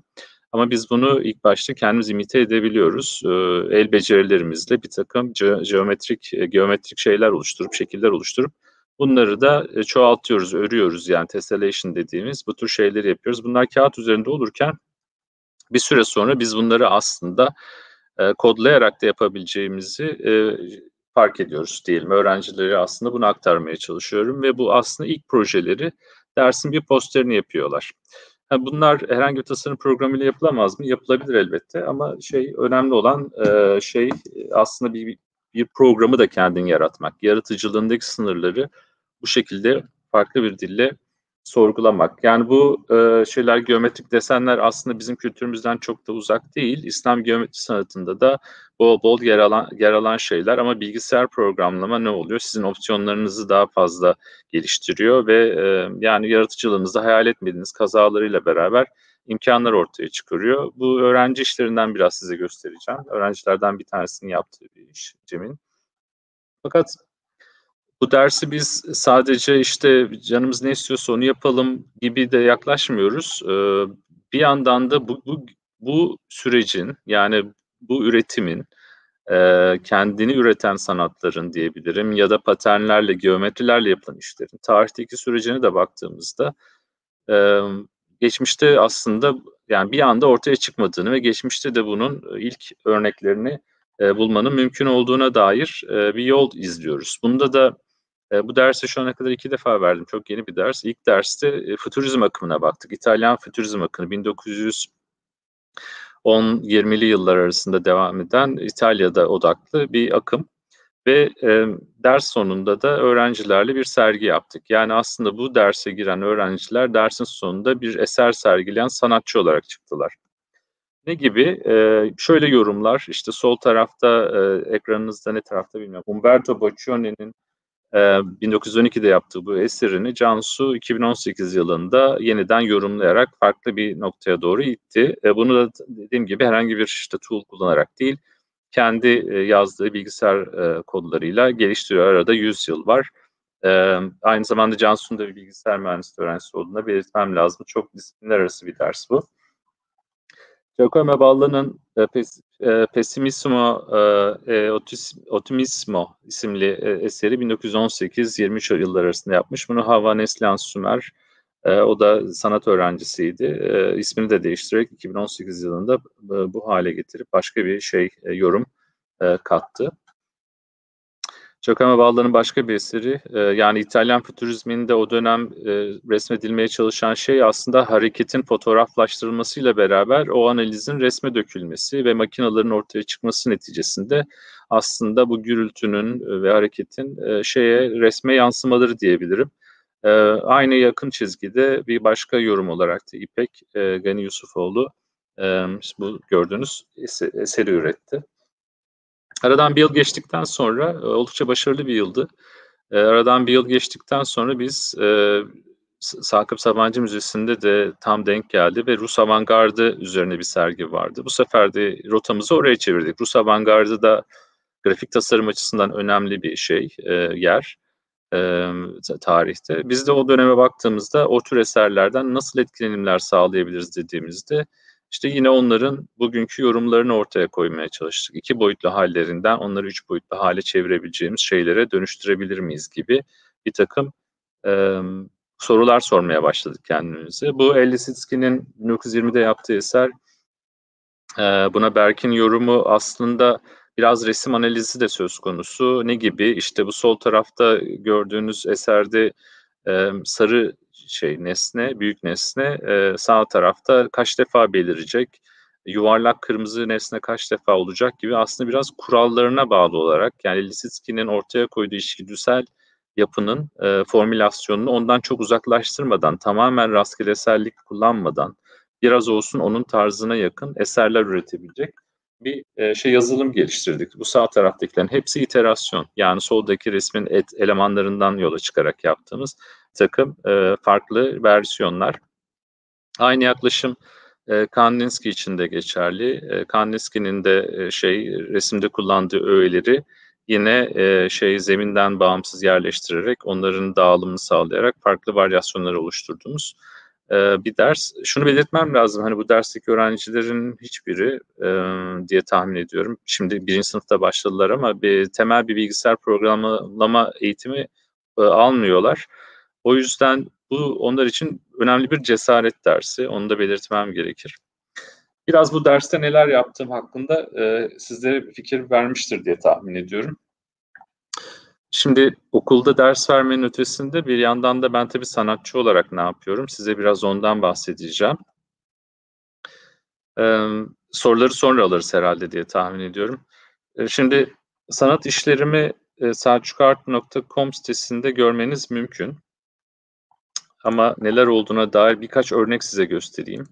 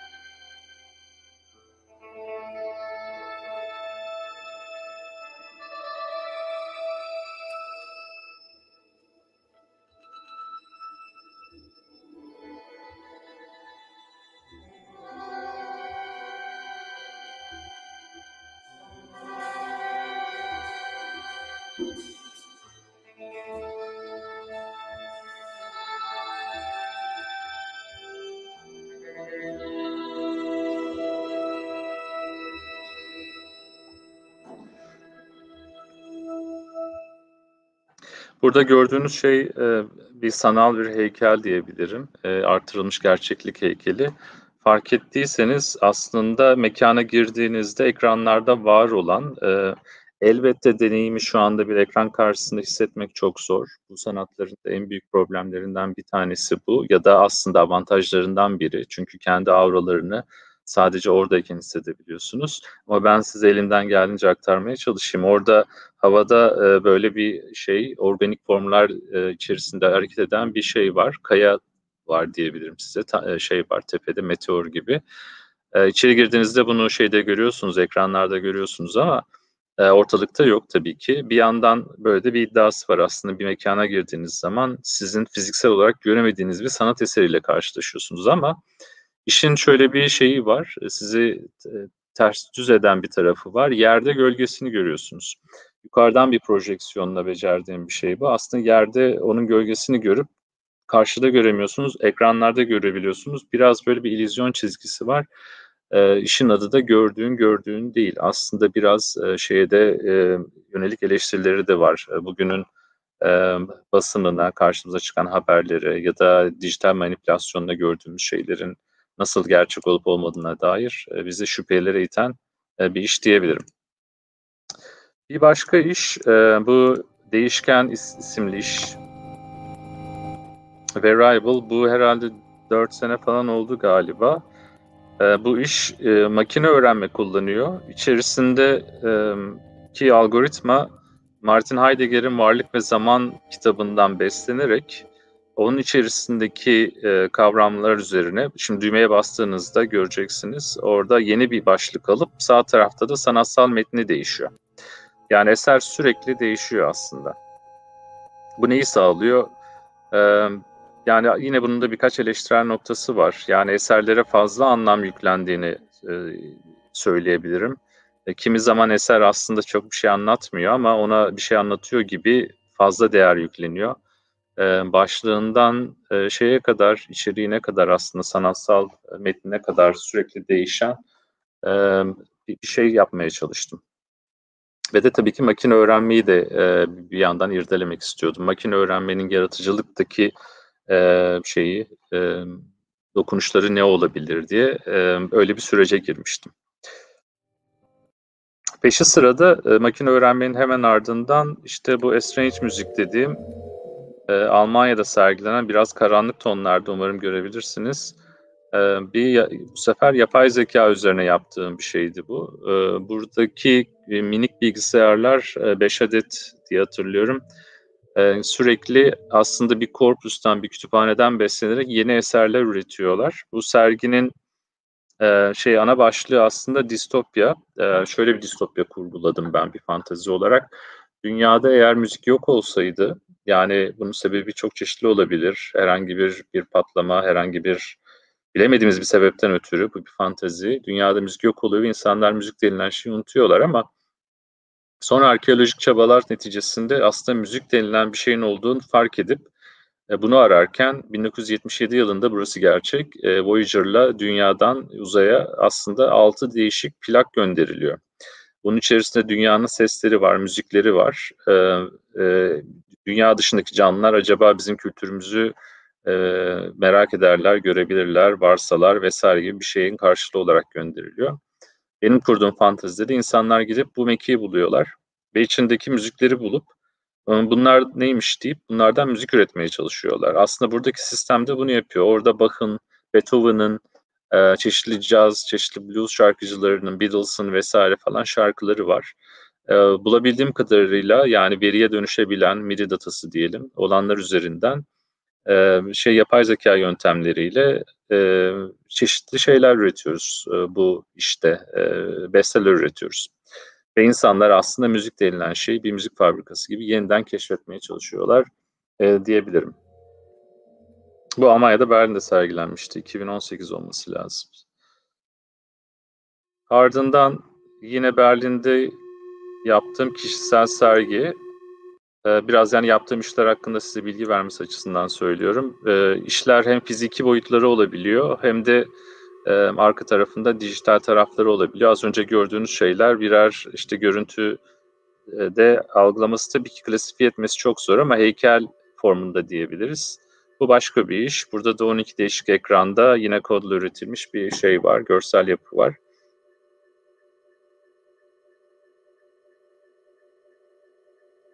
Üçüncü tarafta ise bu aslında üç işin olduğu bir kişisel sergi. Burada da işte duvarda belki görüyorsunuzdur hoparlörler dizili.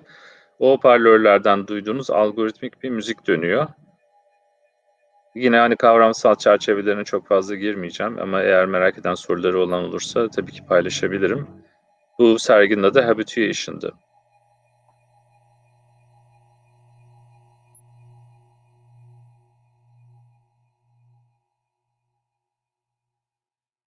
Biraz bugüne doğru yaklaştık.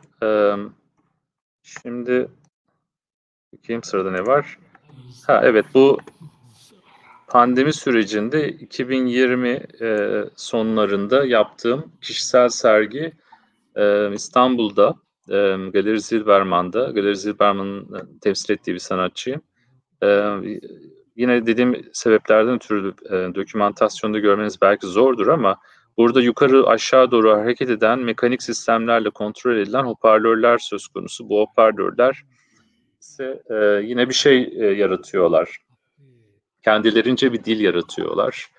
Bu dil e, IPA diye geçiyor. International Phonetic Alphabet, Uluslararası Fonetik Alfabe diyelim. E, bu belki denk geliyorsunuzdur. Bazı kelimeleri yazınca sağ tarafta nasıl okunacağına dair çok garip şeyler olabiliyor, işaretler. Bu işaretlerin seslerinden oluşan bir kütüphane yarattım. Kendi seslerim bunlar ve bunları alıp sistem rastgelesel olarak tabii ki bir bilgisayar sistemi içerisinde pseudo yani mış gibi e, davranarak bunlarla e, sesler çıkarıyor. Aslında niyetim anlamsız sesler çıkarmak. E, fakat e, bu sesler neye dair sesler? E, duvarların hafızası olsaydı bize neler söyleyebilirdi? Onların dilini anlayamasak da onların sesini duyabilir miyiz gibi bir şeyi var. Kavramsal çizgisi var işin. Bu da 2020'de en son yaptığım e, kişisel e, sergi. Artık günümüze doğru yaklaşıyoruz. Heh, bu aralar ne yapıyorum? Bu aralar ne yapıyorum'a dair e, en sıcak şey e, haber diyebilirim. E, Distopya Ses Sanatı sergisi belki karşınıza çıkmıştır. Akbank Sanat'ta e, sergileniyor bu e, şey sergi. Bu serginin eş küratörlerinden bir tanesiyim. Bu pandemi sürecinde yine e, biraz tereddütle giriştiğimiz ama e, yani işte hayatın da devam etmesi gerekli, gerekliliğini düşünerek yaptığımız bir sergi. 2018'de katıldığım e, distopya sergisini biz 2019 yılında da İstanbul'da gerçekleştirdik karma sanatçılarla. 2020'de bunu tekrar yapmayı hedeflerken mümkün olamadı ama 2021'de Akbank Sanat'ın daveti üzerine e, orada e, Distopya Ses e, Sanatı Festivali'ni yapma fırsatı bulduk. Şimdi ses sanatı deyince e, belki akıllar karışabilir ama yani şey çok malzeme odaklı konuşuyor da olsak en neticede bir sanat işinden bahsediyoruz ama odağına sesi alan, e, malzemesinin yoğunluğu ses olan e, diyebilirim. E, işler e, burada söz konusu. E, Birçok sanatçının, uluslararası sanatçının geldiği, e, geldiği demin daha doğrusu eserlerinin olduğu e, bir bir sergi. Yine e, şey uluslararası şey katılımı var fakat e, sanatçılardan olabildiğince işlerini e, dijital formatlarda göndermelerini ya da burada e, sergilenecek biçimlerinin bizim tarafımızdan kurulabilme e, şansının olmasını istedik ki e, şartları çok fazla zorlamayalım diye. Çünkü e, seyahat etmek dahi neredeyse e, olanaksız.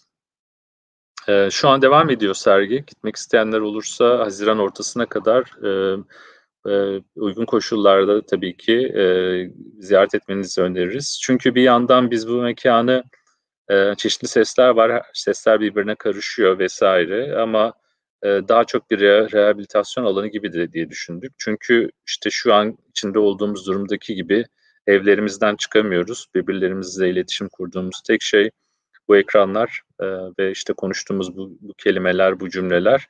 E, ama işte o akustik hasreti diyorum ben. E, ona e, ona hasretiniz varsa işte bu mekana gidip biraz e, onu, onu tadabilirsiniz, içeride dolaşabilirsiniz. E, arka tarafta bir videodası var orada oturup e, vakit geçirebilirsiniz. Burada yine işte kendini üreten e, eserler de var. E, Alp Doğan'ın yaptığı Varlık isimli eser e, bu çizgide. E, mesela bu ilginç şeyin e, Başar Ünder'in işi yani bu pandemide etkileşim üzerine bir şey yapmak neredeyse imkansız. E, dokunmatik ekranlar işte tam bunlar aslında herkes tarafından benimsenmiş, sevilmişken şimdi ne bir yere dokunabiliyoruz ne bir, bir yerde uzun kalabiliyoruz. Ee, ama işte ne yapabiliriz etkileşim sağlamak için derken bir etkileşimli bir paspas yaptık. Bu paspasın altında kontak mikrofonlar var. Onlarla siz aslında çeşitli sesler e, çıkarabiliyorsunuz. Bu Chelsea Levental'ın işi yine fotoğraflar ve hoparlörlerle ilgili bir şey. Ee, şey malzemesinden e, odakla konuşuyorum. İşleri hepsine bahsetmeye kalkarsam herhalde vaktimiz yetmez ama hem de sizi çok fazla şey e, e alıkoymak istemem e, gitmekten. E, gitmenizi tavsiye ederim. Bu şeyin Ethem Einheit ve Sirkvet Zielinski'nin işi. Bir yapay zeka ile ilgili bir iş. Bu da Georg Werner'in işi. Yapay zekanın e, aslında ticarileşmesine dair bir eleştirel bir bakış. Şeyde Akbank'ın vitrininde duruyor bu arada. Dışarıdan daha görmeniz mümkün. Akbank Sanat'ın pardon. E, Beyoğlu'nda bu arada. E, derken e, bu sergide aslında hem küratör olarak varım hem de sanatçı olarak da e, Ra isimli bir e, iki sanatçının bir araya geldiği bir ses ve görüntü birlikteliğinin e, bir işini de burada sergiliyoruz. Şimdi size aslında onu göstereceğim. Oradan da bugün müzikle ilgili ne yapıyorum? Biraz ona kanalize edeceğim. E, ve bu iş şu anda şeyde var. E, Akbank Sanat'ta sergileniyor. Size yine bir dokümantasyonunu e, paylaşıyor olacağım.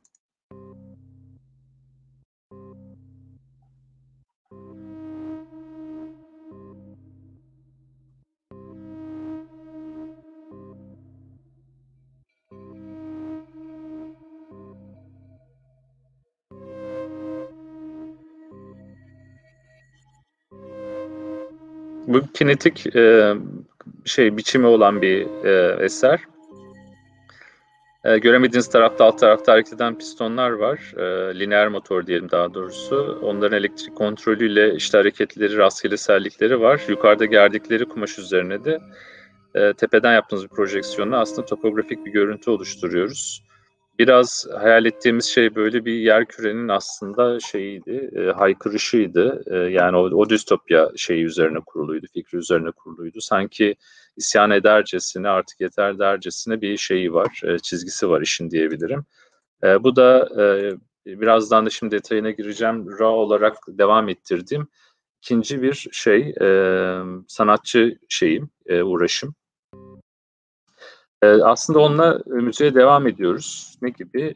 İşte e, fakat farklı bir yöntemle e, devam ediyoruz. İşte daha önceden Replikas'ta yaptığım o rock band formatından farklı olarak bu sefer ses ve görüntü odaklı e, bilgisayar kullanarak, e, laptop işte neyse bilgisayar kullanarak diyelim e, müzik üretimi e, sağlıyoruz ama kullandığımız yöntem biraz şey açısından farklı. Herhangi bir müzik programını kullanarak değil e, sahnede kod yazarak, doğaçlama kod yazarak müzik üretiyoruz.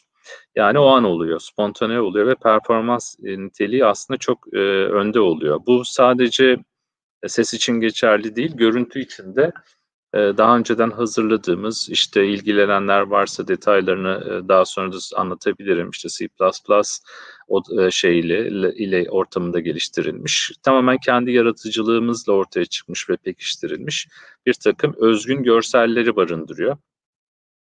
E, Alp Doğan'la beraber bunu RAW projesini devam ediyoruz. E, size bir iki ne nasıl bir ortam olduğunu göstermek için e, bu şeyleri, videoları paylaşacağım. İki laptop, bir tane görüntü laptopumuz var. Her şeyi göstermeye çalışıyoruz. Tepe kamerasıyla dahi.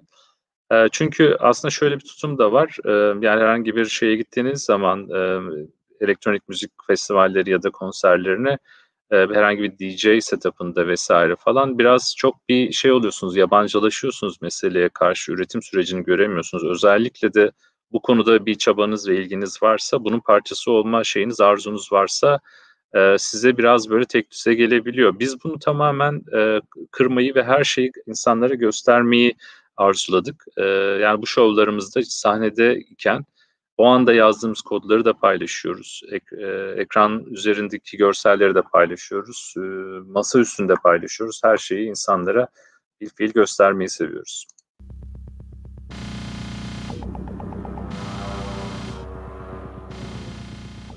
Bu en son e, Soner aslında şimdi komentlerden de görüyorum şeyle yorumlardan. Onları da şey yaparız. E, üzerinden tekrar geçeriz. Şimdi en sonunda bakacağım. E, şeyde e, Zorlu PSM'de olan Sonar Elektronik Sanatlar Festivali'nde çalmıştık. Orada dev bir ekran var. Balina ekran diye geçiyor. Tam bir balina boyunda gerçekten de. Orada yaptığımız performansın görselleri, şey video dokümantasyonu diyebilirim size. Gördüğünüz üzere işte yer yer kodları gösteriyoruz. Yer yer görselleri paylaşıyoruz.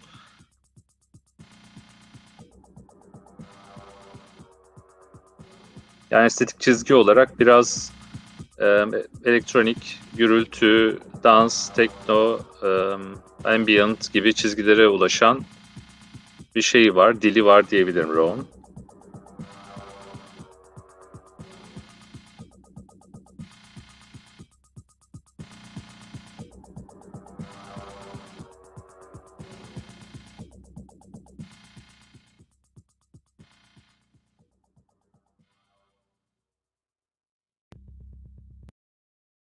Hemen şunu da izletmek isterim. Aslında ne yaptığım sürecini biraz e, şey e, derli toplu anlatabiliyor e, olurum.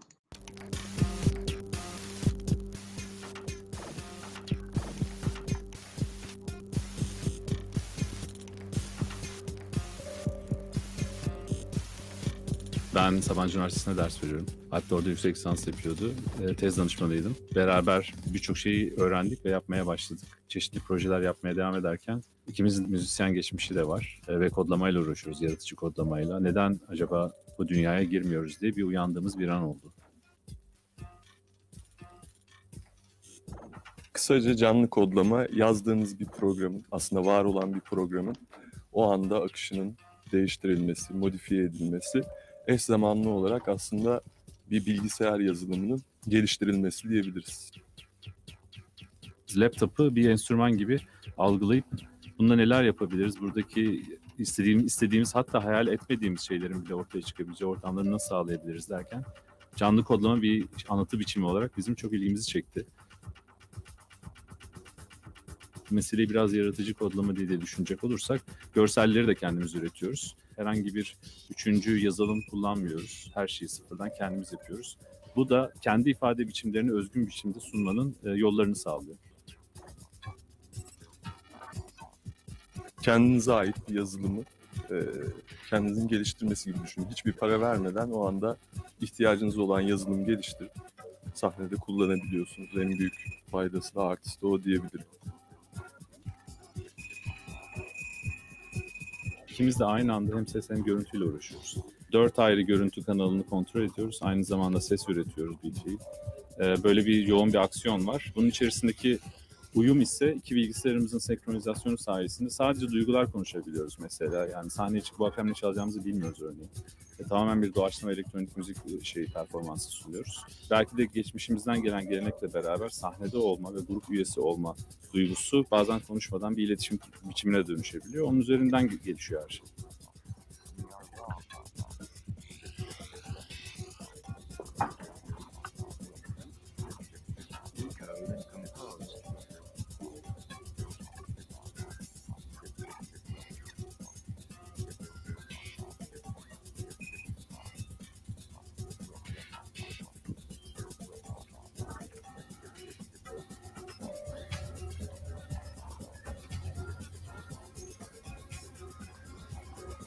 Teknolojinin etkisiyle bence işler biraz daha kolaylaştı. Bu bence güzel bir şey. Önceden bir uzmanın sahip olduğu deneyimle bu tür şovlar yapılırken artık müzisyenler de kendi programlarını yazıp, görsel programlarını yazıp geliştirip e, sahneye daha çok koymaya çalışıyorlar. takip ettiğimiz, sevdiğimiz bir felsefeci var Bülent Yüksel. O yapısal e, kompleksite e, ve fonksiyonel kompleksiteden bahsediyor. Aslında mesela satranç oyunu düşünün. Satranç oyunun kuralları bir oturup e, bir saatte falan öğrenilir ama oyun çok sofistike. Yani o noktada onun yapısal kompleksitesi zayıf olmasına rağmen karşınızda çıkardığı fonksiyonlar çok fazla. Bir başka eleştirisi televizyon için de geçerli. Kumanda var elinizde, kanal değiştiriyorsunuz tamamen bu ama işte bunu sanat olarak uygulamaya çalışan Namjoon Paik'i düşünecek olursanız o televizyonlardan sanat yapıyor, ona dönüştürüyor. Biz de biraz böyle e, bize sunulan şeyleri basit olsa bile yani hakikaten karşımıza bomboş bir sayfa alıyoruz. Herhangi bir müzik programı değil. Onu yapısal ve fonksiyonel olarak kompleks hallere sokmayı seviyoruz.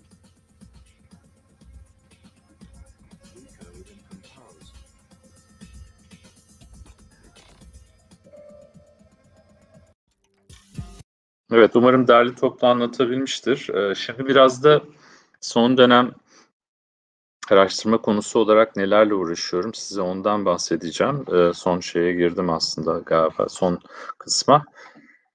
Ee, bir sanatçı olarak şu ana kadar herhalde takip edenler fark etmiştir. Benim odağımda teknoloji yoğun bir şekilde var. Ama bu eserleri üretirken ee, bir yandan da çeşitli koleksiyonlara dahil olduğuna tanık oldum. Ee, bazı eserlerim e, şey önemli koleksiyonlar tarafından edinildi. Fakat orada şeyi fark ettim. Yani bu bir aslında resim teslim etmek gibi değil, farklı sorumluluklar içeriyor. Yani siz teknolojik eser üretiyorsanız e, karşınızda bir zaten teknolojik yıkım problemi var. Siz bunu verdiğiniz zaman bu artık bir kültürel mirasa dönüşüyor. Siz belki telefonunuzdaki fotoğrafları kaybetseniz ah vah deyip üzülebilirsiniz ama ee, yani bu bir sanat eseri ise bu aslında kültürü, kültürel bir öğe. Yani farklı bir sorumluluk içeriyor. Bu noktada da kurumları, sanatçıları, düşünürleri, konservasyon uzmanlarını bir araya getirebilecek 2019 yılında bir konsorsiyum çalışması başlattık. Mayıs ayında bir Sabancı Müzesi'nde yaptığım bir konuşma neticesinde oluştu. Ee, ve ilk o konuşma sonrasında o, o günkü konuşmam bir sanatçı olarak bunun gereksinimleri üzerineydi. Ee, bu konu üzerine ciddi bir ihtiyaç olduğunu fark ettik ve çeşitli kurumlarla e, farklı kurumlarla aslında bir araya gelerek bu işi e, daha da büyütmeye çalıştık ve şu anda gördüğünüz şey aslında e, çok yakında çıkmak üzere olan bir kitap. Bu kitap kapsamında e, şey e, teknolojik sanat eserlerinin korunması ile ilgili e, çeşitli görüşler, e, akademisyenlerin yazıları, sanatçıların görüşleri gibi içerikler olacak. E, Tüm bunun ışığı neticesinde de aslında ışığında diyebilirim. Bu uğraşın ışığında benim de bir sanatçı olarak aslında geçmişte ne oluyor, kendi janramda ne oluyor diye merak edip dönüp baktığımda karşıma çıkan bir figür olan şu ekranda gördüğünüz Teoman Madra konusu belirdi. Teoman Madra 1960 ve 70'li yıllarda ışık oyunlarıyla başlayan sonraki yıllarda çeşitli bilgisayarlarla e, e, ve işte elindeki bir takım teknolojik imkanlarla sanat yapmaya çalışan 1931 doğumlu bir e, Türkiye'li bir sanatçı. E, şimdi onun e, uzun bir süredir aslında e, Ocak ayından beri 2021'den beri eserlerini kurtarmaya çalışıyorum. Çünkü eserleri çeşitli işte CD'lerde, floppy'lerde, VHS'lerde, Betamax'lerde vesaire falan aslında o işleri e, taşımazsak yakında da yok olmak üzereler. Ne gibi şeyler yapıyor? Bu mesela ilk dönem yaptığı ışık oyunları, 1960'lar ve 70'lerde yaptığı şeyler. Bir yandan da aslında şunun peşindeyim. Yani bu Türkiye'deki bu tarihte önemli bir boşluğun yaka, şey kapatılmasının peşindeyim. Yani bugün yapılan çoğu şey insanlar ilk defa yapmış gibi davranırken aslında geçmişe dönüp bir bakmak gerekir mesajını vermeye çalışıyorum. E, yani yeni olan değil, iyi olan aslında esastır diyebilirim. E, Teoman e, Madar'ın yaptığı işlerden e, size çok bir iki şey göstereyim, e, örnek göstereyim. Amiga döneminin Amiga 2000'i kullanıyor galiba yaptığı işlerden. Bu iş özellikle hoşuma gidiyor. Sürekli bilgisayar çünkü hafıza hatası veriyor galiba. Ama inatla devam ediyor.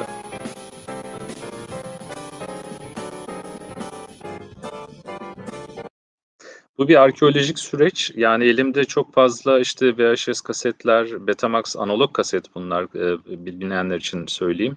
İçerisinden bunları bulmaya başladım. E, medya arkeolojisi deniyor bu uğraşa da.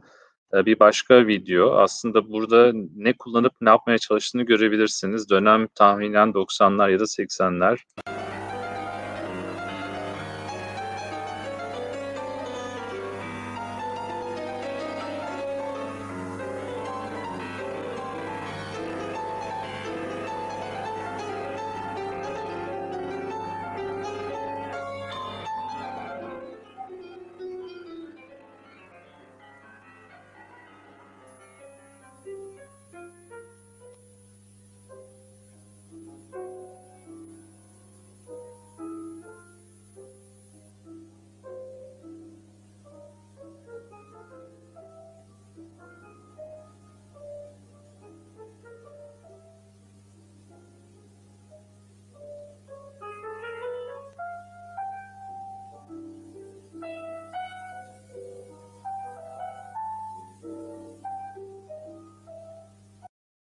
Bir Instagram sayfası var. Takip etmek isteyenler olursa teomanmadra.artworks diye geçiyor. Ee, şey orada e, bu arşiv sürecini görebilirsiniz. E, yoğun bir şekilde bununla uğraşıyorum. E, bayağı şey var, iş var. Hani e, size rakam vermem gerekirse biz neredeyse 150'ye yakın video kaset, bir 1800'e yakın bir CD gibi floppy'lerin sayısını bilmiyorum.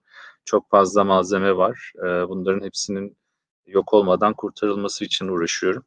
E, son olarak da aslında şey bu konuşma e, özelliğinde Görüm oradan oraya zıpladım ama biraz olsun hani şey mesajını da vermek isterim. Bu elçi konusu üzerinden aslında e, Türkiye'de ne gibi bir şey değişim peşinde olmalıyız ya da ne, benim vizyoner olarak aslında şey benim bakış açımdan e, ne gibi şeyler var e, geliştir, geliştirmesi gereken şeyler var diye birkaç maddede size bunları söyleyeceğim. Sonra da vaktimiz olsa sorulara geçelim.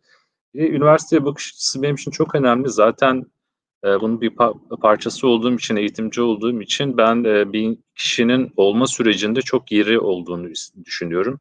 E, Birçok insan üniversiteyi mesleki eğitim süreci gibi gözüküyor, görüyor ama aslında bu sürecin sonucu. Yani siz bir süreç yaşıyorsunuz ve bunun neticesinde mesleğe ulaşıyorsunuz.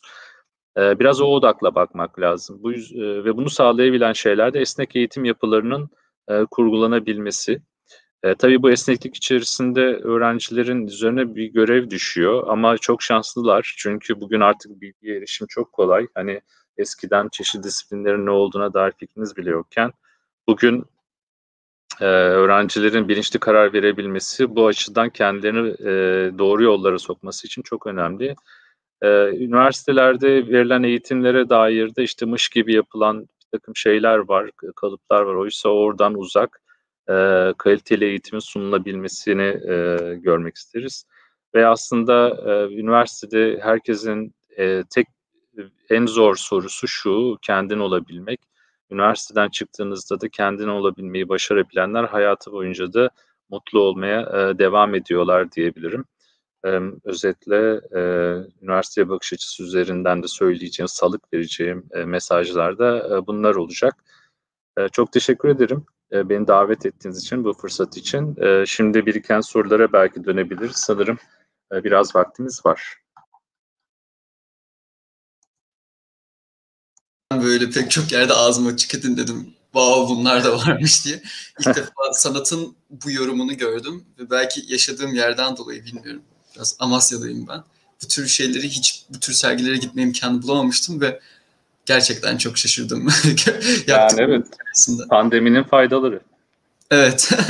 Şimdi e, pek çok da sorumuz birikti. Benim de sorularım var size. Dilerseniz Siz yöneltir misiniz? Evet tabii başlayabiliriz. Tamam. Ee, ilk soru Sinem'den gelmiş. Türkiye'de Aha. NFT konusu hakkında ne düşünüyorsunuz diyor. Bu konu hakkında iyi çalışmalar sizce yapıldı mı?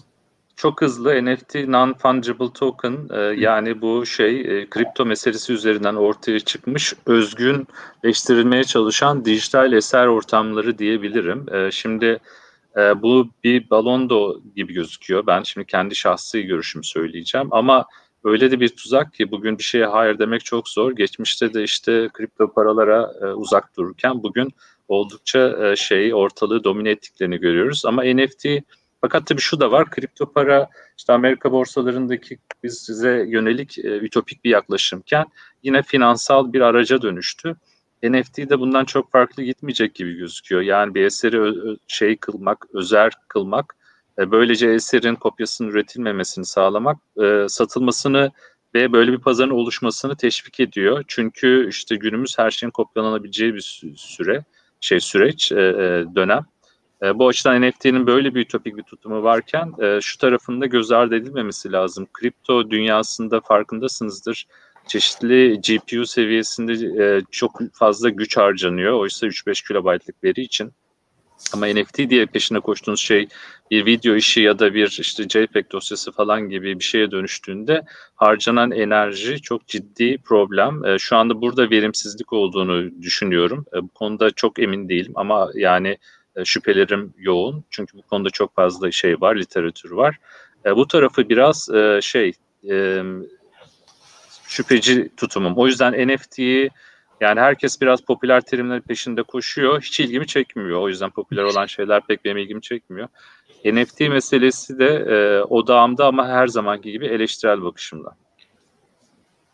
Teşekkür ederiz. Yiğit'ten bir soru var. Hocam e, sizi ilk Sonar İstanbul'da keşfetmiştim. Ekranda akan kodların müziğe dönüştüğünü görmek muazzamdı. Sanatçı-küratör ilişkisini kendi çalışmalarınıza nasıl konumlandırıyorsunuz demiş. E, hemen söyleyeyim aslında küratör olmak gibi herhangi bir çizgim yok. E, Akbank Sanat'taki davette de biraz bu söylemi kullanıyorum. Aslında çok net söylüyor. Ben biraz kendim sınıf başkanı gibi hissediyorum. Yani e, birçok sanatçı arkadaşım var. Onların e, bir araya gelmesini sağlayan, onlar adına konuşan, onlara yardımcı olan yani herhangi bir şekilde çünkü küratörlük müessesesinde çeşitli e, şeyler, rütbeler, egolar vesaire falan söz konusu olabilir. Yani siz bayağı istedikleriniz yönünde bir şey oluşmasını sağlayabilirsiniz. Oysa ben daha çok konfor sağlayan, dediğim gibi yani onlara bu imkanı ortaya koymaları için uğraş veren bir çizgideyim. E, hiçbir şekilde küratör olmak gibi bir şeyim yok, gayem yok. Yani ben e, sanatçı olarak var olmak ve diğer sanatçı arkadaşlarıma yardımcı olmak için uğraşıyorum. Ee, bir sanatçı olarak dinleyiciden, izleyiciden anlaşılma veya mesaj verme arzunuz var mı? Bu arada distopyayı ziyaret eden birisi olarak oldukça keyif aldık. Emeğiniz, emeğinize sağlık demiş Yiğit. Çok teşekkür ederim. Ee, özellikle distopyayı yani ziyaret ettiğiniz için. E, dinleyiciden, izleyiciden anlaşılma e, öncelikli değil. Ee, yani aslında ben onu biraz daha bulmaca gibi kılmayı, bazı şeyleri arka planları saklamayı e, tercih ediyorum. Birçok teknolojik sanat eserleri üretiminde insanlar yaptığı teknolojiyi övgüyle bahsederken e, ben hani bu sunumda bahsediyorum. Belki dikkat etmişsinizdir bu variable değişken işinde arkada yapay zeka var ama iş çok basit. Bir düğmeye basıyorsunuz bir şeyler değişiyor. Şimdi size kimse yapay zeka var demese bu iş size bunu söylemeyecek ama Hadi bir taraftan da konuşmak gerekirse arkasında 9 ayrı bilgisayar var, bir network var. Bu networkler üzerinden işte hesaplamalar var, Python kodu var, şusu var. Ama ben e, minimal görüntüyü seviyorum. Yani çok merak eden arkasına baksın. Yaptığım teknoloji hayran olmasın. Aslında herhangi bir hayranlık ne haddimize de fikre odaklansın, odaklansın. Yani eserle beraber aslında o anı geçirsin. Kimse herhangi bir resme bakıp çok harika boyalar var, çok güzel boyalar kullanılmış demiyor. Yani bu noktaya varmak lazım. Yani herhangi bir tabloya baktığınız zaman siz o gözle bakıyorsanız aslında siz eserin ne anlattığına değil, onun sadece estetik biçimine düşüyorsunuz. Bu tabii bir şey, e, bazı sanatçılar tarafından tercih ediliyor olabilir. Benim gittiğim yol o yol değil.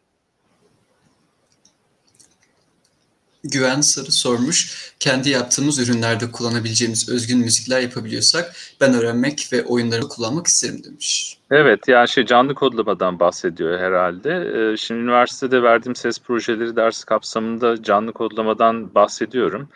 Ee, yanı sıra da işte Rov'da gördüğünüz Alp Doğan da üniversite, başka bir üniversitede ders veriyor. Özyeğin Üniversitesi'nde o da yaratıcı kodlama, benzer şeyleri yapıyoruz. Onun üzerine dersler veriyor. Ee, yani bilgi ve şeye ulaşmak için, içeriye ulaşmak için tabii ki internet üzerinden sınırsız bir kaynak var. Ama e, bunun ötesinde de Algorave İstanbul, Algorave diye yazılıyor. W değil, Rave e, şeyden dans kültüründen bilebilirsiniz. Algorave İstanbul diye bir komünitemiz var. Bu komünitede e, bu tür etkinlikler düzenleyebiliyor. E, çeşitli şeyler, müzikler yayınlıyor, e, partiler, organizasyonlar yapıyor vesaire falan. Hani bizi takip ederlerse işte beni Selçuk Artut olarak bulabilirler ya da Ra olarak bulabilirler. Biz elimizden geldiğince yol gösteririz. Böyle bir misyoner bir şeyimiz de var, e, tarafımızda var. Yazılım için kullandığınız programlama dili ve IDE nedir? Bir de nedir? Tamam. Şöyle, e, e, müzik için konuşayım. Müzik için Super Collider diye bir şey var. Aslında müziğin CC diyebiliriz. Alt tarafta böyle bir motor var. Onunla beraber iletişim kuran yani Super Collider'da da yazabilirsiniz ama çok uzun sürüyor bir şeyi ses çıkarmanız ve e, bizim gibi sahnede olan bir grup için bu süreç aslında e, şey çok da kabul edilebilir bir şey değil. E, biz ilk başta Super Collider'la başladık ama daha sonrasında Haskell programlama dili vardır. Functional Programming bilenler varsa onun şeyini kullanan, yapısını kullanan Tidal Cycles diye bir şey kullanıyoruz. Tidal Cycles'la ses üretiyoruz. Ee, görseller içinde konuşmada biraz bahsettim C++ ama kullandığımız kütüphane var Open Frameworks diye ee, onu kullanıyoruz. Yine isterlerse bana ulaşırlarsa e, seve seve paylaşırım. Merhabalar, bu güzel sunumunuz için teşekkür ederiz öncelikle demiş. İnsanların yerine geçtikçe insanların sanatla uğraşı azalabilir mi? Bu konu hakkında ne düşünüyorsunuz? Yani şimdi birkaç çizgi var tabii. Ee, insanların teknolojiye bakışındaki ütopik nokta tek, teknolojinin hayatımızı kolaylaştıracağı yönünde. Ee, bunun olumlu çıktıları yok mu? Var tabii ki işte ne bileyim evlerimizde e, otomaton diye geçer ama bugün artık o gözle bile bakmıyoruz. O kadar içselleştirdik ki çamaşır makinesi, bulaşık makinesi var. Yani bulaşık makinesi geldi ve hayatımızda daha fazla zamana e, şey zamanımız olmaya başladı. Sanırım optimize etmeye çalıştığımız yani elimizde şey daralan şey bu zaman kavramı. Eğer e, yani bunu çoğaltabilirsek aslında tam tersi insanların sanatla uğraşmalarının daha fazla artacağını düşünüyorum. Ee, Birçok insan zihnini boşaltabilmenin yollarını arıyor. Bunu gidip doğada buluyor ya da işte bir şey üretirken buluyor. Oysa üretmek çok kıymetli. Ee, bundan çok uzak kalıyoruz. Yaptığımız şeylerin amacının ne olduğunu bilmeden yap, yapar hale gel- geliyoruz. Sanat bunlardan çok daha bağımsız, e, amaçsız, gayretsiz de olabiliyor. E, yani bu özgürlük alanı e, var olduğu sürece insanların sanatla uğraşın azalacağını hiç sanmıyorum e, ki e, hibritleşen ortamlar yani işte bizim de sahnede gördüğünüz e, şey halimizde bilgisayarlar vesaireler size hem görüntü hem ses açısından her şeyi bir arada yapabileceğiniz çeşitli ortamlar oluşturuyor. Bu kadar imkan vesaire varken e, buna devam. E, yani insanların yerine geçtiği meselesi yapay zeka üzerinden sorgulanabilir. Ama yapay zeka yine aynı eleştirel çizgiyle söyleyeceğim. Belirgin bir hayranlık şeyi var, tutumu var ama e, yani öneriyorum eğer ilginiz varsa bunun bir e, yüksek hesaplamalı bir istatistik olduğundan ötesi e, şu an söz konusu değil. Yani bilgisayar yaratıcı bir şey şu anda değil. Zaten deterministik bir sistem. Size olasılık söyleyemeyecek bir şeyin nasıl yaratıcı olmasından bahsedebiliriz ki? O sadece e, bir öğretmenden öğrenmek gibi size sunulan şeylerden bir iterasyon yapıyor. Yani onlara benzeyen bir şey yapıyor. Ve siz bunlar bunlardan bir haberseniz iyi olduğunu sanıyor olabilirsiniz. Yani Sony Beatles bestelerinden yola çıkarak bir Beatles eseri üretti. Bunu Beatles dinleyen bir adam dinlediğinde ki bunu ben bizzat e, deneyimledim birilerine e, dinlettim. E, bu çok kötü bir Beatles şarkısı diyor ama hiç bilmeyen birisi aa ne güzel bir Beatles şarkısı diyor. Yani o yüzden yani yapay zeka ile ilgili tutumunuzda e, sakın cehalete düşmeyin. E, yani yapılan işlerin geçmişine bakın ne oluyor ne bitiyor. O yüzden insanların yerine geçiyor mu? E, siz kendinizi çok fazla bu kompleksite karşısında şey görüyorsanız yani hani hayranlık reaksiyonu gösteriyorsanız bence o noktada bir tekrar düşünün. Hayran olduğunuz şey acaba bunun içerisinde ne? Sizin bir çare olmanızın durumu e, bence biraz samimiyetsiz bir nokta gibi geliyor çoğu zaman. Teşekkür ederiz. Görsel sanatlara ve müzikle ilgisi olan biri olarak hayranlıkla izledim. Hocam başarınızın devamını ve toplumun büyük oranına e, aşılanması dileğiyle demiş. Ee, uğraşıyoruz evet eğitmen olarak e, aşılıyoruz bol bol. Matematiğin sanatla bu denli mükemmel kaynaşmasını sizinle keşfetmek harika bir duygu. Başarılarınız daim olsun ve biz de sizinle heyecanla bu evrimlere şahit olalım demiş. Teşekkürler. Çok teşekkürler. Biz de paylaşıyoruz her zaman. Lütfen takip edin. Yani bu şey e, sizinle paylaşmak açısından söylüyorum. Postmodernizmin sanat dünyasının etkisini nasıl değerlendiriyorsunuz? Bir fikri veya bir eseri sanat yapan nedir demiş. İşte bu oldukça zor bir soru ama biraz variable işinde bu değişken iş, isimli işinde var. Yani postmodernizmin sanattaki tutumu, işte kavramsal sanatın yükselmesi vesaire falan yani biçimsel karşılıkların aslında geçmişe oranla çok daha geriye atıldığı bir dönemi işaret ediyor. Oysa ben bugün biraz bunun bir, e, hiç sayılmaması gerektiğini yani estetik ve düşüncenin birlikte bir harmoni olarak işlenebileceğini e, düşünüyorum. E, herhangi bir hiyerarşide ortaya koymadan buradaki uyumu anlatmak çok böyle bir e, şey metrikle tarif edilecek bir şey değil. E, bu yüzden yani bir eserin aslında katman katman olması, e, yani ilk başta baktığınızda sizde bir etki yaratabilir, bir aura oluşturabilir ama eserle ki bugün artık etkileşim içerisindesiniz. İçine daldıkça devamını getirdiğiniz yani bir güzel bir kitap gibi de düşünebilirsiniz. İyi bir kapak sizi çeker ama sonrasında o satırlar arasında bulursunuz. Yani o şey kapakta göz ardı edilecek bir şey değildir. Yani her kitabın kapağına özen gösterilir, her müzik albümünün kapağına. O yüzden estetik ve söylemin e, şey e, oturduğu bir şey, e, birliktelik bugün benim daha çok ilgimi çekiyor. Yani bugünün postmodernizm sonrası diyelim yani sanatında e, daha çarpıcı işler bence öyle ortaya çıkıyor. Ben burada belki bir soru ekleyebilirim. Aslında yaptığınız işler dediğim gibi oldukça keyifli şeyler ve teknolojiyi sanatla birleştirme e, kulağa oldukça güzel geliyor ki bu aslında uzun bir süredir de yapılıyor anlattıklarınıza göre. Evet. Ben burada ilginç bir soru aklıma geliyor. Benim bu dediğim gibi benim tamamen kişisel olarak merak ettiğim bir soru. Müzikle resim bir noktada birleştirilebilir mi diye ben bu soruyu kendime sormayı çok seviyorum. Geçenlerde bir kitaba denk geldim. 1924 senesinde e, basılmış Marco diye The Science of Tone and Color e, Edward Marion tarafından yazılmış bir kitap.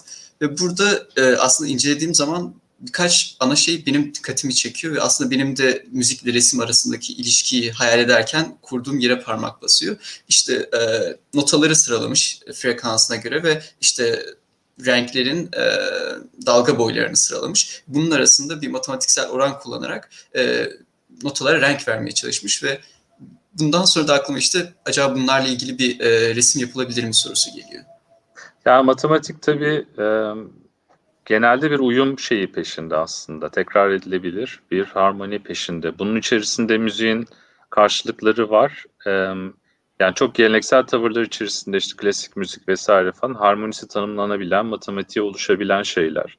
Bu resim için de geçerli. Bunların arasında kurulan ilişkiler, hani ses ve görüntü arasındaki ilişkilerdeki birebirlikler e, işi mekanik hale getiriyor ise e, aslında özünü zedeleyebiliyor. Yani e, formül aslında o kadar basit değil gibi geliyor. Bir, bir kişinin birebir bir fonksiyon yaratması, yani iki domain arasında, ses ve görüntü arasında, e, işin e, müziğin tanımıyla da ilgili. Yani şimdi mesela Raw üzerinde konuşacak olursam, evet bir dans, tekno, elektronik, e, belki kent, gürültü, geometri falan, soyutluk gibi şeylerde e, bir basa karşılık bir görüntünün oluşması falan ilgi çekici geliyor ama yani işte ne bileyim Vivaldi'nin dört mevsimi düşünecek olursak yani orada hayal ettiğiniz, tasvir ettiğiniz şey belki de daha platonik yani aklınızda oluşturacağınız bir evren. E, birebir karşılıklarını ortaya koymak eseri aslında şeyde verebiliyor, e, büyüsünü bozabiliyor o ilişkiyi kurmak çok e, kolay değil. Bayağı yetkinlik istiyor. Kimsenin de kur, kurma şeyi de e, bunu başardım deme gibi bir söylemi de olası değil. İşin eğlenceli tarafı bu. E, ama tabii disiplinlerin birbirine yaklaşması hoş. E, bu daha önce yok muydu? Vardı. E, yani kimse e, ne bileyim sadece resim yapıp asla müzik dinlemiyorum gibi bir böyle bir sanatçı durumu yoktu. Yani bu hep oldu. Ama e, şimdi biraz daha bu hibritleşen ortamlarla herkes ikisine de dokunuyor. Sizin de dile getirdiğiniz üzere e, bu ikisini birbirine bağlamak en azından bir medyum olarak bir işte bizim özelimizde yaptığımız bilgisayar programlama dilleriyle bunu dinamik halde sunmak e, mümkün. Böyle bir fonksiyon yaratıp bunun sonuçlarına bakmak biraz deneysel bir uğraş ama herhangi bir şeyin kesin sonucu veya noktası değil tabii. Teşekkür ederim birkaç sorumuz daha var. Ee, Mehmet Asım sormuş. Hocam ilerleyen süreçte insanın anlık duygusal dalgalanmalarıyla iletişim kurabilen ve bunu arka planda yapay zeka ile destekleyen bir süreç görebilir miyiz demiş. Ee, bunun için uğraşlar var. Ee, özellikle ama bunu psikoloji alanında mı soruyor bilmiyorum. Yani şey e, mesela işte şeyler için e, sosyal medya postlarından yola çıkarak e, suicide attempt'leri falan hani forecast etmek için bir takım şeyler var.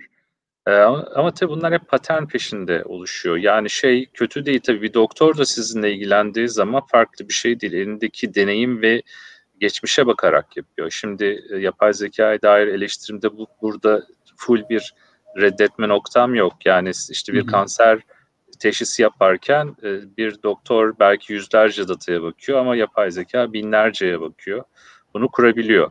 E, ama tabii ki insanın duygusal dalgalanmasını tanımlamak e, çok kolay değil. Yani hani burada insan şeyi e, karmaşasını e, o karmaşadan bir rutin çıkarmak yapay zeka tarafından desteklenebilir ama e, illa ben yine de burada karar verici noktasında bir insanın da şey tepede görüş belirtmesi gerektiğini düşünüyorum. Teşekkür ederiz. Ee, Eyüp'ün bir sorusu var. GPT-3 adlı bir yapay zeka bir senfoni bestesinin sonunu tamamladığına ilişkin medyada birçok haber yapıldı diye, diyor. Bu konu hakkında ne düşünüyorsunuz acaba? GPT-3 bu yeni çıkan galiba. Ee, şey bayağı şey güçlü bir computational hani bilişim gücü olduğunu biliyorum. Ama e, yani yeni yeni şeyler çıkıyor tabii ki. GAN, e, General Adversarial Network gibi bir takım yeni şeyler, algoritmalar ve optimizasyon süreçleri ortaya çıkıyor. E, yani şeyi düşünebilirsiniz bu arada tabii ki. Mesela Mozart'ın e, Lacrimoso e, tam e, şey vefat etmesine yakın bestelediği bir şey var, eser var. E, bu eseri besteleyemeden, bitiremeden ölüyor. Öldükten sonra da bu eseri e, bitirmesi için öğrencisine e, da, da, şey yapıyorlar, danışıyorlar. Öğrencisi ben bunu yapamam diyor. Sonra başkasına gidiyorlar vesaire falan. Ve birileri tarafından e, bu oluyor. Tabii ki bu bir gizem yani. Hani bu senfoniyi Mozart yazsaydı sonunu nasıl yazardı? Ona bir bakmak lazım ama tabii tarzı oturmuş birinin ne gibi bir sonuç çıkaracağını aşağı yukarı biliyorsunuz. Yapay zekada senfoni bestesinin sonunu aynı niteliklerle yani şey e, şimdi mesela şey klasik eserler için dediğim gibi matematiksel modellerini kurgulamak kolay ama bir deneysel bir beste yapması ya da ne bileyim bir rock parçası yapması vesaire gibi şeyler falan e, bu anlamda yapay zeka açısından fazla bir beklentiye dönüşüyor. E, en, en azından henüz e, çok üstün bir örnek görmedim. Teşekkür ederiz.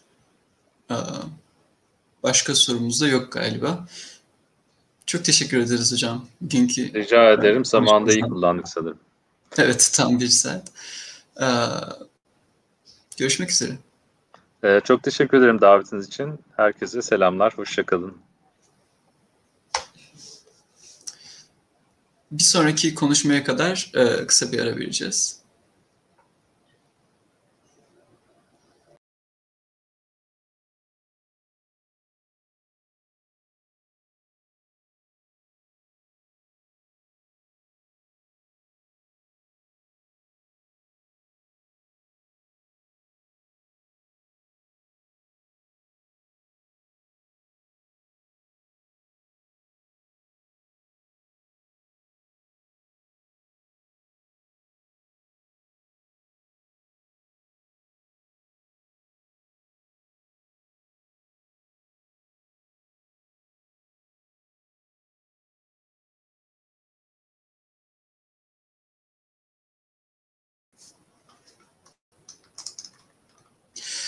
Bilim insanı adayı olan bu çocuklar hiçbir zaman kendilerine öğretilenleri sorgusuz sualsiz ezberlemezler ve doğruluğuna kayıtsız şartsız inanmazlar. Çünkü biz bile öğrettiğimiz şeylerin doğruluğundan şüphe etmekteyiz diyor Cahit Arf. Şimdi Pedagogical University of Krakow'dan astrofizik alanındaki çalışmalarıyla Doktor Tuğçe Şener sizlerle.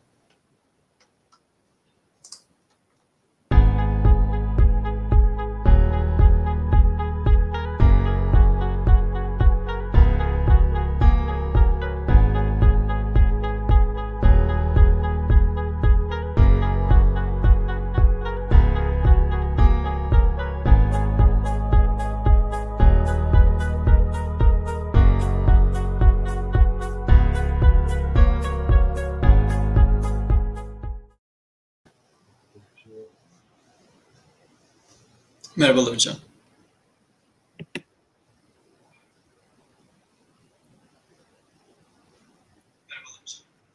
Beni duyuyor musunuz? Evet. Ancak göremiyoruz şu an. Hmm. Şöyle bir sorun var. Bilgisayar kilitlendiği için ben hiçbir şey göremiyorum. Ee,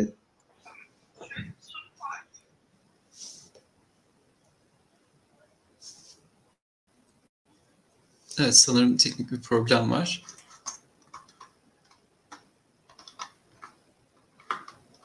Biz bu problemi çözüp yine birkaç dakika içerisinde tekrar sizlerle olacağız.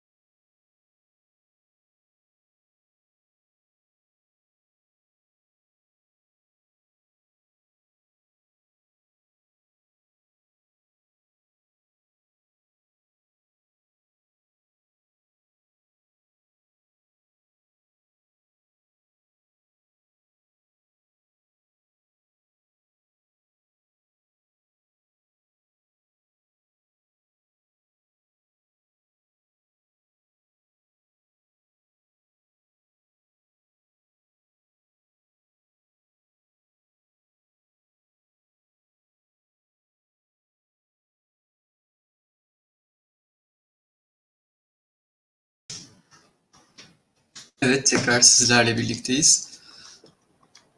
Tuğçe Hoca'ya bağlanıyoruz şimdi.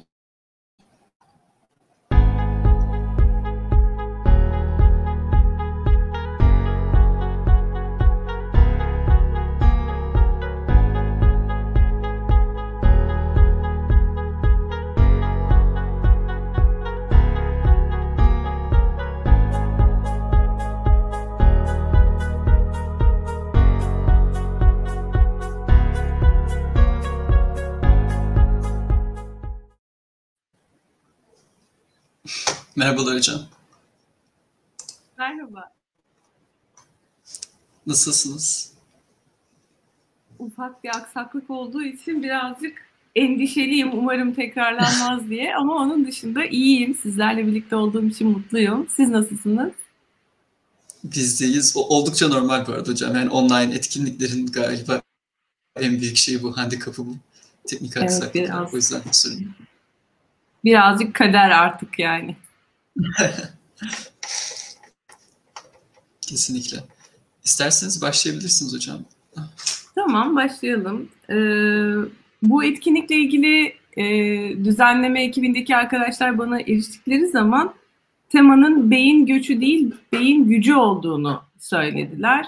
Ee, ve buna bir örnek olarak da işte yapmış olduğum şeyleri anlatmamı istediler pek alışkın olduğum bir şey değil çünkü daha ziyade astronomi üzerinden konuşmalar yapmaya alışkınım.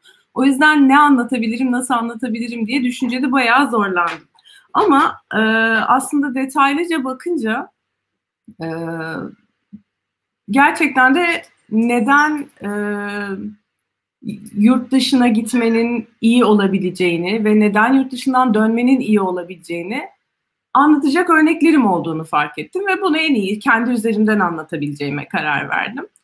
Ee, birkaç fotoğrafla, e, görselle paylaşayım istiyorum bunları sizlerle. Bakayım becerebilecek miyim paylaşmayı. Ee, şöyle yaparsam şu hide meselesi niye gitmiyor? Neyse. Ee, Ankara Üniversitesi Astronomi Uzay Bilimleri bölümünde e, başladım eğitimime. Görebiliyor musunuz şu anda e, sunumu? Oldukça iyi şekilde. Pardon duyamadım. Oldukça iyi bir şekilde görebiliyoruz. Tamam, güzel.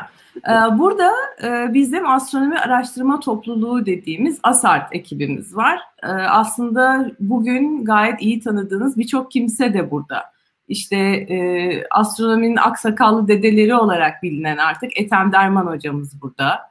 E, Umut Yıldız hocanız burada. E, Ayçin var zannedersem kenarda. E, Özgür Hoca burada yanılmıyorsam. Evet arkada. E, yani Ankara'da, Türkiye'de astronomide bugün yer almış birçok e, kimseyle birlikte o zamanlar öğrenci olduğumuz halimizle Ankara Üniversitesi Astronomi Uzay Bilimlerinde çok keyifli bir yolculuğa başladık astronomiye doğru. Bizim en büyük e, avantajımız bir gözlem evine sahip olmamızdı ve gözlem evinde e, birçok etkinlikler düzenliyorduk. Halk günü etkinlikleri, e, gözlem şenlikleri ve daha bir sürü şeyler, meteor yağmuru gözlemleri. E, tabii bu işin birazcık popüler kısmıydı bir öğrenci olarak e, astronominin sadece e, yoğun pür bilim halin değil de birazcık daha eğlenceli, birazcık daha insanlara aktarabileceğimiz halde vardı bizim için. Ama e, bu mesela burada gördüğünüz Kude teleskobu halk günü etkinliklerinde kullandığımız ay ve güneş gözlemleri için kullandığımız bir teleskoptu. E, bir güneş lekesi nedir diye derste öğrenen öğrencinin gelip bunu gerçekten gözlem evinde görebilmesi, düzenli olarak gözlemlerle bunu takip edebilmesi bence çok büyük bir şanstı bizim için. Ee, fakat bir diğer şansımız da o zamanlar her ne kadar dünya klasmanında oldukça küçük bir teleskopta olsa Maksutov türü bir teleskopumuz vardı 30-35 santim civarında ve bununla düzenli gözlemler yapıyorduk.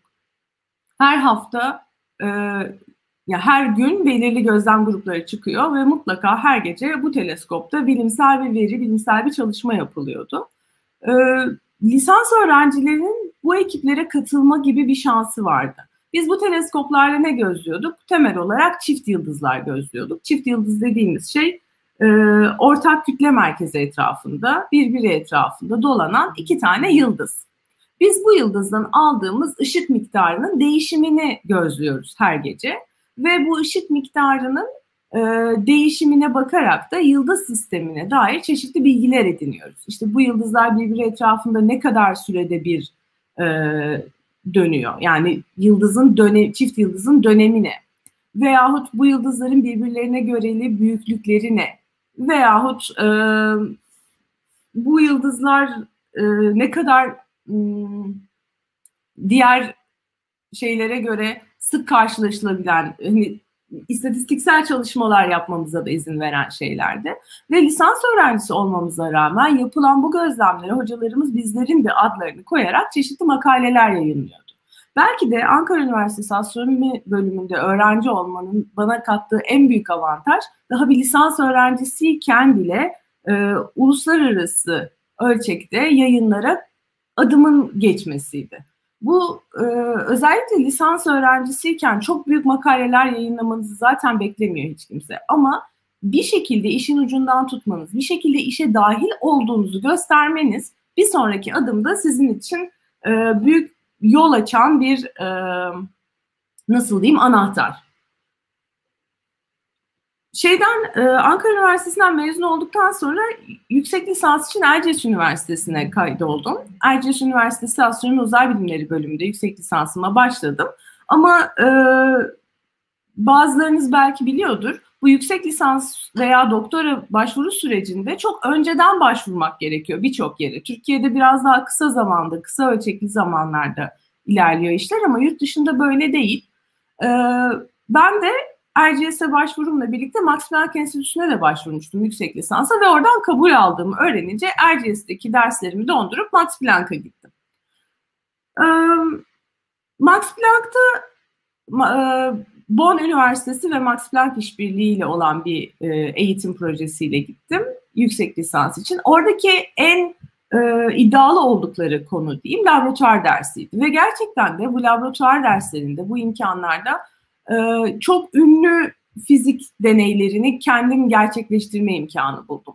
Ee, aslında biz Ankara Üniversitesi'nde de laboratuvar dersi aldığımızda birçok e, temel fizik deneylerini laboratuvarlarımızda gerçekleştirme imkanı bulmuştuk. Ama burası bir adım daha ötedeydi. Biraz daha küçük gruplarda, biraz daha e, özel birebir etkileşimlerle, hocalarla birebir e, çalışma şansı bularak ilerleme imkanım olmuştu.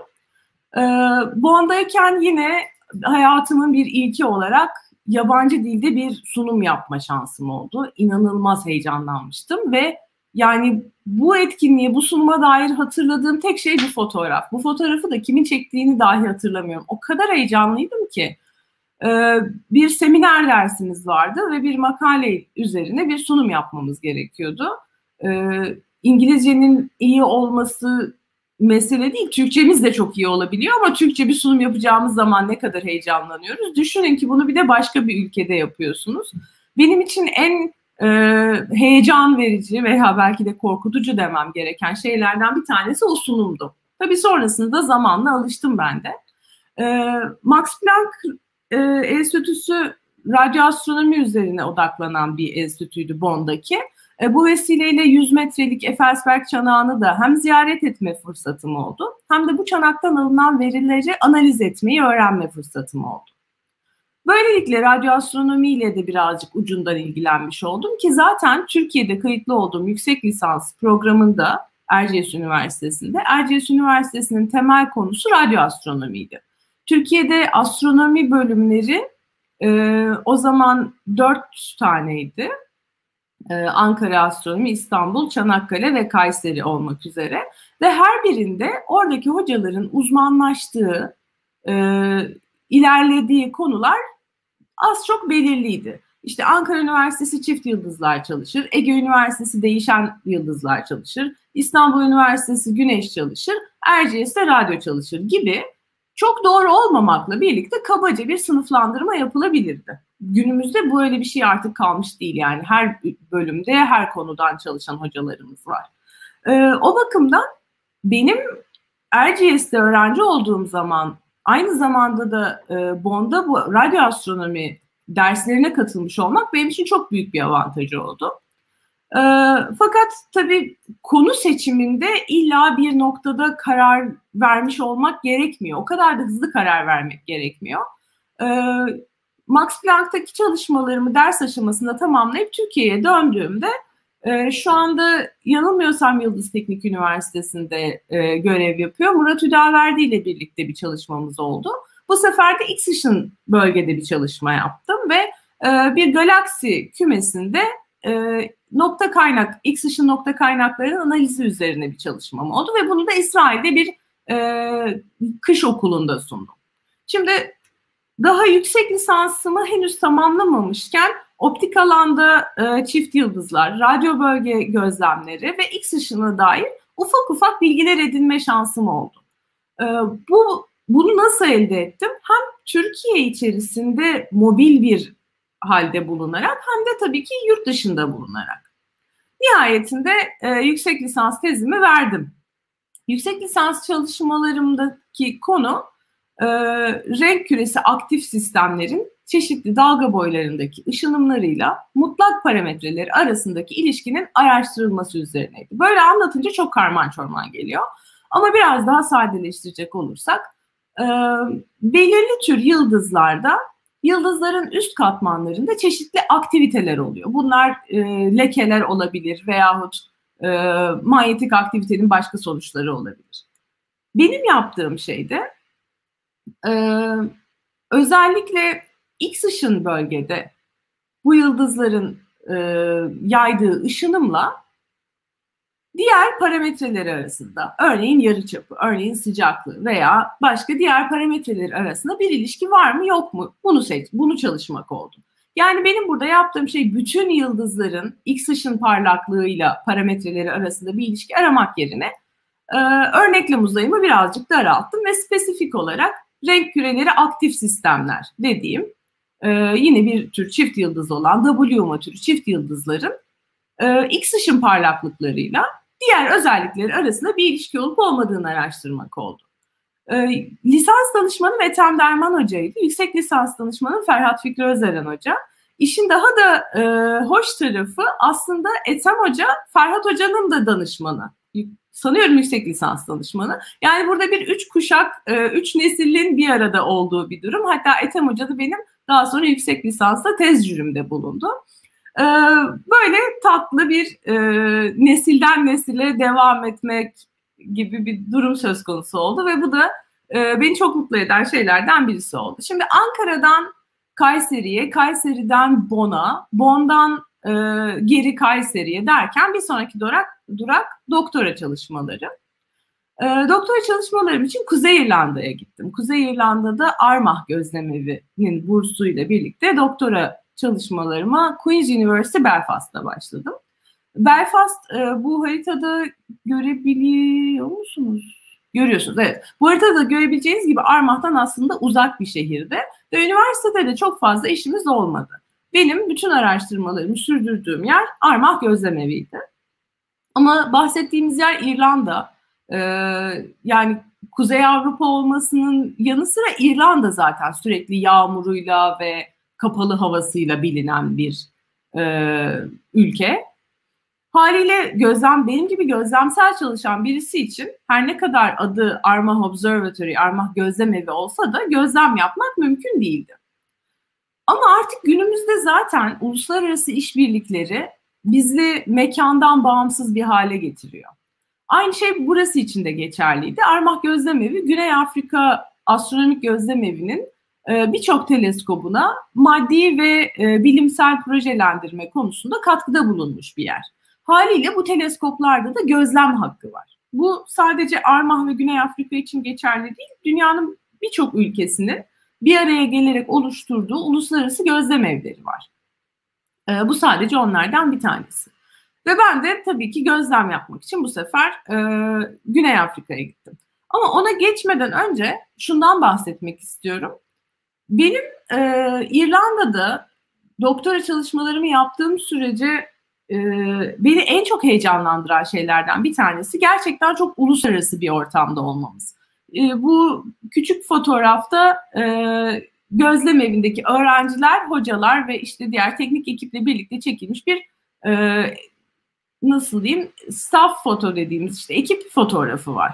Burada e, öğrenciler arasında Hintli de var, Romanyalı da var, e, İspanyol var, Alman var, e, Belçikalı, Hollandalı birçok öğrenci var. Ve bu birçok öğrenci birçok farklı konularda çalışıyor. Bizim burada yaptığımız şey her hafta belirli bir gün, zannediyorum salı günleriydi, öğlenleri bir e, discussion meeting gerçekleştirmek, tartışma toplantısı ya da belki buna e, brainstorming diyebiliriz, beyin fırtınası. Her hafta bir öğrenci bir konuda bir sunum yapıyor. Bu o öğrencinin çalıştığı konu olabilir veya merak ettiği bir konu olabilir. Gelip onu anlatıyor. Diyelim ki e, kuyruklu yıldızlar üzerine çalışan bir arkadaşım gelip kuyruklu yıldızları anlatıyor. Benim konumla hiç alakası yok. Ama ben ona mutlaka katılıyorum, dinliyorum. Konuya dahil olmayan birisi olarak sorular üretip ona soruyorum ya acaba bunu böyle yapabilir misin diye. Tabii bu sunumu yapan arkadaşı şöyle bir katkıda bulunuyor. Diyor ki hmm, bak ben hiç böyle düşünmemiştim. Demek ki bir çift yıldız çalışan kimsenin farklı bir bakış açısıyla böyle bir şey katılabilir belki diye. Benim için de dinleyici olarak şöyle şeyler aklıma geliyor. Aa evet kuyruklu yıldızları bunu uyguluyorsak çift yıldızlara şunu nasıl uygulayabiliriz? Acaba bunun birazcık daha farklı bir versiyonunu kendi yıldızlarıma uygulayabilir miyim? Ve bu discussion meetinglerde, bu beyin fırtınası toplantılarında her hafta farklı bir soru mutlaka benim sorular defterime yazılıyordu. Bir küçük defterim vardı. Merak ettiğim bilimsel soruları not aldığım. E, hayalim doktorayı tamamladıktan sonra e, doktora sonrası araştırmacı olarak çalıştığımda işte her 6 ayda bir veya her yıl bu sorulardan birinin üzerine gidip onları anlamak, onları araştırmak şeklindeydi. E, o bakımdan belki de Armah Gözlem Evi'nde bulunmanın bana kattığı en e, büyük katkı diyeyim. Bu e, farklı alanlardan insanlarla bir araya gelerek bir sentez oluşturmayı öğrenmek, farklı bakış açılarına açık olmak. Ee, bir sunum yaptığın zaman insanlar sana soru sorduklarında bunu gerçekten yapıcı bir amaçla sorduklarından şüphe duymaksızın soruyu anlamaya ve cevaplamaya çalışmak ve bilmediğin zaman da bilmiyorum diyebilmek. Örneğin burada e, beyaz cücelerin neden farklı tür çekirdekler içerdiğine dair bir sunum yapıyorum. Halbuki benim konum beyaz cücelerle alakalı değildi. O hafta e, onunla ilgili ilginç bir makale okumuşum. E, ve bu beyaz cücelerle ilgili çalışan bir arkadaşım da ve hatta hocalarımız da ekipte olacağı için ben bu makaleden anladıklarımı anlatayım, anlamadıklarımı da sorayım. Hem bana ilginç gelen şey gerçekten bu konunun uzmanları için de ilginç mi bunu öğrenmiş olayım diye yapmış olduğum ufak bir sunumdu. Aslında bu sunumlara katılanlar 10-15 kişi ama e, bizim orada her hafta edindiğimiz o nasıl diyeyim zihinsel tatmin ve doyum o kadar güzel bir enerji ve itki oluyordu ki bir hafta boyunca oradan aldığımız o enerjiyle kendi konularımıza veya diğer konularımıza çok güzel bir şekilde odaklanabiliyorduk. Ben bu alışkanlığı daha sonra gittiğim, katıldığım diğer etkinlik, e, diğer kurumlarda da sürdürmek için özen gösterdim. Tabii kimisi oldu, kimisi olmadı.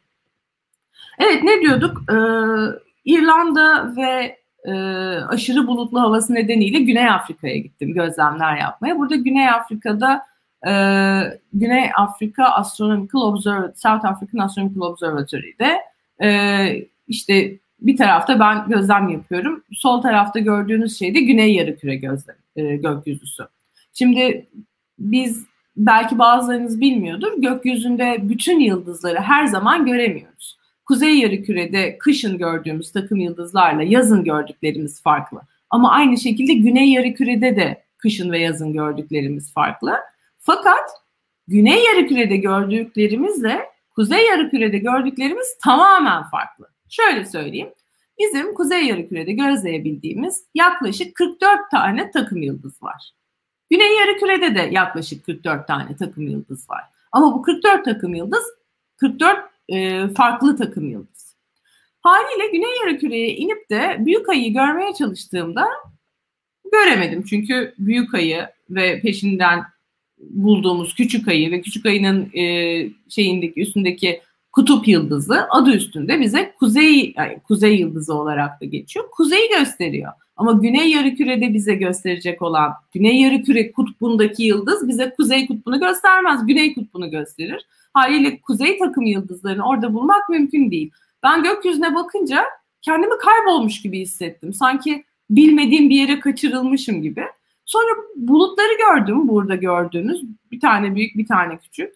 Ertesi akşam yine gördüm. Gözleme çıkıyoruz. Bakıyorum ya bulut var. Bu bulutlar artarsa eğer gözlem yapamayız. Çünkü bulutlu havada yıldız göremeyiz. Bu bulutlar gitmiyor ya dün de buradalardı falan diye. Ee, bayağı şey oldu. Gerildim. Yani bu bulutlar artacak kesin. Biz gözlem yapamayacağız hay Allah diye. Sonradan fark ettim ki aslında bunlar bulut değil. Bunlar dev e, büyük Magellan ve küçük Magellan bulut suları dediğimiz aslında bulut sular ya da galaksiler diyebiliriz. Ve ben güney yarıküre gökyüzüne dair o kadar cahildim ki hiçbir şekilde bunların ne olabileceğine dair bir fikrim yoktu. Ta ki 3-4 gün geçti ve kendi çektiğim bu gördüğünüz kötü astrofotoğraflara bakarken bunların ne olduğunu fark edene kadar. Ee, gözlemsel verileri aldım, çeşitli analizler yaptım ve 5 yılın sonunda Armak Gözlem Evi'ndeki doktoramı tamamladım. Ee, kimyasal bollukları bakımından farklılıklar gösteren çift yıldızların belirli bir evrim aşaması üzerine bir e, tez yazdım. Ve bundan sonraki durağım da Güney Kore oldu. Güney Kore'de e, yine belirli spesifik bir tür çift yıldızlar üzerine çalışacak bir projem vardı. Bu sefer SDSS dediğimiz e, Sloan Digital Sky Survey'in bir alt kolu olan apogee verileriyle çalıştım. E, bu verilerde belirli tür bir çift yıldız sistemini nasıl bulabilirim diye. Bu belirli tür çift yıldız sistemi de e, alt cüce türü yıldızlar ve bunların yanında e, M türü cüceler veya kahverengi cüceler varsa eğer böyle bir çift yıldız sisteminin e, nasıl bulunabileceğine dair bir araştırmaydı. Bunları e, tabii apoji verilerinden baktım fakat gözlemsel verilerle de desteklemek istedim. Kore'de açık gece e, ve bulutsuzluk bakımından işin açığı İrlanda'dan pek kalır bir durumda değil. Ama e, açık gecesi olduğu zamanlarda da böylesi bir gözlem için yani yüksek kalitede bir gözlem için yeterli donanıma sahip bir ülke değil. Neyse ki Kore'nin de başka gözlem evleriyle e, işbirlikleri var. Bu vesileyle Texas'a gittim, McDonald gözlem evine ve oradaki büyükçe bir teleskopla gözlem yaptım. Ee, burada elde ettiğimiz verilerle e, çeşitli sonuçlara vardık. Ama benim Güney e, Kore'deki çalışmalarımın arasında e, sorumluluklarım arasında diyelim bir tanesi de Dev Magellan Teleskobu'nun bilim ekibinde olmaktı. Dev Magellan Teleskobu e, yapımı tamamlandığında dünyanın en büyük teleskobu olacak. Belki hemen peşi sıra e, 30 metrelik teleskop yapılır da Dev Magellan'ın e, ününü ele geçirirse onu bilemiyoruz tabii. E, çeşitli politik şeyler, kavgalar var. Belki duymuşsunuzdur bu 30 metrelik teleskopun yapımının e, gerçekleştiği dağ e, birçok protestolar yapılıyor. Çünkü o dağın yerliler tarafından kutsal bir dağ olduğu ve orada inşaat yapılmaması gerektiğine dair kavgalar var. Bu süreç bu 30 metrelik teleskopun yapımını yavaşlatıyor. 30 metrelik teleskopun yapımı yavaşladığında bu sefer Dev Magellan Teleskobu ekibi heyecanlanıyor. Çünkü on, bu teleskobun dünyanın en büyük teleskobu olma ihtimali var. Ee, daha önceki etki e, etkinliklerde hmm, toplantılardan birinde e, bu Dev Magellan Teleskobu'nun aynalarının yapıldığı yeri gidip gözlem görme fırsatım olmuştu. Ee, buradaki fotoğrafların bir kısmını ben çektim, bir kısmı Dev Magellan Teleskobu'nun web sitesinden. Peki bu bilim ekibi ne yapıyor? Bilim ekibi şunu yapıyor. Diyor ki şu ayna özelliklerinde bir teleskop varsa biz bununla ne gözlemek isteriz? Bu teleskopla neyi gözlersek bizim için en verimli olur? e, bu teleskopla yapılabilecek bilimsel çalışmalara, bilimsel hedeflere dair bir e, rota çiziyor, bir harita çiziyor. Bu teleskopun detaylarına girmeyeceğim. E, o zaman Temmuz 2015'te Bilim ve Teknik Dergisi'ne bununla ilgili detaylı bir makale yazmıştım. Hatta e, ekiple birlikte güzel de bir poster hazırlamıştık. Aynaların yapımı, e, teleskopun nasıl çalışacağı, adaptif optik e, sistemi vesaireye dair. E, araştıranlar bunu internet üzerinden bulabileceklerdir. Kore'deki maceradan sonra sıra Polonya'ya geldi. 2019 yılında e, Polonya Pedagoji Üniversitesi'nde yardımcı doçent olarak ders vermeye başladım. Aynı zamanda araştırmalara da burada dahil oldum. E, belirli bir e, açık küme seçtik ve bu açık kümenin e, içerisindeki değişen yıldızları bulmaya odaklandık. Ay ne? Ee, NGC 6791 adlı açık kümesinde Kepler ışık eğrileri kullanılarak keşfedilen yıldızların taşsal sınıflandırması ve analizi üzerine bir çalışma yapıyordum. Ama Polonya'da karanlık ve kapalı bir yer, Kuzey Avrupa ülkesi. E, bu sefer de yaptığımız şey e, Türkiye'deki gözlem evini kullanmak oldu. Polonya'daki çalışmalarım için de TUG'dan veri aldım. Ee, görüyorsunuz her şey ne kadar aslında iç içe ve bütün ülkeler söz konusu bilim olduğunda bir araya gelebiliyor. Tabii ki işin bir sürü bürokratik yönü var, bir sürü can sıkıcı şeyleri var ama bilimin ne kadar sınır tanımayan ve e, kümülatif ilerlediğini sırf bir kişinin 20 yılına bakarak bile görebiliyorsunuz.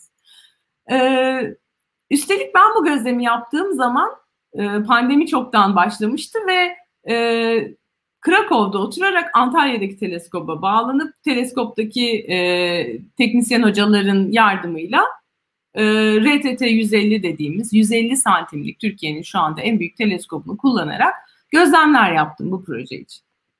Peki bütün bunlar olurken hiç üzücü bir şey olmadı mı? Hiç can sıkıcı bir şey olmadı mı? Oh ne güzel. Ankara'dan çıkmış, biraz Kayseri'de durmuş, sonra Almanya'ya gitmiş, geri gelmiş, İrlanda'ya gitmiş, oradan Kore, oradan of yani çok harika bir hayat değil mi? Bakınca öyle. En azından vitrini öyle. Ama işin arkası öyle değil. Tabii ki çok üzücü ırkçılıklara, cinsiyetçiliklere ve mobbinglere maruz kaldım. Ee, üzüldüm, ciddi sağlık problemlerine sebep oldu bunlar. Ee, hayatımda bir sürü can sıkıcı şey oldu. Ama böyle durumlarda ben yüzümü insanlara e, ve bilimi daha fazla kimseye aktarmaya dönmeye karar verdim. Gençlere dönmeye karar verdim.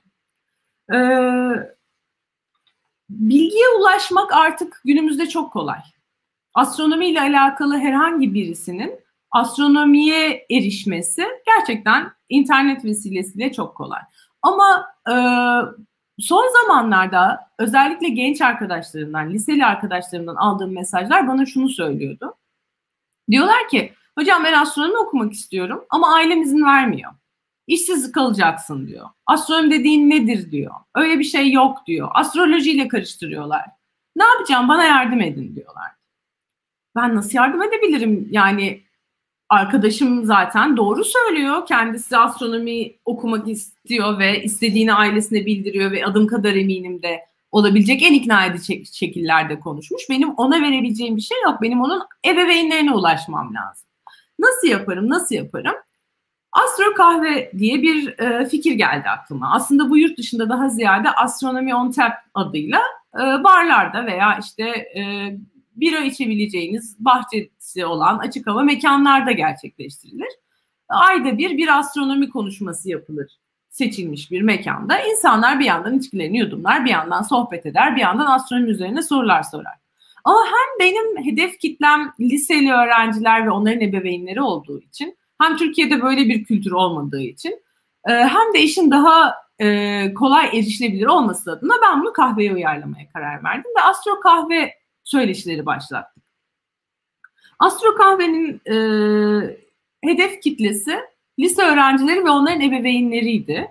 Ama tabii bunun yanı sıra astronomiyle alakalı olan avukatlar, mühendisler, e, işte ne bileyim aklınıza gelen her tür meslekten herkesin katılıp sorularını sorabileceği, e, doğrudan iletişim kurabileceği bir alan yaratmak istedik. Bu nedenle de zaten toplantılarımızı genellikle e, ya kafelerde ya kitap evlerinde yaptık. Maksimum 15 kişiyle sınırlı tuttuk. Çünkü herkesle birebir konuşabilme imkanımız olsun istedik ve sohbet tarzı bir şey olsun istedik. Bir seminer olsun değil. Özellikle mesai saatleri dışında programlamaya çalıştık. Çünkü e, astronomi okumak isteyip de annesini babasını ikna edemeyen arkadaşın ona annesine babasına şunu diyebilmesi lazım. Anne bak senin iş saatinin dışında ben seni biriyle tanıştıracağım. Gel onunla konuş. Ve o benim ne yapmak istediğimi sana anlatacak. Gerçekten de böyle oldu. Çok güzel ailelerle, çok güzel öğrencilerle tanışma fırsatım oldu. Tabii bunu yapmaya başladığımda ben e, Polonya'ya gelmiş, gelmek üzereydim. Bir iki tane etkinliği Polonya'ya gelmeden önce yaptık. Bir iki tanesini ben Polonya'ya gelip e, Türkiye'ye arada sırada gidiş gelişlerim esnasında yaptık.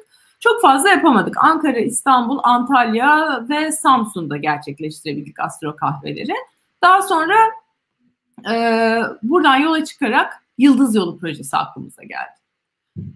Yıldız Yolu projesi aslında çok güzel, çok da iddialı ve e, destekle bulmuş bir projeydi. Benim yapmak istediğim şey şuydu. Bir araba olsun, içinde bir teleskop olsun ve ben Türkiye'de teleskopa erişme fırsatı olmamış öğrencilere gidip gökyüzüne bakmalarını sağlayayım. Daha sonra hangi şehirlere gidebilirim diye düşününce hop bunu durdurmam lazım. Evet.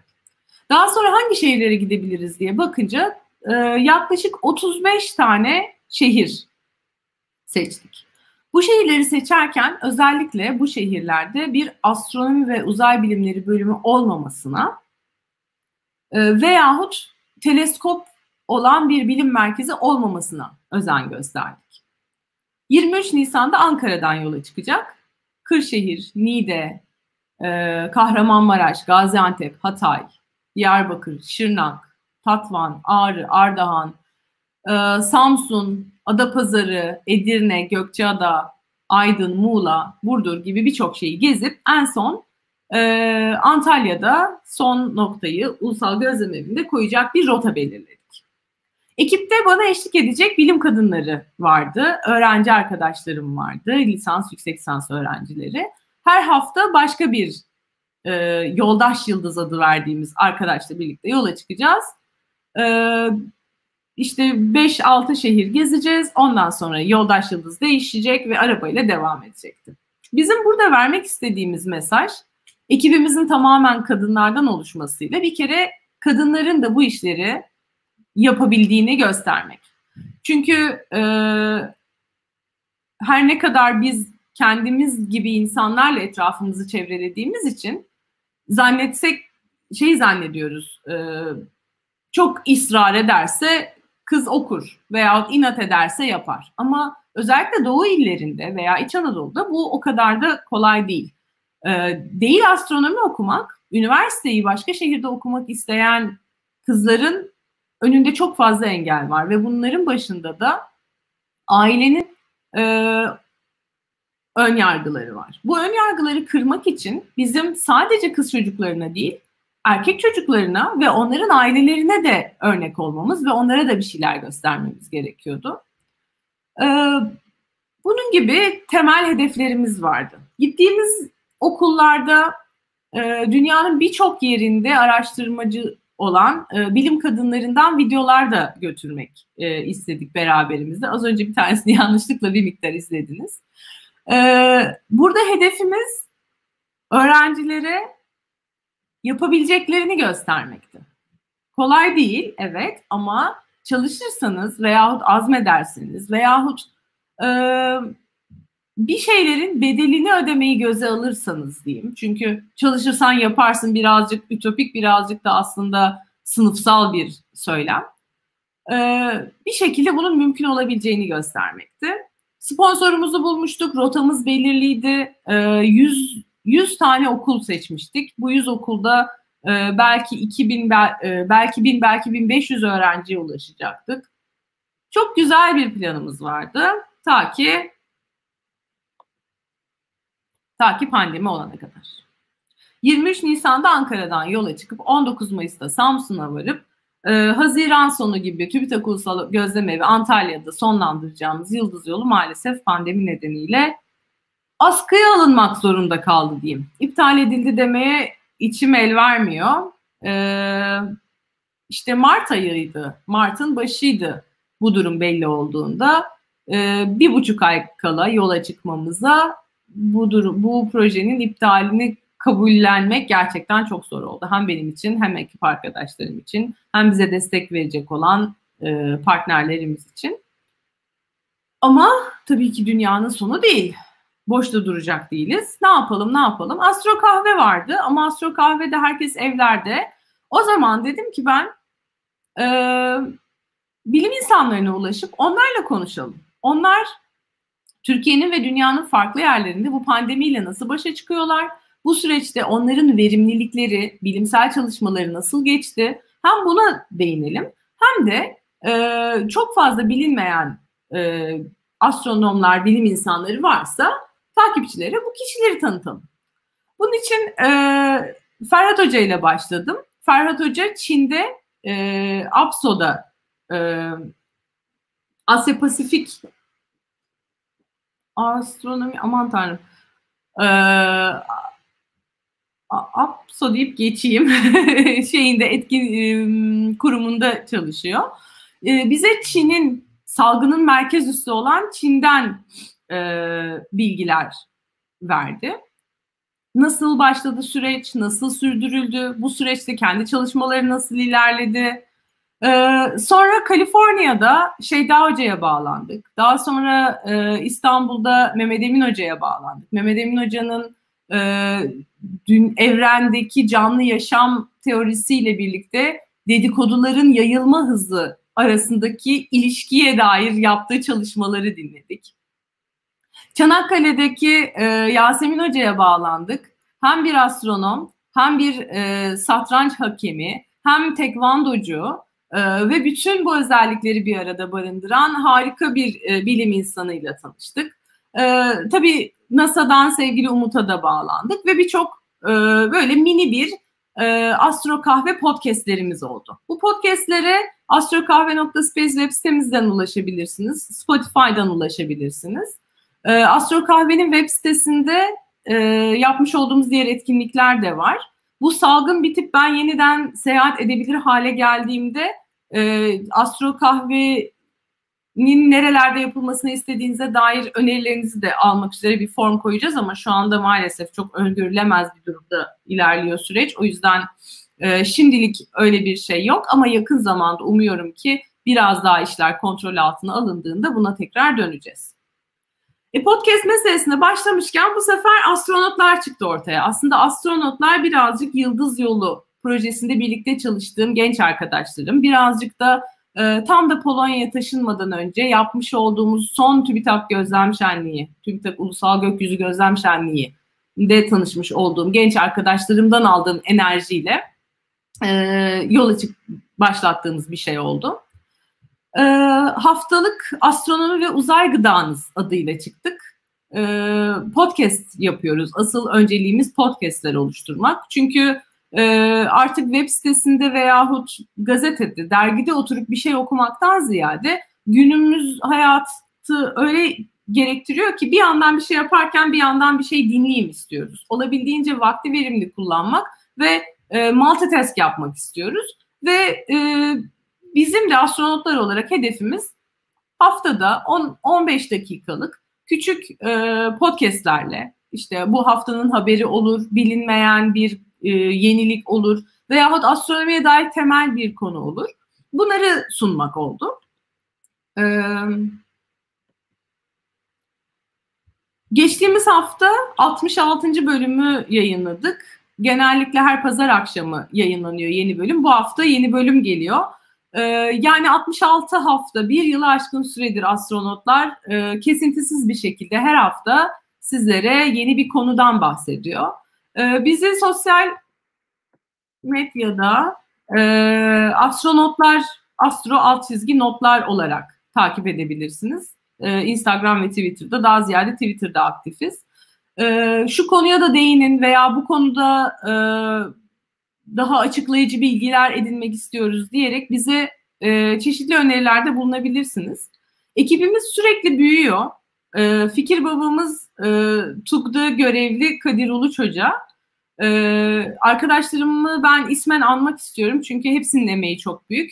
Yola çıktığımızda e, Emine, Kenan ve Olcay Tuğ'la birlikteydik sadece. Bir de ben vardım, bir de Sena Nur vardı. 5-6 kişilik ufak bir kadroyduk. Daha sonra web sitesi için Naim Hoca bize dahil oldu. Daha sonra dedik ki biz bu yazıları yazıyoruz, podcast yapıyoruz ama biraz daha adapte olmamız lazım. Belki infografik yapabiliriz, belki poster yapabiliriz derken e, bir görsel ekibimiz oldu, grafik ekibimiz oldu. E, sevgili Mahmut ve Gizem katıldılar bize.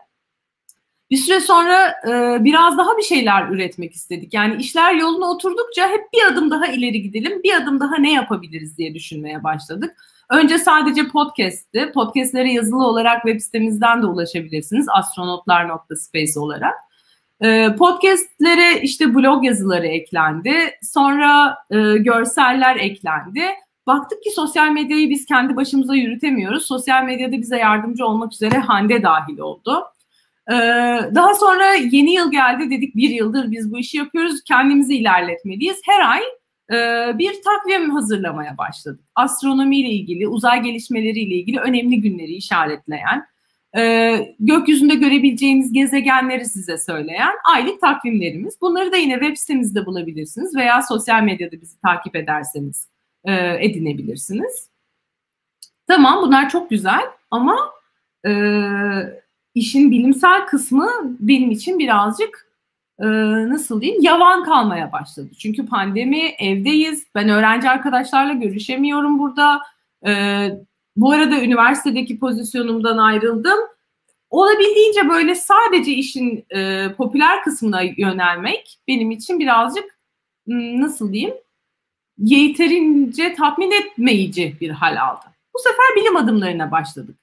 Aslında bilim adımlarına başlamamın bir diğer sebebi de e, üniversiteli arkadaşlarla iç içe oldukça birçok konuda eksikleri olduğunu gördüm. Bu e, üniversitede gördükleri dersler alanında değil de daha ziyade e, akademik hayatla ilgili eksikler. Örneğin yurt dışında bir toplantıya nasıl başvurulur?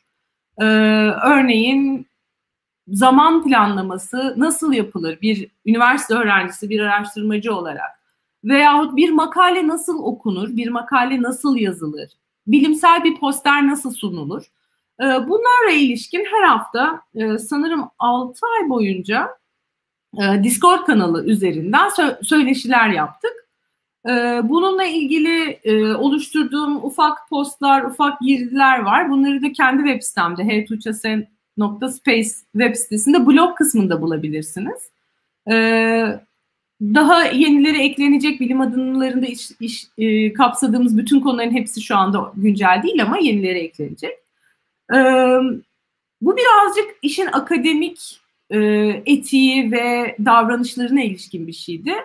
Ama ben size e, İrlanda'da bahsettiğim o beyin fırtınalarını çok özlüyordum. Ne yapayım ne yapayım? Bir ilan açtım Twitter'da. Dedim ki arkadaşlar ben her hafta oturup makale konuşacak arkadaşlar arıyorum kendime. Kimler var? Yine küçük bir ekiple yola çıktık. Sanıyorum başladığımızda 6 kişiydik ki küçük olması önemli çünkü herkese her hafta söz hakkı gelebilmesi açısından. Sadece astronomi üzerine e, ilgilenen arkadaşlarla her hafta bir makale okuduk. Bu makaleyi inceledik. E, sen yazacak olsan nasıl yazardın? Sence nesi eksik? Sence nesi iyi? E, farklı verilerle bu makaleyi nasıl değiştirebilirsin, nasıl uygulayabilirsin diye oturduk konuştuk. Sonra zaman içerisinde e, bilim adımlarının bu Journal Club adı verdiğim oluşumu birazcık daha duyuldu ve başka branşlardan arkadaşlar da mesaj attılar. Şu anda ekibimiz 12 kişi ve 12 kişi de tutmakta gerçekten zorlanıyoruz. Çünkü çok farklı bilim dallarından, çok farklı, çok güzel üniversitelerden arkadaşlar var katılmak isteyen. Ama maalesef benim vaktim buna e, müsait değil. Belki haftada iki akşam yapacak olsak e, olabilirdi. Şu anda ekibimizde e, sosyal bilimciler de var, mühendisler de var, e, işte tıp alanında çalışmalar yapan arkadaşlar da var, astronomlar, astrofizikçiler de var. Her hafta toplanıyoruz ve bir makale üzerine konuşuyoruz. Bilim adımları da Nisan itibariyle bir yılını tamamladı e, yanılmıyorsam. E, birlikte nasıl çalışabiliriz diye küçük çalışma odaları açtık. Oturduk. E, işte birisi çalışacağı zaman e, WhatsApp grubuna diyor ki arkadaşlar benim yetiştirmem gereken bir ödev var ve çalışamıyorum, konsantre olamıyorum. Çalışma odasına gelin, süre tutalım. Pomodoro dediğimiz bir teknik var. Bu teknikle çalışalım. 20 dakika çalışalım, 3 dakika ara verelim. Bana eşlik edecek olan var mı? Hemen iki kişi çıkıyor. Çıkmazsa bir kişi çıkıyor. Gidiyorlar birlikte. Ben de katılıyorum. Saatimizi kuruyoruz. 20 dakika çalışıyoruz. 5 dakika mola veriyoruz. 20 dakika çalışıyoruz. 5 dakika mola veriyoruz. Ve birlikte çalışıyoruz. Kimi zaman yapamadığımız, takıldığımız yerleri birbirimize söylüyoruz. Şimdi bütün bunları neden anlattım? Ee, temamız ne dedik? Beyin göçü değil, beyin gücü.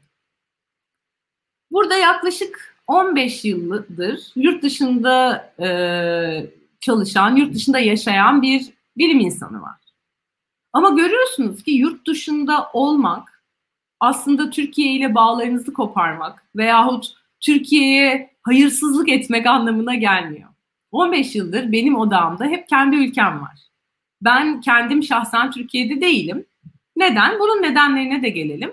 Ama öncesinde şunu e, bir kere daha altını çizmek istiyorum ki Türkiye'de olmamak, Türkiye'ye ihanet etmek veyahut Türkiye'yi gözden çıkarmış olmak anlamına gelmiyor. Benim sosyal medyada gördüğüm ve gerçekten içimi çok acıtan e, ön yargılardan bir tanesi bu. Tabii ki bunun savunmasını her seferinde yap- yapmamız mümkün değil.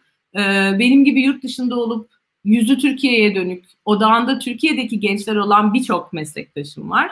E, aynısı işidir kişinin diyoruz. Bizim ne yaptığımız ortada. E, ha belki yaptığımız şeyler Türkiye için yeterince iyi olmayabilir ama elimizden gelen bu.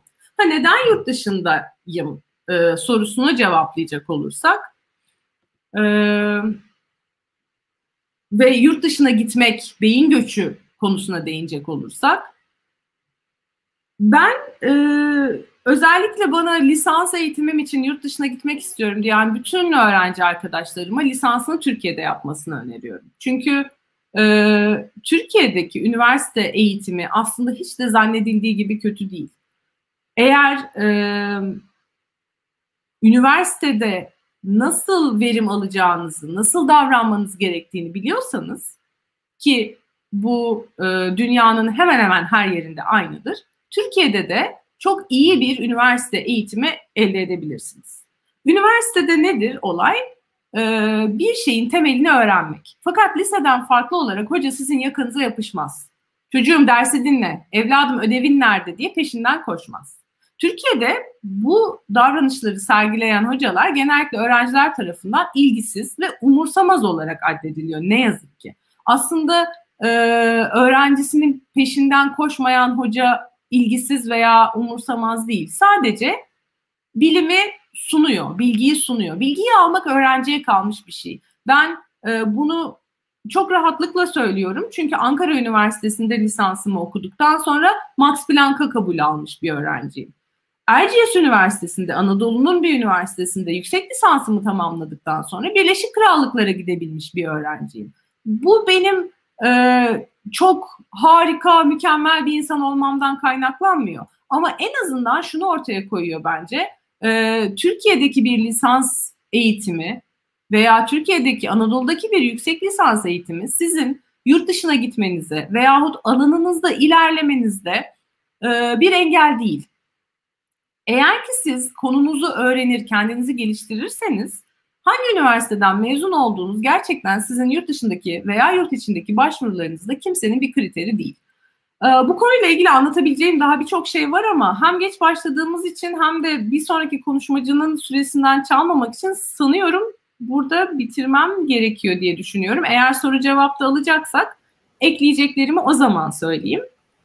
Ee, şimdilik söyleyeceklerim bu kadar. Bana ulaşmak isterseniz e, sosyal medyadan H Tuğçe olarak Twitter'da bulabilirsiniz veya web siteme de erişebilirsiniz. Tabii aslında sorularımız da geldi bu süreçte. Gerçekten oldukça keyifli bir sunum oldu. Ee, yani buraya birkaç şey not aldım. Mesela Astra kahveler gerçekten çok hoşuma gitti. Yani bu problemi bence herkes yaşıyor. Bütün temel bilimler isteyen öğrenciler yaşıyor. E, ailelerimizden geçemiyoruz bir noktada. Bu sorunu çözmeye yönelik bir şeyler yapmış olmanız bence çok hoş bir şey ve pek çok projeden bahsettiğiniz oldukça güzel bir komünite kurmuşsunuz. Bunlar gerçekten harika şeyler. Ben diğer konuşmacımızda hem fazla bekletmemek adına hem de e, soruları da daha fazla soru cevaplamak adına e, isterseniz soru cevabı geçelim. Tabii İlk, tabii. E, hocam ülkemizin doğu bölgesinde bir gözlem evi kurulacağını duymuştum. Bu gözlem evi ülkemize nasıl bir değer katacak demiş. Evet Doğu Anadolu Gözlemevi hatta onun da e, kuruluş çalışmalarında kısa bir süre ben de dahil oldum. E, Doğu Anadolu Gözlemevi Türkiye'nin en büyük gözlemevi olacak. 4 metrelik bir teleskop yanlış hatırlamıyorsam e, infrared bölgede çalışacak. Bizim şu, şu anda Türkiye'de e, infrared bölgede, kızılötesi bölgede çalışan bir teleskopumuz yok. 4 metrelik bir teleskopumuz yok. Şu anda TÜBİTAK Ulusal Gözlem Evi'ndeki en büyük teleskop 1,5 metrelik. E, pardon. Ee, ve bu Doğu Anadolu Gözlem Evi'nin aynı zamanda konumsal olarak da bir önemi var. Çünkü e, kimi zaman gözlem ağları gerçekleştiriliyor spesifik e, cisimlerin gözlemlenmesi için. Ve bu cisimlerin gözleminde 24 saati kapsayan sürekli aralıksız, kesintisiz gözlemler elde etmek istiyoruz. Bu da tabii neye bağlı? Gözlem evinin konumuna bağlı. Çünkü dünya dediğimiz şey bir top ve dönüyor. Bir yerde karanlık e, bittiği gün doğduğu zaman orada artık daha fazla herhangi bir cismin gözlemini yapmamız söz konusu olmuyor. Bu nedenle dünyanın e, üzerinde belirli boylamlarda teleskoplar bulunması, gözlem evleri bulunması böyle süreklilik e, kampanyalarında sürekli gözlem yapılması gereken durumlarda çok önemli. Ve DAG'ın bulunduğu konumda da bu bakımdan önemli bir eksiklik var. Belki 4 metre çapında e, bir teleskop olarak. O nedenle hem Türkiye'de e, yepyeni bir ufuk açacak hem de dünyadaki işbirliklerimiz açısından da bize büyük katkısı olacak. Teşekkür ederiz. Bunları duymak gerçekten güzel. Ee, bir sonraki soruda yine Melike'den geliyor.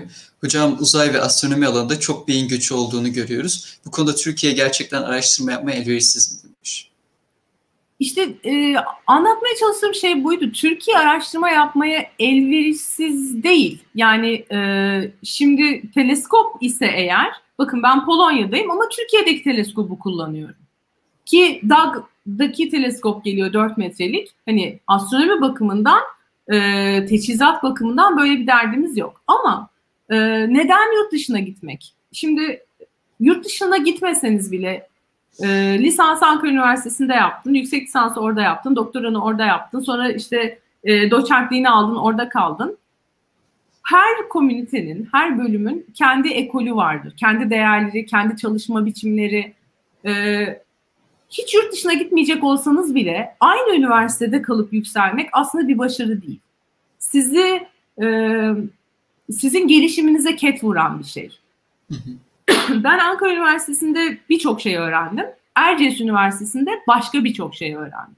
Bu illaki farklı bir alan olacağı anlamına gelmiyor. Farklı hocalar, farklı kültürler, farklı araştırma şekilleri. İrlanda'da bulunmamış olsaydım ben bu brainstorming işte beyin fırtınaları tartışma e, haftalık tartışma toplantılarından belki de bir haber olacaktım. Ben oradan bu kültürü edindim yurt dışına gitmek veya başka bir yere gitmek illaki yetersizlik olduğu için değil, farklı kültürlerden farklı şeyleri öğrenmek ve farklı imkanlara ulaşmak adına önemli. Ee, yani benim İrlanda'daki e, enstitüm Güney Afrika ile anlaşmalıydı. Kore'deki enstitüm Amerika ile anlaşmalıydı. E, Polonya'dayken Türkiye'ye geldim. Bunlar aslında e, ben çok üzülüyorum Türkiye'nin yetersiz olduğunu e, daha doğrusu Türkiye yetersiz olduğu için insanlar kaçıyor algısına üzülüyorum. Tabii ki gelişeceğimiz, geliştireceğimiz çok şey var. Ama e, belki de bunu yapmak için birazcık da yurt dışına gidip oralarda ne yapılıyor, başka yerlerde bu işler nasıl yapılıyor diye öğrenip gelip uygulamamız lazım. Giden gitti bir daha asla dönmeyecek gibi de bakmayın. Ee, ve giden dediğim gibi Türkiye ile e, bir işi yok diye de bakmayın. Yani e, yurt dışında olmak Türkiye'den umudu kesmiş olmak anlamına gelmiyor. Teşekkür ederiz. Son bir sorumuz daha var. Onu da alalım. Daha fazla sıradaki konuşmacıyı bekletmeden yavaş yavaş son konuşmamıza doğru geçelim. Gizem sormuş hocam. E, merhabalar demiş, değerli sunumunuz için teşekkürler. Yıldız Yolu projesinde gönüllü olarak yer, alab- yer alabiliyor muyuz diye sormuş. Yıldız Yolu projesinin ekibi şu anda yani Yıldız Yolu projesi olduğu gibi şu anda donmuş durumda. Akıbetimizin ne olacağını bilemiyorum. Ee, 2022'ye yeniden okullar yüz yüze eğitime geçer mi? Biz bu seyahat etme imkanını bulabilir miyiz? Ee, bizim masraflarımızı karşılamayı kabul etmiş olan sponsorlarımız iki sene sonra hala daha buna tamam diyor olurlar mı? Bunları bilmiyoruz. Ee, mevcut ekibimiz hala saklı kurulu bir şekilde duruyor ama yeniden yola çıkacağımız zaman tabii ki tekrar değerlendireceğiz. Belki kimi arkadaşlarımız e, farklı hayat koşullarında olacak, katılamayacak. Belki daha fazla insanla e, bir proje yapalım diyeceğiz. Duruma göre ben mutlaka e, zaten şey yaparım, haber veririm. Ekibe yeni elemanlar alacağız, yeni arkadaşlar, yeni yoldaşlara ihtiyacımız var diye mutlaka ki duyururum. Sosyal medyadan takip halinde kalırsanız böyle bir duyuru olduğunda mutlaka haberdar olursunuz. Harika. Aslında daha fazla sorumuz var ama dediğim gibi süre aşımı durumu söz konusu şu anda. Zaten sizinle nasıl, nasıl iletişime geçeceklerini biliyorlar. Doğrudan özel olarak da e, size iletebilirler sorularını. Evet, her zaman. Evet. Çok teşekkür ederiz hocam bugün için. Ben teşekkür ediyorum vakit ayırdığınız için ve böyle güzel bir tema seçtiğiniz için. Ayrıca bu kadar profesyonel bir ekip e, ve profesyonel bir iş çıkarttığınız için. E, umuyorum ki dinleyen arkadaşlara da faydalı olmuştur. E, senin de söylediğin gibi, benim de söylediğim gibi her zaman iletişime geçebilirsiniz. Yardımcı olabileceğim bir şey varsa memnuniyet duyarım. Kendinize iyi bakın, umudunuzu kaybetmeyin diyorum. Çok teşekkürler. Görüşmek üzere. Evet, şimdi sırada son konuşmacımız var. Artık zirvemizin sonuna yaklaşıyoruz. Uyan, uyanmak için önümüzde sonsuzluk var diyor Ömer Hayyam. Şimdi metodolog olarak Hollanda'da e, büyük veri analizi teknikleri kullanarak ulusal istatistikler üretmek amacıyla çalışmalar yapmış ve şu an Koç Üniversitesi'nde metin madenciliği ve makine öğrenimi alanında proje çalışmaları yapan Doktor Ali Hürriyetoğlu'na bağlanıyoruz.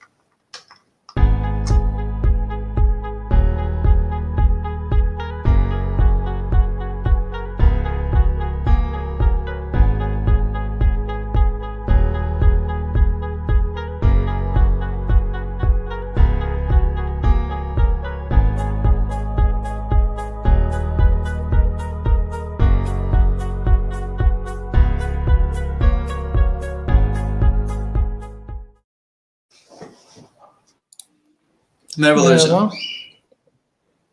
Nasılsınız? Nasılsınız? Teşekkür ederim. Ekran geldi mi? Ee, evet, şu an görebiliyoruz. Tamam, ben başka bir... Sunumum geldi mi? Evet. Süper. Davet için teşekkür ederim. Biz kabul ettiğiniz için teşekkür ederiz hocam. Bayağı emek veriyorsunuz. Bayağı da önemli bir buluşma bence bu. Direkt başlayayım mı yoksa nasıl? Dilerseniz başlayabilirsiniz. En sonunda soruları alırım. Tamam. Merhaba arkadaşlar, ben Ali Hürriyetoğlu. Ee, Koç Üniversitesi'nde çalışıyorum. 3 yıl, üç buçuk yıl oldu. Ee, bugün size bir kuş bakışı e, Koç Üniversitesi'ne gelmeden önce ne yaptım? E, eğitimim, iş hayatım. Onları anlatacağım. Sonra burada gerçekleştirmekte olduğumuz iki projeyi anlatacağım.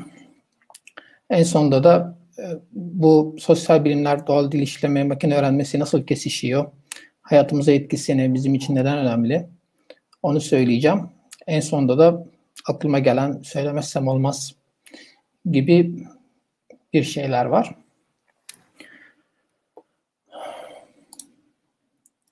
Lütfen sorularınızı hazırlayın. Sunum uzun değil. Ayrıntıya girmek istemedim ben çok. Ee, Ege Üniversitesi'nde bilgisayar mühendisliği okudum. Ee, bir yıl Erasmus programıyla Almanya'ya gittim. Ee, oraya gidebilmemin e, bir sebebi de ortalaması yüksek olan arkadaşların gitmemesiydi. Benim ortalamam yetmezdi onlar başvursaydı. Ee, ama başvurmak işe yarıyor. Ee, hemen sonrasında hazır oradayken stajımı yaptım. Ee, İş Bankası'nda Frankfurt'ta. Bana bambaşka bir tecrübe oldu. Hani hem Türkiye'den insanlar hem de e, Almanya'dayız. Böyle farklı bir ortamdı. Ben de ilk defa kurumsal bir e, ortam görmüş oldum.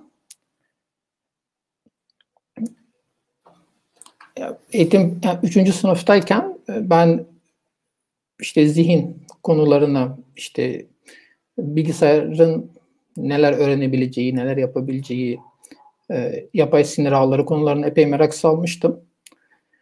E, dördüncü sınıfta da bunu ilerletmeye çalıştım.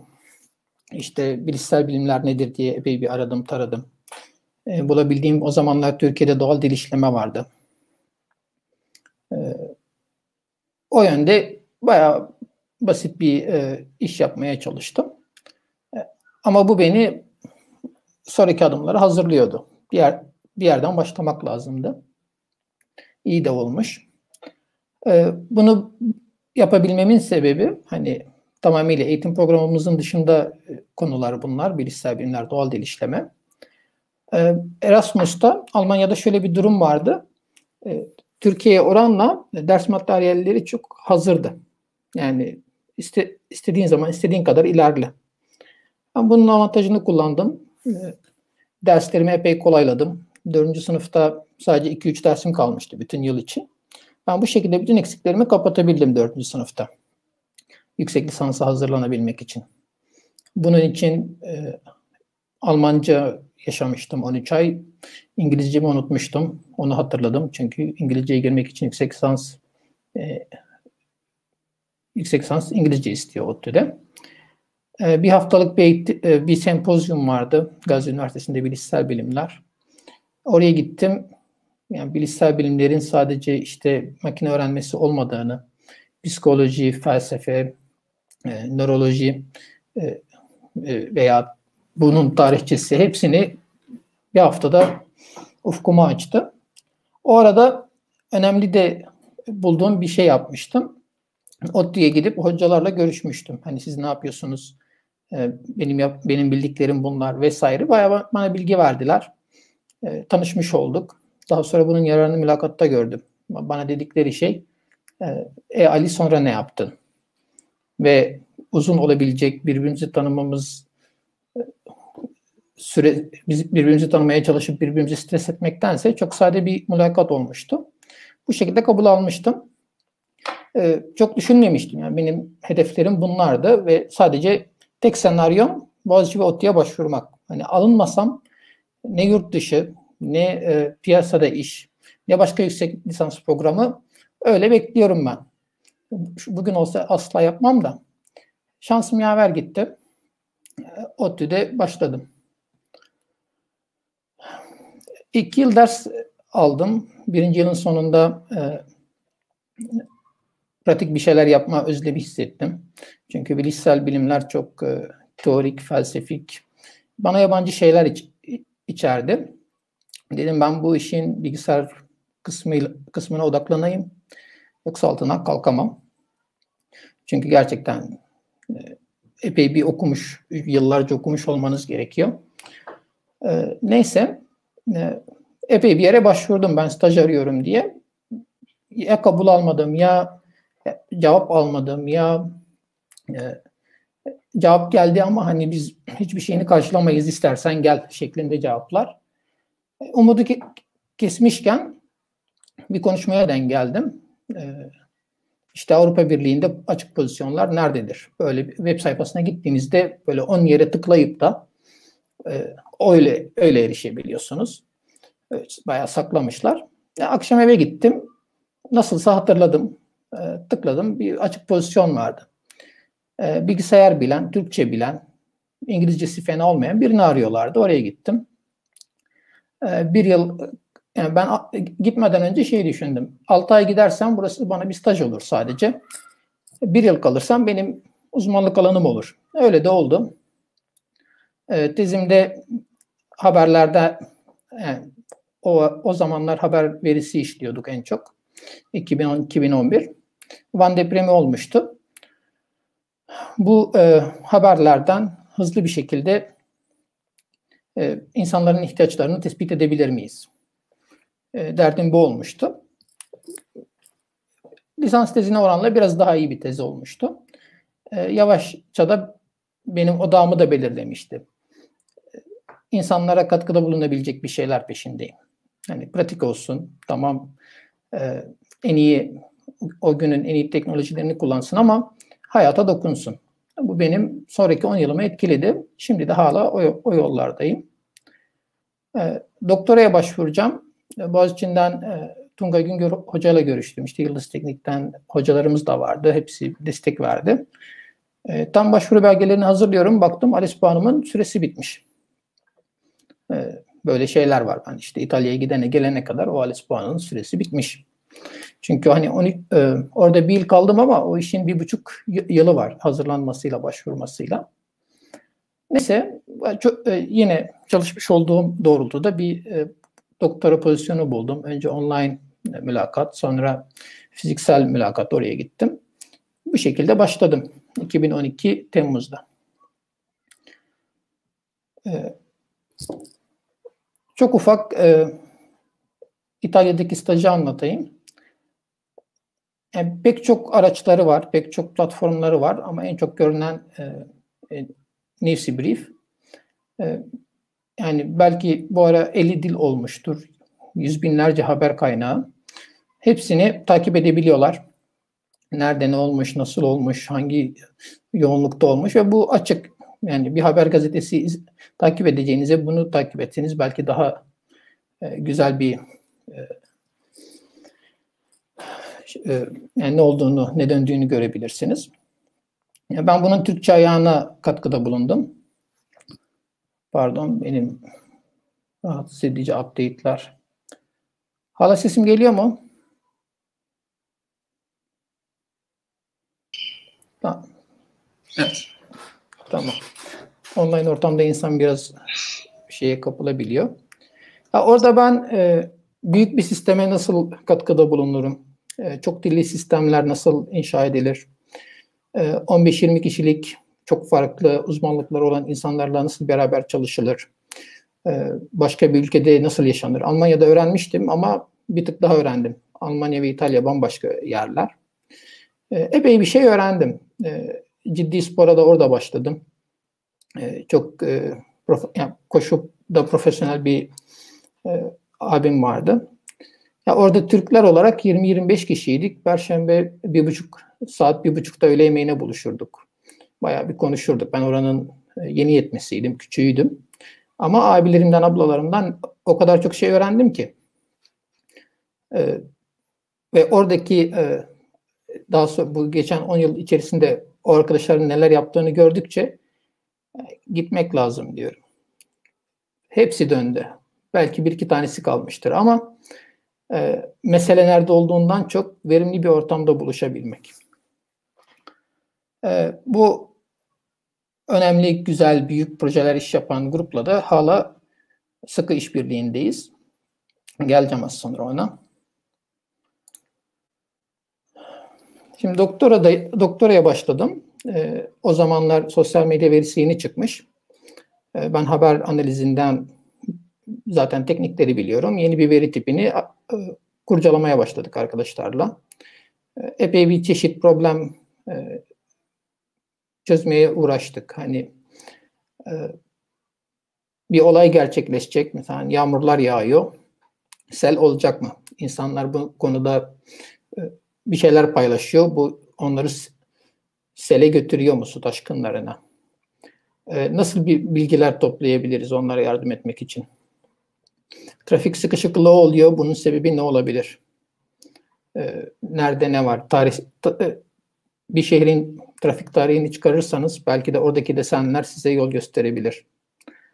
Ee, sağlık ve salgınlarla ilgili ne bulabiliriz? Bir salgın merkezinden, öğrenci, öğrenci yurtlarından uzaklaştıkça korku azalıyor mu mesela? Ee,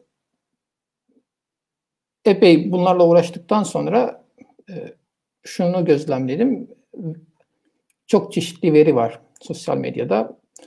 Daha sonra en çok biz bunu nasıl temizleriz diye çalıştım. E, o yönde de tamamladım doktoramı. E, o arada ya ben nereye gitsem illa bir ek aktivite sıkıştırmak zorunda hissediyorum kendimi, yapıyorum. çeşitleniyor pek çok boyutuyla. Amerika'da Silikon Vadisi'nde staj yaptım 5 ay. Orada ciddi bir endüstriyel sistem nasıl olur onu gördüm. Zaten doktoramın birinci yılında proje partner, partnerlerimizin olduğu Amsterdam Üniversitesi'ne her cuma günü ziyaret ettim. Bunu ben başlattım. Ben gelip görmek istiyorum sizi. Ee, ve e, epey önemli bir gruptu.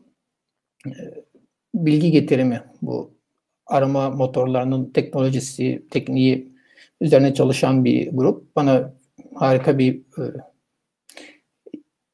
kulak dolgunluğu mu derler, yan bilgi mi derler sağladı. E, dok doktoramın ikinci yılına kadar hazır olan işbirlikleri ile çalıştım. İkinci yılından sonra ben kendim e, işbirlikleri buldum, projeler oluşturdum. Dünya Bankası'ndan veya bizim projeden paralar aldık, e, demolar oluşturduk. Şu an hala çalışan sistemler var. İlki FlatTax'tı. E, Birleşmiş Milletler'de bir e, blokları çıkmıştı. Ben de onlara yazdım. Endonezya'daydılar. Ben onları orada bir sanıyordum. E, meğer bunlar Hollandalıymış. 3-5 e, aya kalmadan Hollanda'ya geldiler ve daha da sıkı beraber çalıştık. E, o esnada iletişim kurmaya çalıştığım yerlerden biri Hollanda Ulusal İstatistik Ofisi'nden büyük veriyle uğraşan arkadaşlardı. Onlar da olumlu yanıt verdi. Onlarla trafik projesini yaptık. Daha sonra da ben Amerika'dan döndüğüm zaman neden gelmiyorsun biz bir merkez kuracağız gel beraber yaparız dediler. Oraya geçtim. Daha doktoram bitmemişti ama artık çoğu bitmişti çalışmaların. Bir de e, sağlıkla ilgili e, Hollanda'nın resmi kurumu, kamu sağlığı ilgili onlarla bir proje yapmıştık. Sosyal medya kullanılabilir mi? Ne kadar kullanılabilir? E, bunlar hep bu kendimiz Erasmus yapmadım ama e, İtalya'daki bu bahsettiğim 20-25 abi abla vardı dediğim e, gruptan Moda Üniversitesi'nden Enis Kararslan e, hocamız dedi bana işte öğrenciler staj yapmak istiyor. Sizde bir şey varsa bakalım. E, çok da güzel oldu. E, 5-6 kişi geldi.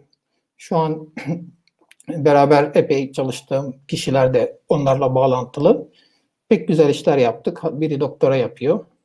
E, bu şekilde onlara bir kontak e, point olabilmiştim. E, şimdi doktoradan birkaç sonuç, maksat. En son sunum benim olunca bir şey hissettim. Hani insanlar yorgun olmuş olur. Zaman ifadeleri bir olaydan önce kullanılır. İşte yarın şu olacak, yarın bu olacak diye. E, peki bu bilgiler olmadığı zaman e, bu sonuçta yarın su taşkını çıkacak değil. Olmaz o. Planlı olaylar için bilinir. Zaman ifadesi kullanabilirsin. Ama daha az belirli olan e, olaylar için kullanılan normal kelimeler bize zaman bilgisi verir mi? E, evet veriyor. Hani e, bu bir maç için, su taşkınları için de grafiklerimiz vardı. E, gerçekten ihtiyacınıza göre bu tarihsel desenlerden e, ihtiyacınız olan bilgiyi alabiliyorsunuz. Bu zaman ifadesi mesela. Sadece yağmur yağdı kelimesinin yüzde kaçı zaman bilgisi içerir? Ne zaman kullandığınız önemli mi? Birisi e, veya e, coğrafi dağılım olarak bu kelimenin nerede kullanıldığının bir anlamı var mı? Hepsi var. Ee, ne kadar çok veri kullanırsanız da o sinyali o kadar temizleyebiliyorsunuz. Daha sonra bir başka demomuz bunu Erasmus stajyerlerinden biri yaptı. Daha sonra daha da güzel projeler yaptı. E, haberlerde geçen e, gelecekle ilgili e, olayları bulabilir miyiz? Bu şekilde bir gelecek e, takvimi oluştur, oluşturduk. E, işte haftaya ne olaylar var. Bunu görebiliyorsunuz. Geçmişe geleceğe gidebiliyorsunuz. Daha sonra bir anahtar kelime kullandınız, tweetler topladınız. Normal dokümanlar da olur. Ee, burada gördüğünüz gibi hani bu e, flood e, kelimesi. İngilizce'deki su taşkını. Yani her gün dünyanın bir yerinde sel oluyor diye bir şey yok. Bu piklerde bir sel su taşkını olmuş oluyor. Diğerleri illa konuşuluyor. Ben o kelimeyle ilgili bin tane tweet almış olmam orada su taşkını olduğu anlamına gelmiyor. E, epey bir çalıştım ben buna. Yani flood diye soyadı var. Flood diye yer ismi var. E, flood diye e, başka anlamla, anlamlara gelen e, kelimeler var işte. Gözyaşı, e, seline boğuldum gibi. E, bunları temizlediğimiz zaman e, hedefimiz eğer e, doğal afetlerle ilgili bir şeyse e, buna indirgeyebiliyoruz işin sonunda. Ve e, işimizi epey kolaylaştırıyoruz. Özellikle Red Cross tarafından Endone Endonezya'da, Filipinler'de kullanıldı bu sistem. Hala da kullanılıyor. E, bu çalışmalar esnasında birkaç yarışmaya katılmıştım ben. E, deprem olduğu zaman e, bilgiler geliyor, insanlar tweet atıyor bir şekilde. E, iki şey var burada. Bir günlük ritim var. E, iki, e, içine baktığınız zaman aslında her gün başka bir şey oluyor. Bu burada birinci gün herkes diyor ki deprem oldu. İkinci gün konuşuyorlar hasarımız ne? Üçüncü gün konuşuyorlar e, ihtiyaçlar karşılandı mı, ne eksik kaldı? Gibi gibi. E, eğer bir makineye hepsini birden verirseniz zorlanır. Ama zamansal e, kümelere ayırırsanız işiniz çok kolaylaşıyor. Bunu tespit ettim, bunu raporladım. Kullandım da e, pek güzel sonuçlar almıştım. Bu bizim trafikle ilgili demo. E, şu an hala çalışıyor ama e, arkadaki motor çalışmadığı için çok eskiye gitmeniz lazım olay görmek için. E, nerede ne olmuş onu görebiliyoruz. Bu projenin başlangıç amacı sadece sosyal medyada ne olduğunu görmek değil. Bu Flattax'ta da başladığımız bir kanal. E, sensör ölçümleri var. E, trafik sensörleri, su sensörleri. E, oradaki sinyalleri daha anlam oradaki sinyali ve sosyal medyadaki sinyali birleştirip daha da anlamlı bir şeyler çıkarabilir miyiz? Ona bakıyorduk. Doktora da bu şekilde tamamlanmış oldu. Ee, birkaç işe girdim çıktım o aralarda. ODTÜ'deyken araştırma görevlisiydim. Ee, staja gitmeden 22 ay araştırma görevlisiydim bilgisayar ve öğretim teknolojileri eğitimi bölümünde. Ee, ben e, staja gidecekken yani giremezsin falan gibi bir şey oldu. Gitsen de 3 ay gidersin, onu da 2 sefer gidersin falan. Yani istifa etmem gerekti artık. Yapacak bir şey yoktu. Çünkü dönen gidip de dönen arkadaşların şikayetlerini de dinliyordum. Bir garip bir şey başka bir mesele neden illa çıkmam gerekiyordu. Ee, Türkiye'de işe başvurduğunuz zaman yurt dışından mı gelmişsiniz? Gelme, gelmemiş olursanız işe alınmıyorsunuz. Böyle güzel bir e, şey yapıyoruz biz kendi aramızda birbirimize. Neyse o gitmem gerekti. Ee, çünkü Almanya'ya giderken de, İtalya'ya giderken de, Amerika'ya giderken de hep e, düşündüğüm ben 5 yıl sonra mesela lisans için diyorum e, bir masada oturup habire kod yazan birim mi olmak istiyorum? Bunu istemiyorum. Elimde ne olabilir? Öyle öngöremiyorsunuz zaten. Yani böyle giderse istemediğim bir yere varacağım deyip alternatif bir şey yapmaya çalışıyorum. Neyse, e, İtalya'daki işler pek güzel gitti. Onun üstüne bana 6 e, aylık bir kontrat verdiler. Hani uzaktan çalıştım. E, Ondan sonra da danışmanlıklar verdim doktora bitimine kadar. Ee, bir pozisyonum vardı Hollanda'da ee, normal ee, araştırma görevlisinden araştırma görevlisi gibi ama gerçekten normal çalışan kadrosuydu. Emekliliğin birikiyor ne bileyim sosyal hakların tam bir ayrımcılığa uğramıyorsun hani sen e, sen öğrencisin sen daha doktorunu almamışsın diye bir şey yok. E, kanunda yazılı olan, hakları olan bir çalışansın. E, bu şekilde e, sonra az bahsettim. E, büyük verilerle ulusal e, bir ulusu, bir ülkeyi anlayabilir miyiz? Bunun merkezi kuruldu. Ben gittikten 3-5 ay sonra bu çalışmalar başladı. E, stajyerlerle en çok ilgilenen bendim. E, bana atanmıştı. Ben de seviyordum. E, sonra orada pek yani dezavantajı ya gerçek bir araştırma grubu değildi. Araştırma yapacağız diyorlardı ama e, pek çok seviye müdür, e, fokus habire değişebilir. Yani rahat hissetmedim. E, Türkiye'de Avrupa Birliği projesi gördüm. Hani bu süreç bana neyin iyi olabileceği yönünde bir his kazandırdı. Azdır, çoktur, iyidir, kötüdür. Yani Türkiye'de ben bir şey yapmak istiyorsam en iyi yer bu deyip e, proje hani projeyi gördükten ertesi gün sonra e, Erdem e, Erdem e, soyadını unuttum ya. Erdem Görü'ye yazdım. E, ertesi gün cevap verdi. Ben ertesi gün başvurdum. Üç gün sonra mülakat yaptık. Ben bir hafta on gün içerisinde kabul edilmiştim. E, toplanıp geldim. Doktorumu daha sonra Hollanda'ya gidip tamamladım. Yani ara ara gidip. E, onun yazımı vardı, kalite kontrolleri vardı.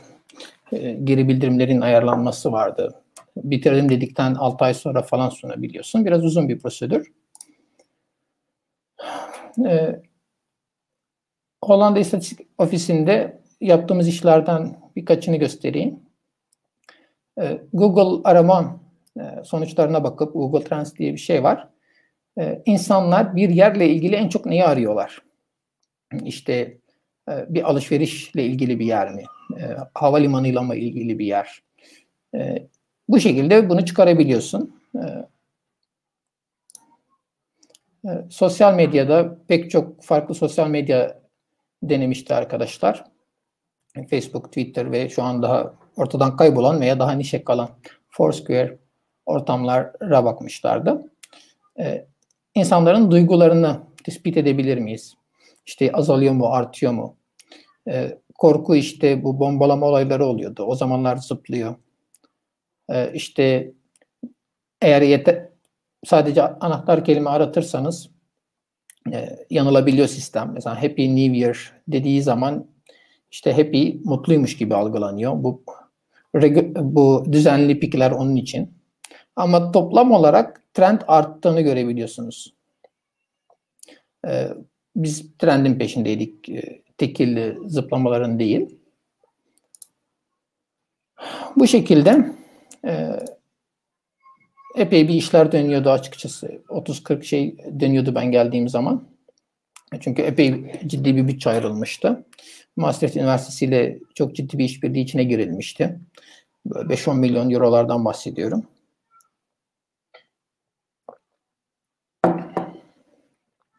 Sonra buraya geldim. Ee, daha başlangıçtaydı.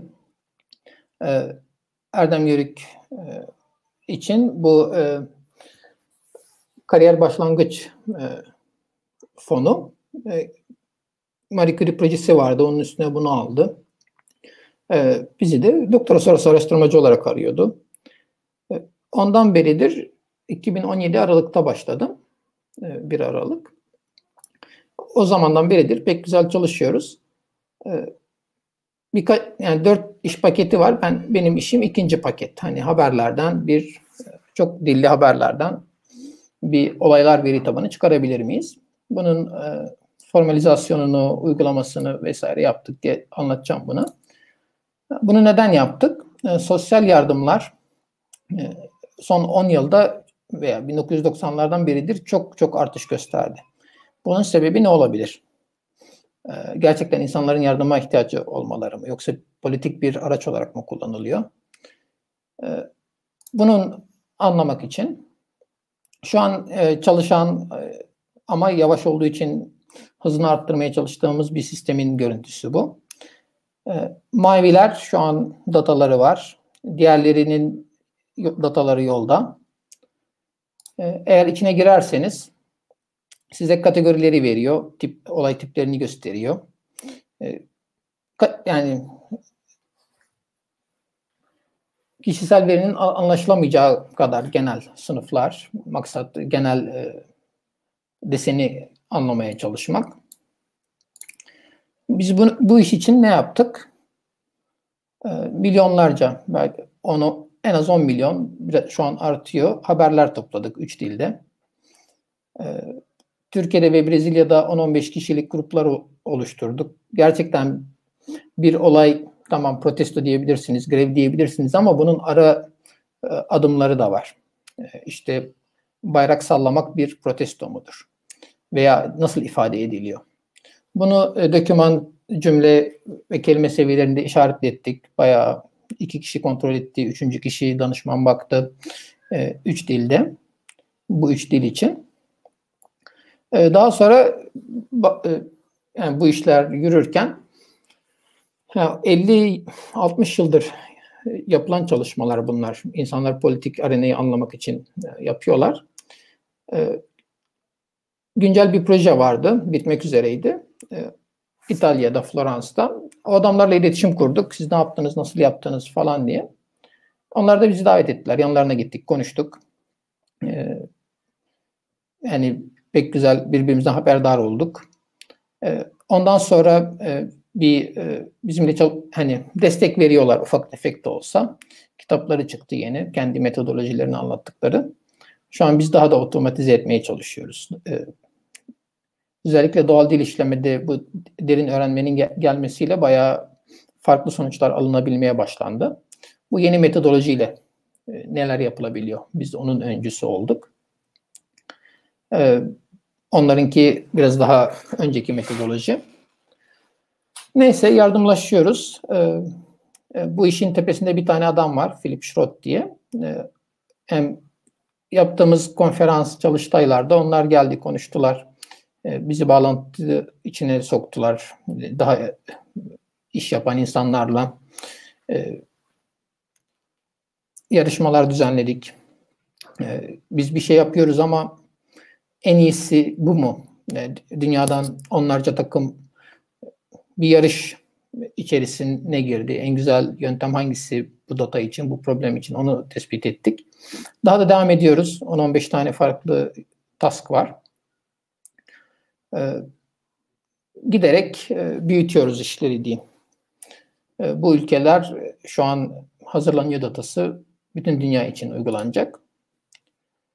E, dördüncü workshopumuzu e, düzenliyoruz. Yani her seferinde da, hep daha iyi bir konferansta e, gele gele şu an e, Computation Linguistics dünyasının en önemli konferansında workshopumuz var. Yarışmamız var. Bayağı ciddi gruplar bu problemi çözmeye çalışıyorlar şu an. Teknik ve bilgisayarla uğraşan insanlar varsa konuşuruz. Buyurun siz de katılın. Akademik çalışması olanlar varsa buyursun e, paper sunsun. E, ama bunlar geldi. Bir noktaya değineceğim. Yani bunları alabilmek için başta gerçekten bizim de kafamızı toparlamamız gerekiyordu. Sonuçta bir öneriyle gidiyorsunuz. O ana konferans organizasyonu kabul eder etmez veya eksik görür görmez. Ee, hani inatçı olun veya ne bileyim va, e, nasıl diyeyim ilk kabul edilen önerimiz önerimizi 10 farklı yere göndermişizdir.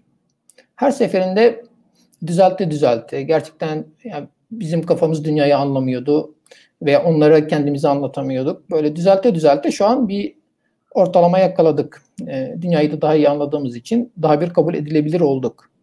Yani gördüğümüz başarıların arkasında epey bir sayıda başarısızlık var. Bunları bunu size söylemek söylemeden geçmek istemiyorum. E, ama hani vitrindekiler e, azımsanmayacak seviyeye geldi.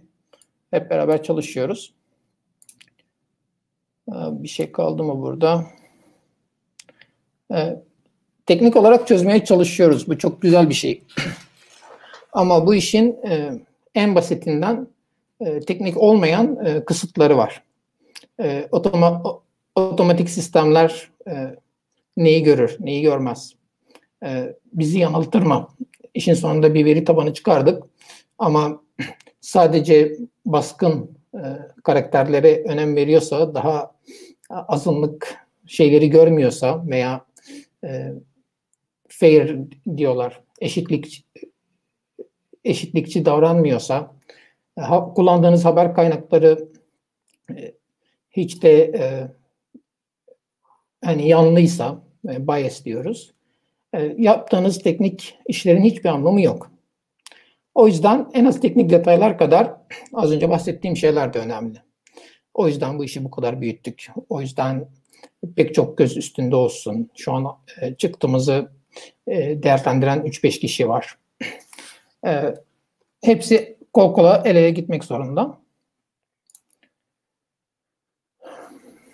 Daha yeni işte Ağustos 2020'de yeni bir projeye başladık bu birikimle. E, onun da projesini 2019 sonunda yazmıştık. Yine Erdem Yürüy'ün öncülüğünde. Sosyal bilimler ve bilgisayar işlerini biz birleştirmeye çalışıyoruz. Ben geldiğimden beridir. Şimdi biz bunu e, Türkiye'ye nasıl taşırız? E, bunun yolu nedir? Bunun için destek veren kurumlar nedir diye baktığımızda e, bir çeşit bütçe var. E, Twinning fonu diye Avrupa Birliği'nde. E, bunun için e, partner olması gerekiyor. Sonuçta oradaki e, düzenleme şöyle. Siz bir konuda geri kaldınız. Dünya için çok önemli olan bir konu bu. Avrupa'nın bu konuda ilerlemiş kurumlarıyla işbirliğine girip ihtiyacınız olan parayı soruyorsunuz ve Avrupa Birliği uygun görürse evet siz önemli bir açığı kapatacaksınız eğitim anlamında derse bu parayı veriyor. E, iki tane partnerimiz var. E, bunlar Computational Social Science, hesaplamalı sosyal bilimlerde bayağı ileriler. Eğitimler veya bize yol gösterme anlamında inanılmaz rol oynuyorlar. E, bu parayı aldık. Şu an 3 yıl daha buradayız. Epey de aktivitemiz dönüyor şu ara. Web sayfasını az sonra vereceğim size. Veya sadece bu şekilde aratsanız bile gelebilir. Şu ana kadar düzenlediğimiz eğitimler bu ilk e, sırada. Ve Kamda Eylül'de bir eğitim veriyor olacağım. Hani sosyal bilimcilere programlama diye. Bunun dersini de veriyorum. Beş, beşinci dönem oldu. E, sosyal bilimcilerle nasıl programlama yapabilirsiniz? Pek güzel yaparsınız. E, çok daha küçük adımlarla ama e, epey çalışıyor öğrenciler ama dönemin sonunda neler yapabileceklerini şaşırıyorlar. Çünkü zaten artık çağımız programlama çağı. 5-10 ee, yıldır söyleniyor bu laf ama artık bunun kaçarı yok. Nasıl hepimiz bilgisayar, telefon kullanmayı öğrendiysek e, programlamayı da öğreniyor olacağız. Ee, yaz okulumuz var. Ee, e, bu Ağustos'ta. Buyurun başvurun lütfen. Online olacak yine koronadan dolayı e, araştırma da yapıp işte bu konuda becerimizi, tecrübemizi arttırmak istiyoruz. İnsanlar yetişsin istiyoruz. Yani online bunun için online kaynaklardan e, doğal iş, doğal dil işleme ve makine öğrenmesi kullanarak e, ne bulabiliriz Türkiye'de ulusal istatistik anlamında e, veya genel konular anlamında Yüksek lisans programı da açılıyor. Bu yönde bir merkez uğraşları da var. Epey bir e, aktivitedeyiz. Şimdi özellikle bu başlığa geri dönecek olursak, yani neden bu sosyal bilimler, doğal dil işleme, makine öğrenmesi, bilgisayar bilimlerin nasıl kesişi nasıl kesişiyor? Şu an hepimiz online'ız. E, hepimizin e, cep telefonları, bilgisayarları var. Biz içerik üretmesek de bizim için üret, üretilir. Bizim kuzenimiz bir fotoğraf çeker, koyar bizimle beraber. Yani bizden bahseder. Ee, bunlar hep e, sosyal e, açılar. E, internet sosyal bir platform oldu. Siz oradasınız. İstemeseniz de oradasınız. Veya e, gerçekten orada değilseniz bile e, arkadaşlarınız oradaysa sizin kişiliğiniz veya tarzınız az da olsa anlaşılır. Anlaşılmazsa da e, girdiğiniz zaman e, platformlar bir ayarlama yapıyor. Daha hızlı anlayabiliyorlar sizi bir tane like'ınızda.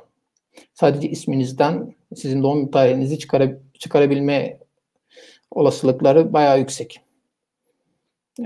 Ben olmaz öyle şey demiştim ama gör, bir yerde gördüm çıkıyor.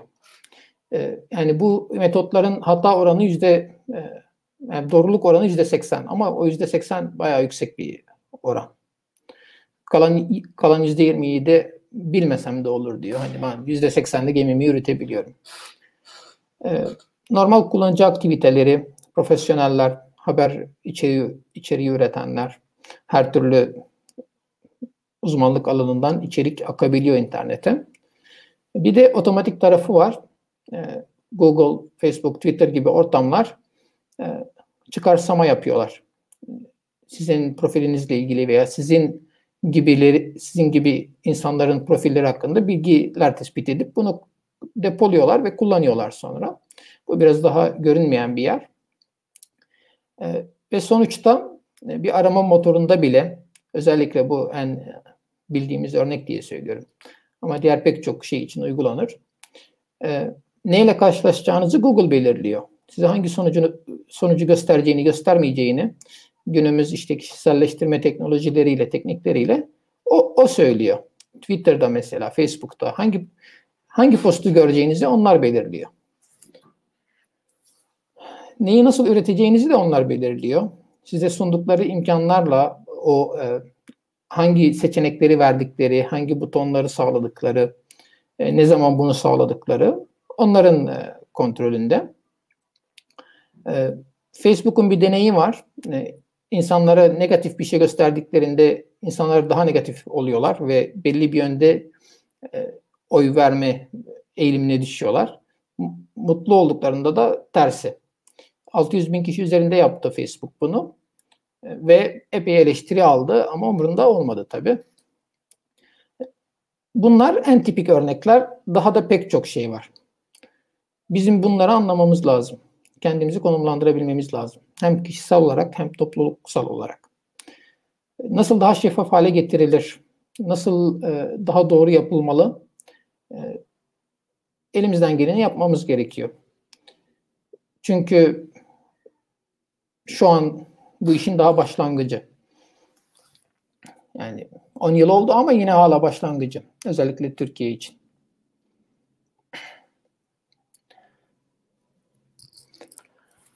genel fikir olarak makineler benim kastım biraz daha makine öğrenmesi veya büyük platformlar. Hep daha çok veri depoluyorlar. Hep daha iyi depolu, depoluyorlar. Bundan kastım milyarlarca data e, içerisinde sizinle ilgili veriyi direkt bulabiliyor. Eskiden zaman alırdı. E, bunu e, çıkarsama yapmak için kullanabiliyor. E, çıkarsama yetenekleri veya depolama yetenekleri müthiş. Bununla yarışamazsınız. Sizin bütün tarihçenizi, bütün bağlantılarınızı biliyorlar. Kayıtlı bir yerde. O yüzden sizin hakkınızda yapacakları çıkarsamalarla arama sonuçlarınızı tabii ki de etkiliyorlar. Ee, bazı servisler özellikle Airbnb gibiler daha pahalıya daha pahalı fiyat görürsünüz. Bunlar tespit edilmiş şeyler. Politik seçim e, az önce bahsettim. Bunları inanın İstanbul'da bir Ali Hürriyetoğlu var. Dur biz buna bir takılalım diye değil. Günümüz teknolojisi e, bunu beceriyor. Çoğunluk istatistiksel, istatistiksel olarak çoğunluk veya güçlü e, white e, male diyorlar. Çoğunluk güçlü olan, e, daha çok içerik üretme imkanına sahip insanlara insanların avantajına çalışıyor. Siz eğer e, Türkiye'denseniz, işte bir Avrupalı değiliz, Amerikalı değiliz. E, bir azınlık grubuna dahilseniz, e, eğitim anlamında belli belli bir seviyedeyseniz e, direkt dezavantajlı duruma düşüyorsunuz ve bu sistemin e, dezavantajlı hale geleni siz oluyorsunuz. Ve işin kötüsü ne bilmediğinizi bilmiyorsunuz. Başınıza ne geldiğinden haberiniz yok. Bu daha da kötü. Ee, onların derdi e, hangi senaryo benim e, daha çok para ve güç kazanmamı sağlar? E, bunun tipik örneği Google ve Facebook. Pardon, Google ve Microsoft. E, bunlar kapışırken e, ben bir de Apple var. Bütün bu küme işte ben 10 milyar dolar mı ciro yaptım, 15 milyar dolar mı ciro yaptım. Bunların tek derdi bu. Yoksa Ali Hürriyetoğlu'na bir şey olmuş olmamış. O da kendini konumlandırsaydı oluyor. O yüzden bizim mecburiyetimiz de bir yerde sadece sorumluluk değil. E, derslerimde de anlattığım şey biz bunun en en öncelikle farkında olmamız lazım. E, ve belirlenmesinde rol oynayabiliyorsak oynayacağız. Aklınızda olsun, fırsatları kollayın, e, bilinçli olun gibi.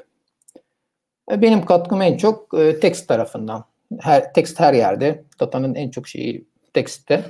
O yüzden mutluyum ben tekst datasıyla uğraşmaktan. Zor da bir konu. Yani şehirden şehire konuşma tarzı değişiyor. Gel de anla bunu. Kayıt formunda sorulmuş diye ben de cevabımı söyleyeyim dedim. Beyin göçü ile ilgili ne düşünüyorum? Ya bu kavram garip bir kavram. Eskidi mi bilmiyorum. Ee, şu an yani global arenada dönüyor bütün her şey. Bir şeyde ben başarılı oldum diyecekseniz işbirlikleriyle oluyor. Çünkü onlar yani herkes işbirliğine gidip daha büyük işler peşinde. Biz yani evimizde oturup da başarılı olmayı bekleyemeyiz. Bir evi geçindirmek bile için e, dışarı çıkacaksın. Nasıl dönüyor? Neresindeyim ben bu şehrin? Ekmek almak için ne kadar efor sarf etmem lazım? Ne gibi imkanlar var? Hepsini benim bilmem lazım. Ve biz dünyada yaşıyorsak e, dünya vatandaşı olmak gibi bir tabir de yok. Dünya vatandaşıyız.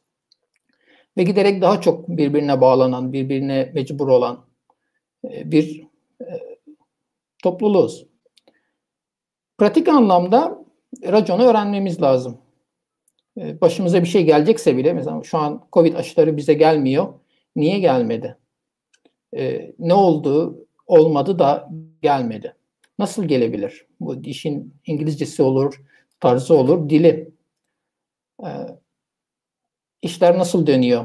Ee, köşe başları nasıl kapılıyor? Ben yüksek lisanstayken işte bir e, konuşma dinlemiştim. Şey diyordu, bilim politiktir diyordu. Yani nasıl politik olur? Aklıma yatmamıştı çok. Ama zamanla gördüm ki yani siz bir şeyi sunacaksanız, deneyecekseniz o parasız olmuyor. Her birinizin kullandığı laptop, bilgisayar sadece bu oturumdakilere baksak ne kadar çok para tutar. Ve bunlar bir iki yıl içerisinde yenilenecek, yenilenmek zorunda. Neyse bütün bu işleyişi belirleyen komiteler, e, araştırma laboratuvarları, e, bağlantılar. İçinde olmam, olmak zorundayız. E, yoksa mahallede ve apartmanı düşünün. O apartman toplantısına gitmek zorundayız. Yoksa bir şeyler döner dolaşır, haberimiz bile olmaz. Veya en ufak bir etkimiz olmaz, bilgimiz olmaz gibi çalışkan olmak zorundayız. İşbirliği çalışkanlıkla, işle kurulur. E, sadece iletişimle değildir. E, ikisi beraber olmalıdır. Çok önemli bir başarı elde ettik diyelim. Şimdi bir kere başarı dediğiniz şey göreceli bir şey. Kime göre başarı? Yani e, ben 5 santim bir şey yaptım. E, diğeri de 10 santim dedi. Ee, ama bizim santimden bahsettiğimiz aynı şey mi? Birimler uyuştu mu? Standarda ihtiyacın var. Ölçesin. Birbiriyle karşılaştırasın. Ee, yardımlaşasın gerekirse daha iyisine ulaşmak için.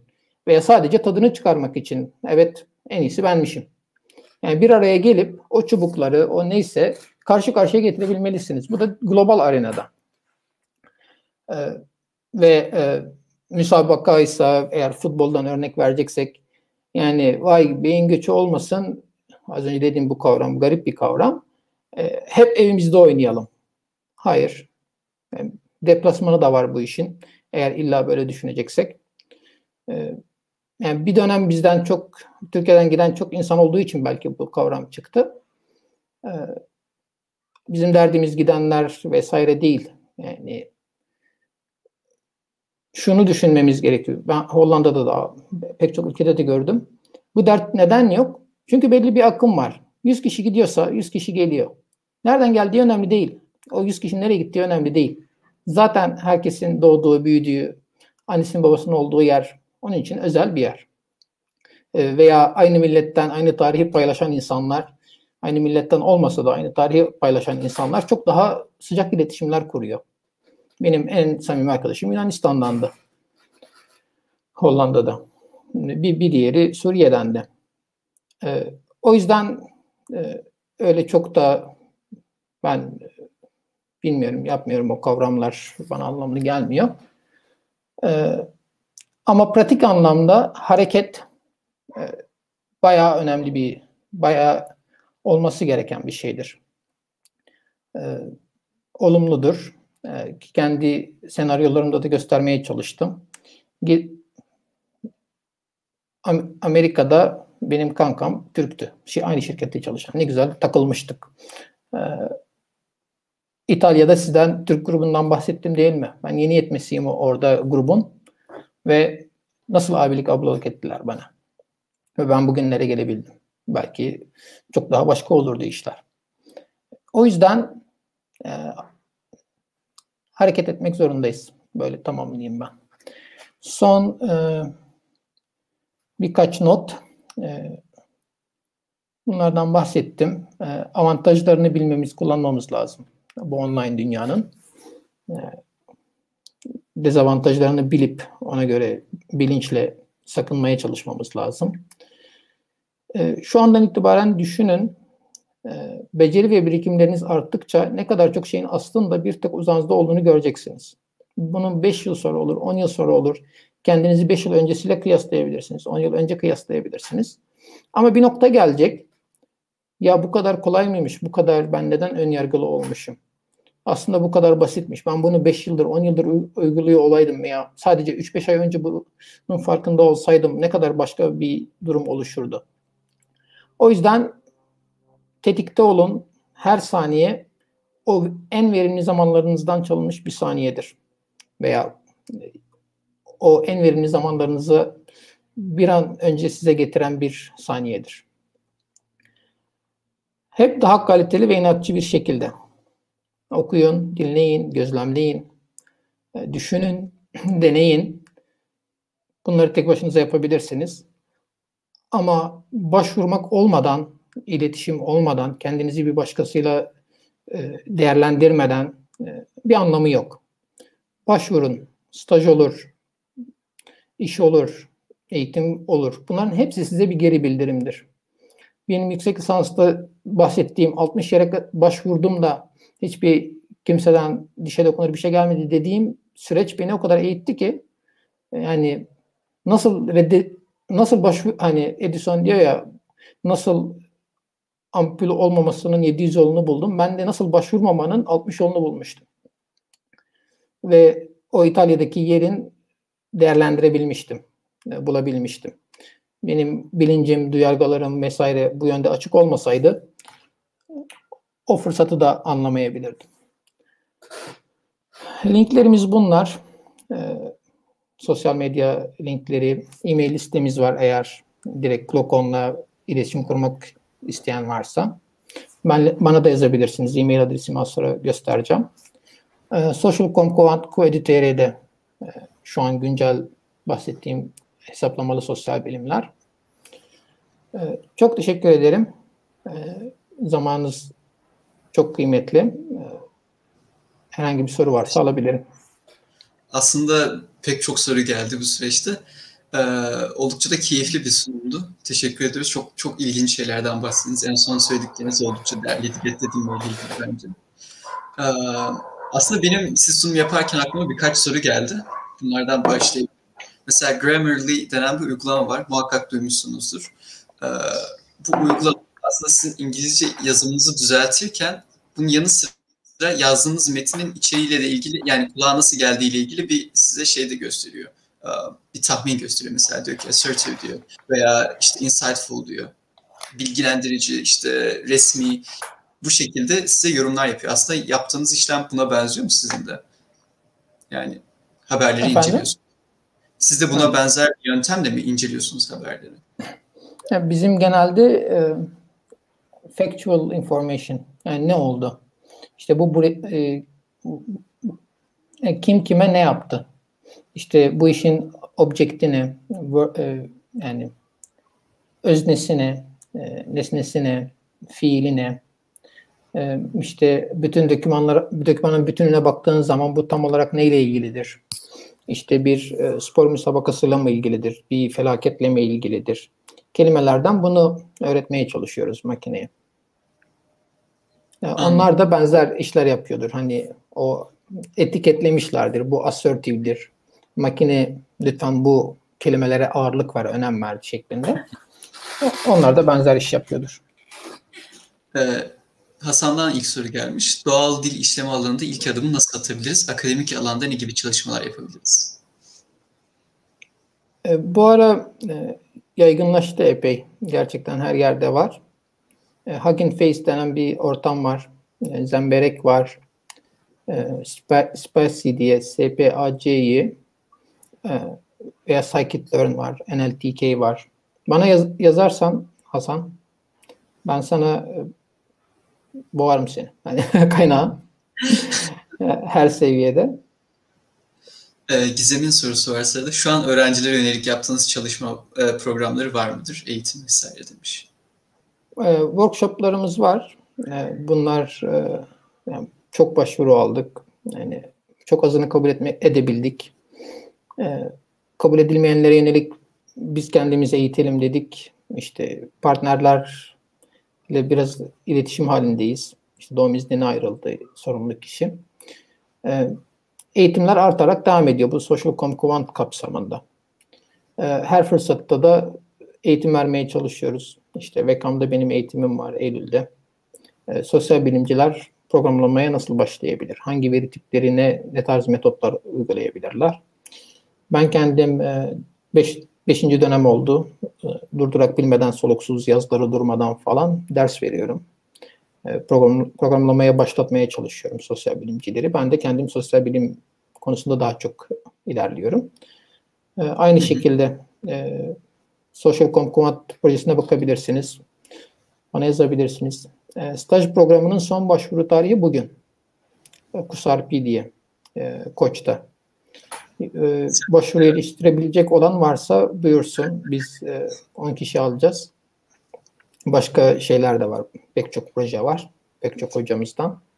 Hı hı. Teşekkür ederiz. Ee, hocam gelecek ile ilgili tahminlerde bulunabiliriz dediğinizde farklı ülkelerdeki ekonomik, politik, çevresel sorunlarda önceden eldeki verilerle tedbire dönük bir strateji planlaması yapılabilir mi diye sormuş. Tabii tabii. Yapılıyor bunlar. Hatta bu bahsettiğim Philip Schrodt Conflict Studies yani e, bir yerde karışıklık arttıkça bunun e, metrikleri var. İşte Goldstein mıydı? E, şiddet artıyor, azalıyor gibi e, çok ciddi paralar harcanıyor. Özellikle Amerika harcıyor bunu. Europe Media Monitor'ın temeli anlamak. E, pek çok tool'u var dediğim sadece işte topikleri, trendleri anlamak değil, daha derin bilgiler bakmak. Gerçekten o teknolojiniz olduğu zaman e, her tarafına bakıyorsunuz işin ve az veya çok işinize yarıyor. Yani uzmanlar tek başlarına yapacakken bu işi e, makine de onlara yardımcı olmuş oluyor. Teşekkür ederiz. Ee, Berkay Altan soruyor. Hocam elde ettiğimiz bu oluşumlar ve demolar neticesinde insanların genel ve ortak ihtiyaçları sizde bir fikir uyandırmıştır. Bu doğrultuda bir proje veya bir buluşa yönelik çalışmalarınız mevcut mu demiş. Yani insanların genel ve ortak ihtiyaçları yani herkes kendi derdinde. Yani ben onu diyecektim. Mesajlarımdan biriydi. Hani bir iki haftadır not alıyorum bir yerlere. Hani ne paylaşayım diye e, ortak bir şey varsa ortak bir şey olmadı. Her, gerçekten herkes kendi uğraşında, herkes kendine özel, herkesin kendi tarihçisi var. E, matematiksel olarak e, makineler iş yapabilmek için, para kazanabilmek için bizi gruplayabilirler ama gerçekten e, dönüyor dolaşıyor. Günün sonunda herkes kendi derdinde. E, iş, iş anlamında da, e, üretkenlik anlamında da e, yani öyle çok yüceltilen e, Avrupa'da, Amerika'da yani bizim evde de 1 milyon dolar olsa hepimiz mutlu olurduk. Süper insan hakları olurduk. Ama o 1 milyon dolar azal, azaldıkça e, değişirdi işler. Yani bir gözlemle bitireyim. Yani her toplumda, her toplumda her tarz insan var. Yani Aa, Hollanda'dayım, dünyanın bilmem hep ilk üçünde yer alıyor pek çok konuda. Yani orada cinsiyetçilik yok, orada e, ırkçılık yok diye bir şey yok. Orada şu var, yani e, yani orada her şey var, burada da her şey var. Ama oranlar farklı. Yani orada yüzde iki üçgen. Çünkü dert etmeyen daha çok paraları var, gelecek kaygısı yok. Burada yüzde beş belki. Ee, oranlar değişiyor e, ülkeden ülkeye. Ama her yerde her tür insan var. Beceri anlamında da düşünebilirsiniz bunları. Yaşam tarzı olarak da, başkalarına bakış e, olarak da. Ama spesifik bir şey yapmak istemiyorum. Ben kendi derdimdeyim bu ara. ee, Handan çok teşekkür ederiz hocam sunumunuz için demiş. Doğal dil işlem alanındaki güncel çalışmalara bakıldığında simultane tercümenin geleceğini nasıl görüyorsunuz diye sormuş. Bir de merak et e, e, ikililerinin farklı ailelere mensup olmasının makine çevirisi için belirgin bir zorluğu var mı? Yok yok yok. Çünkü şöyle bu ara şunlar çıktı. Ee, birincisi yani simultane çeviri aslında mekanik bir şey. Yani veriyi veriyorsun. Önceden kullanılmış desenleri parçalara ayırıyor. Farklı bir şekilde birleştiriyor. Yapıyor. Ee, gerçekten anlık yapabilmesi daha çok e, işlemci gücüne sahip olmasına bağlı. Teknik olarak 2-3 yıl önce bu aman aman mümkün değildi. Bu deep learning'in çıkmasıyla e, language resources diyoruz. Dil kaynaklarının oluşmasıyla trilyonlarca bit. E, bütün bu desenler var. Şu an e, daha bir efektif bunu e, kaydetmeye, bundan daha efektif çıkarsamalarda bulunmaya uğraşılıyor. Ve gerçekten de bu son 2-3 ayda gördüğüm yeni yükselen trend, çünkü machine translation normal yazılı dilde tamam artık. Ee, şöyle çözüldü, artık e, bu işi yapanlar için büyük bir kar marjı yok. Sınırlara yaklaşıldı. Şimdi simultane çeviri, e, o anlık şeyde e, işler artıyor. Benim bir abim vardı İtalya'daki stajdan. O machine translation'cıydı. Bu yönde bir insan arıyordu. Hani bu bu konuda doktora yapacak insan arıyordu daha yeni. Bu demektir ki o yönde uğraşlar başlıyor. Ne zaman insanlar belli bir konuda iş almaya başlarsa bilin ki 3-5 yıla bu işler patlayacak. Ee, Hümeyra sormuş. Ee, hocam merhaba. Dünya üzerinde bu kadar çok bilim varlığı ilk olarak ne zaman ortaya çıkmış? Çok merak ediyorum. Teşekkürler. Bilmiyorum. Biraz bir dil bilimci sorusu galiba bu. ben e, bize dil bilim de okuttular. E, bilişsel bilimlerde yüksek lisansta ama ben kendim spesifik olarak bilmiyorum yine. Hmm. Teşekkür ederiz. Ee, bu son sorumuzdu. Ben şeyi merak ettim. Yine sunumunuzda şeyden bahsetmiştiniz. İsimden doğum tarihini çıkartabilen bir programdan bahsetmiştiniz. Bu aslında oldukça ilgi çekici geldi. Çünkü ben gerçekten aralarında hiçbir bağlantı bulamadım. Yani bunun... Bulursunuz, bulursunuz. Biraz daha e, yakından arkadaşlarınıza bakın.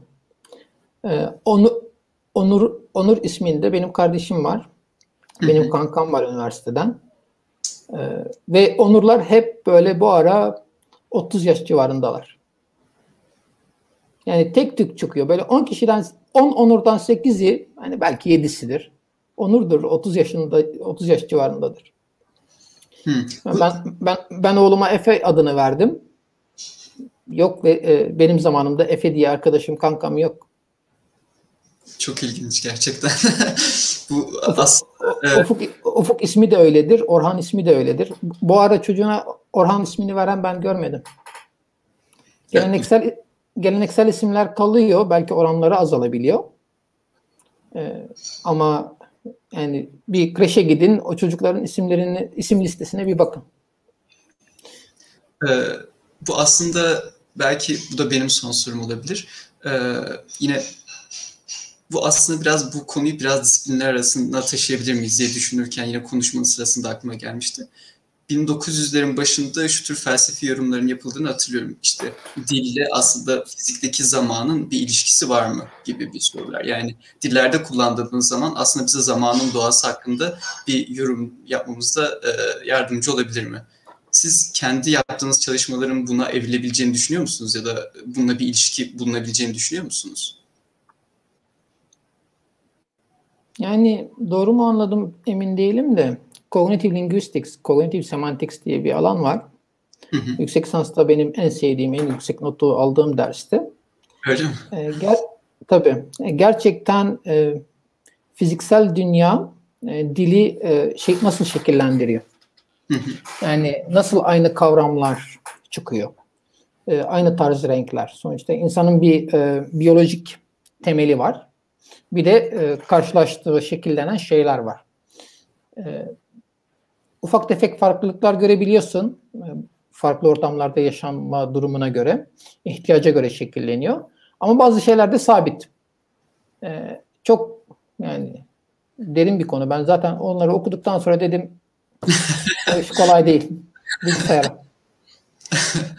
Anlıyorum. Çünkü mesela şey falan da duymuştum. İngilizce'de normalde gelecek zamanın olmadığına dair. Yani mesela I will hani Almanca'daki kökeninden hani istemek olduğunu işte I am going to mesela aslında tam bir e, ge, gelecek zaman kavramının olmadığını da okumuştum. Aslında çok da keyifli bir alan. Siz bunlardan bahsedince benim de aklıma direkt o geldi sorayım dedim. Yani dilin dil çok çok açılı bir şey. 3-5 değil 10-15. Bir tane açısı ihtiyaç. İhtiyaca göre şekilleniyor. Eğer ben ve bir başkası iletişim kuruyorsa zamanla biraz daha samimiyetten dilimiz değişiyorsa, bazı kelimeleri unutup bazılarını daha çok seviyorsak, bu bir senaryosu. Bu yön, bunu etkileyen bir tane güç. Bir başka güç çevresel faktörler. Bir başka güç e, toplumsal gereksinimler. E, hani bu şekilde say sayabildiğin kadar hepsi az veya çok katkıda bulunuyor. E, zaten e, 1950'lerde şey demişlerdi işte bu Amerika e, askeri falan biz çeviriyi 2-3 yıla çözeceğiz dediler. 2-3 yıl geçti. Ya 5-10 yıla dediler. E, al işte oldu 100 yıl. Ya şu an machine translation çözüldü diyoruz ama o iş e, yakın dillerde, şivelerde, lehçelerde çalışmıyor. Yani tek e, bir genel yorum ders olarak da herkesle paylaşmak isteyebileceğim şey böyle yayınlanan işte insanüstü e, performans ne bileyim e, artık makineler her şeyi yapıyor falan e, o e, referans veri setlerindeki skorlar.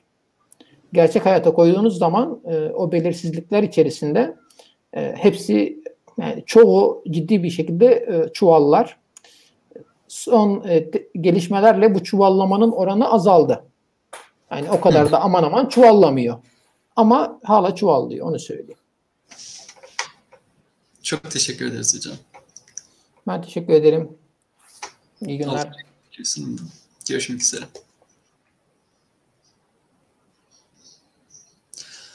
Evet, e, geldik güzel bir zirvenin daha sonuna. E, biraz yorucu iki gün geçirdik ama buna kesinlikle değdiğine inanıyoruz.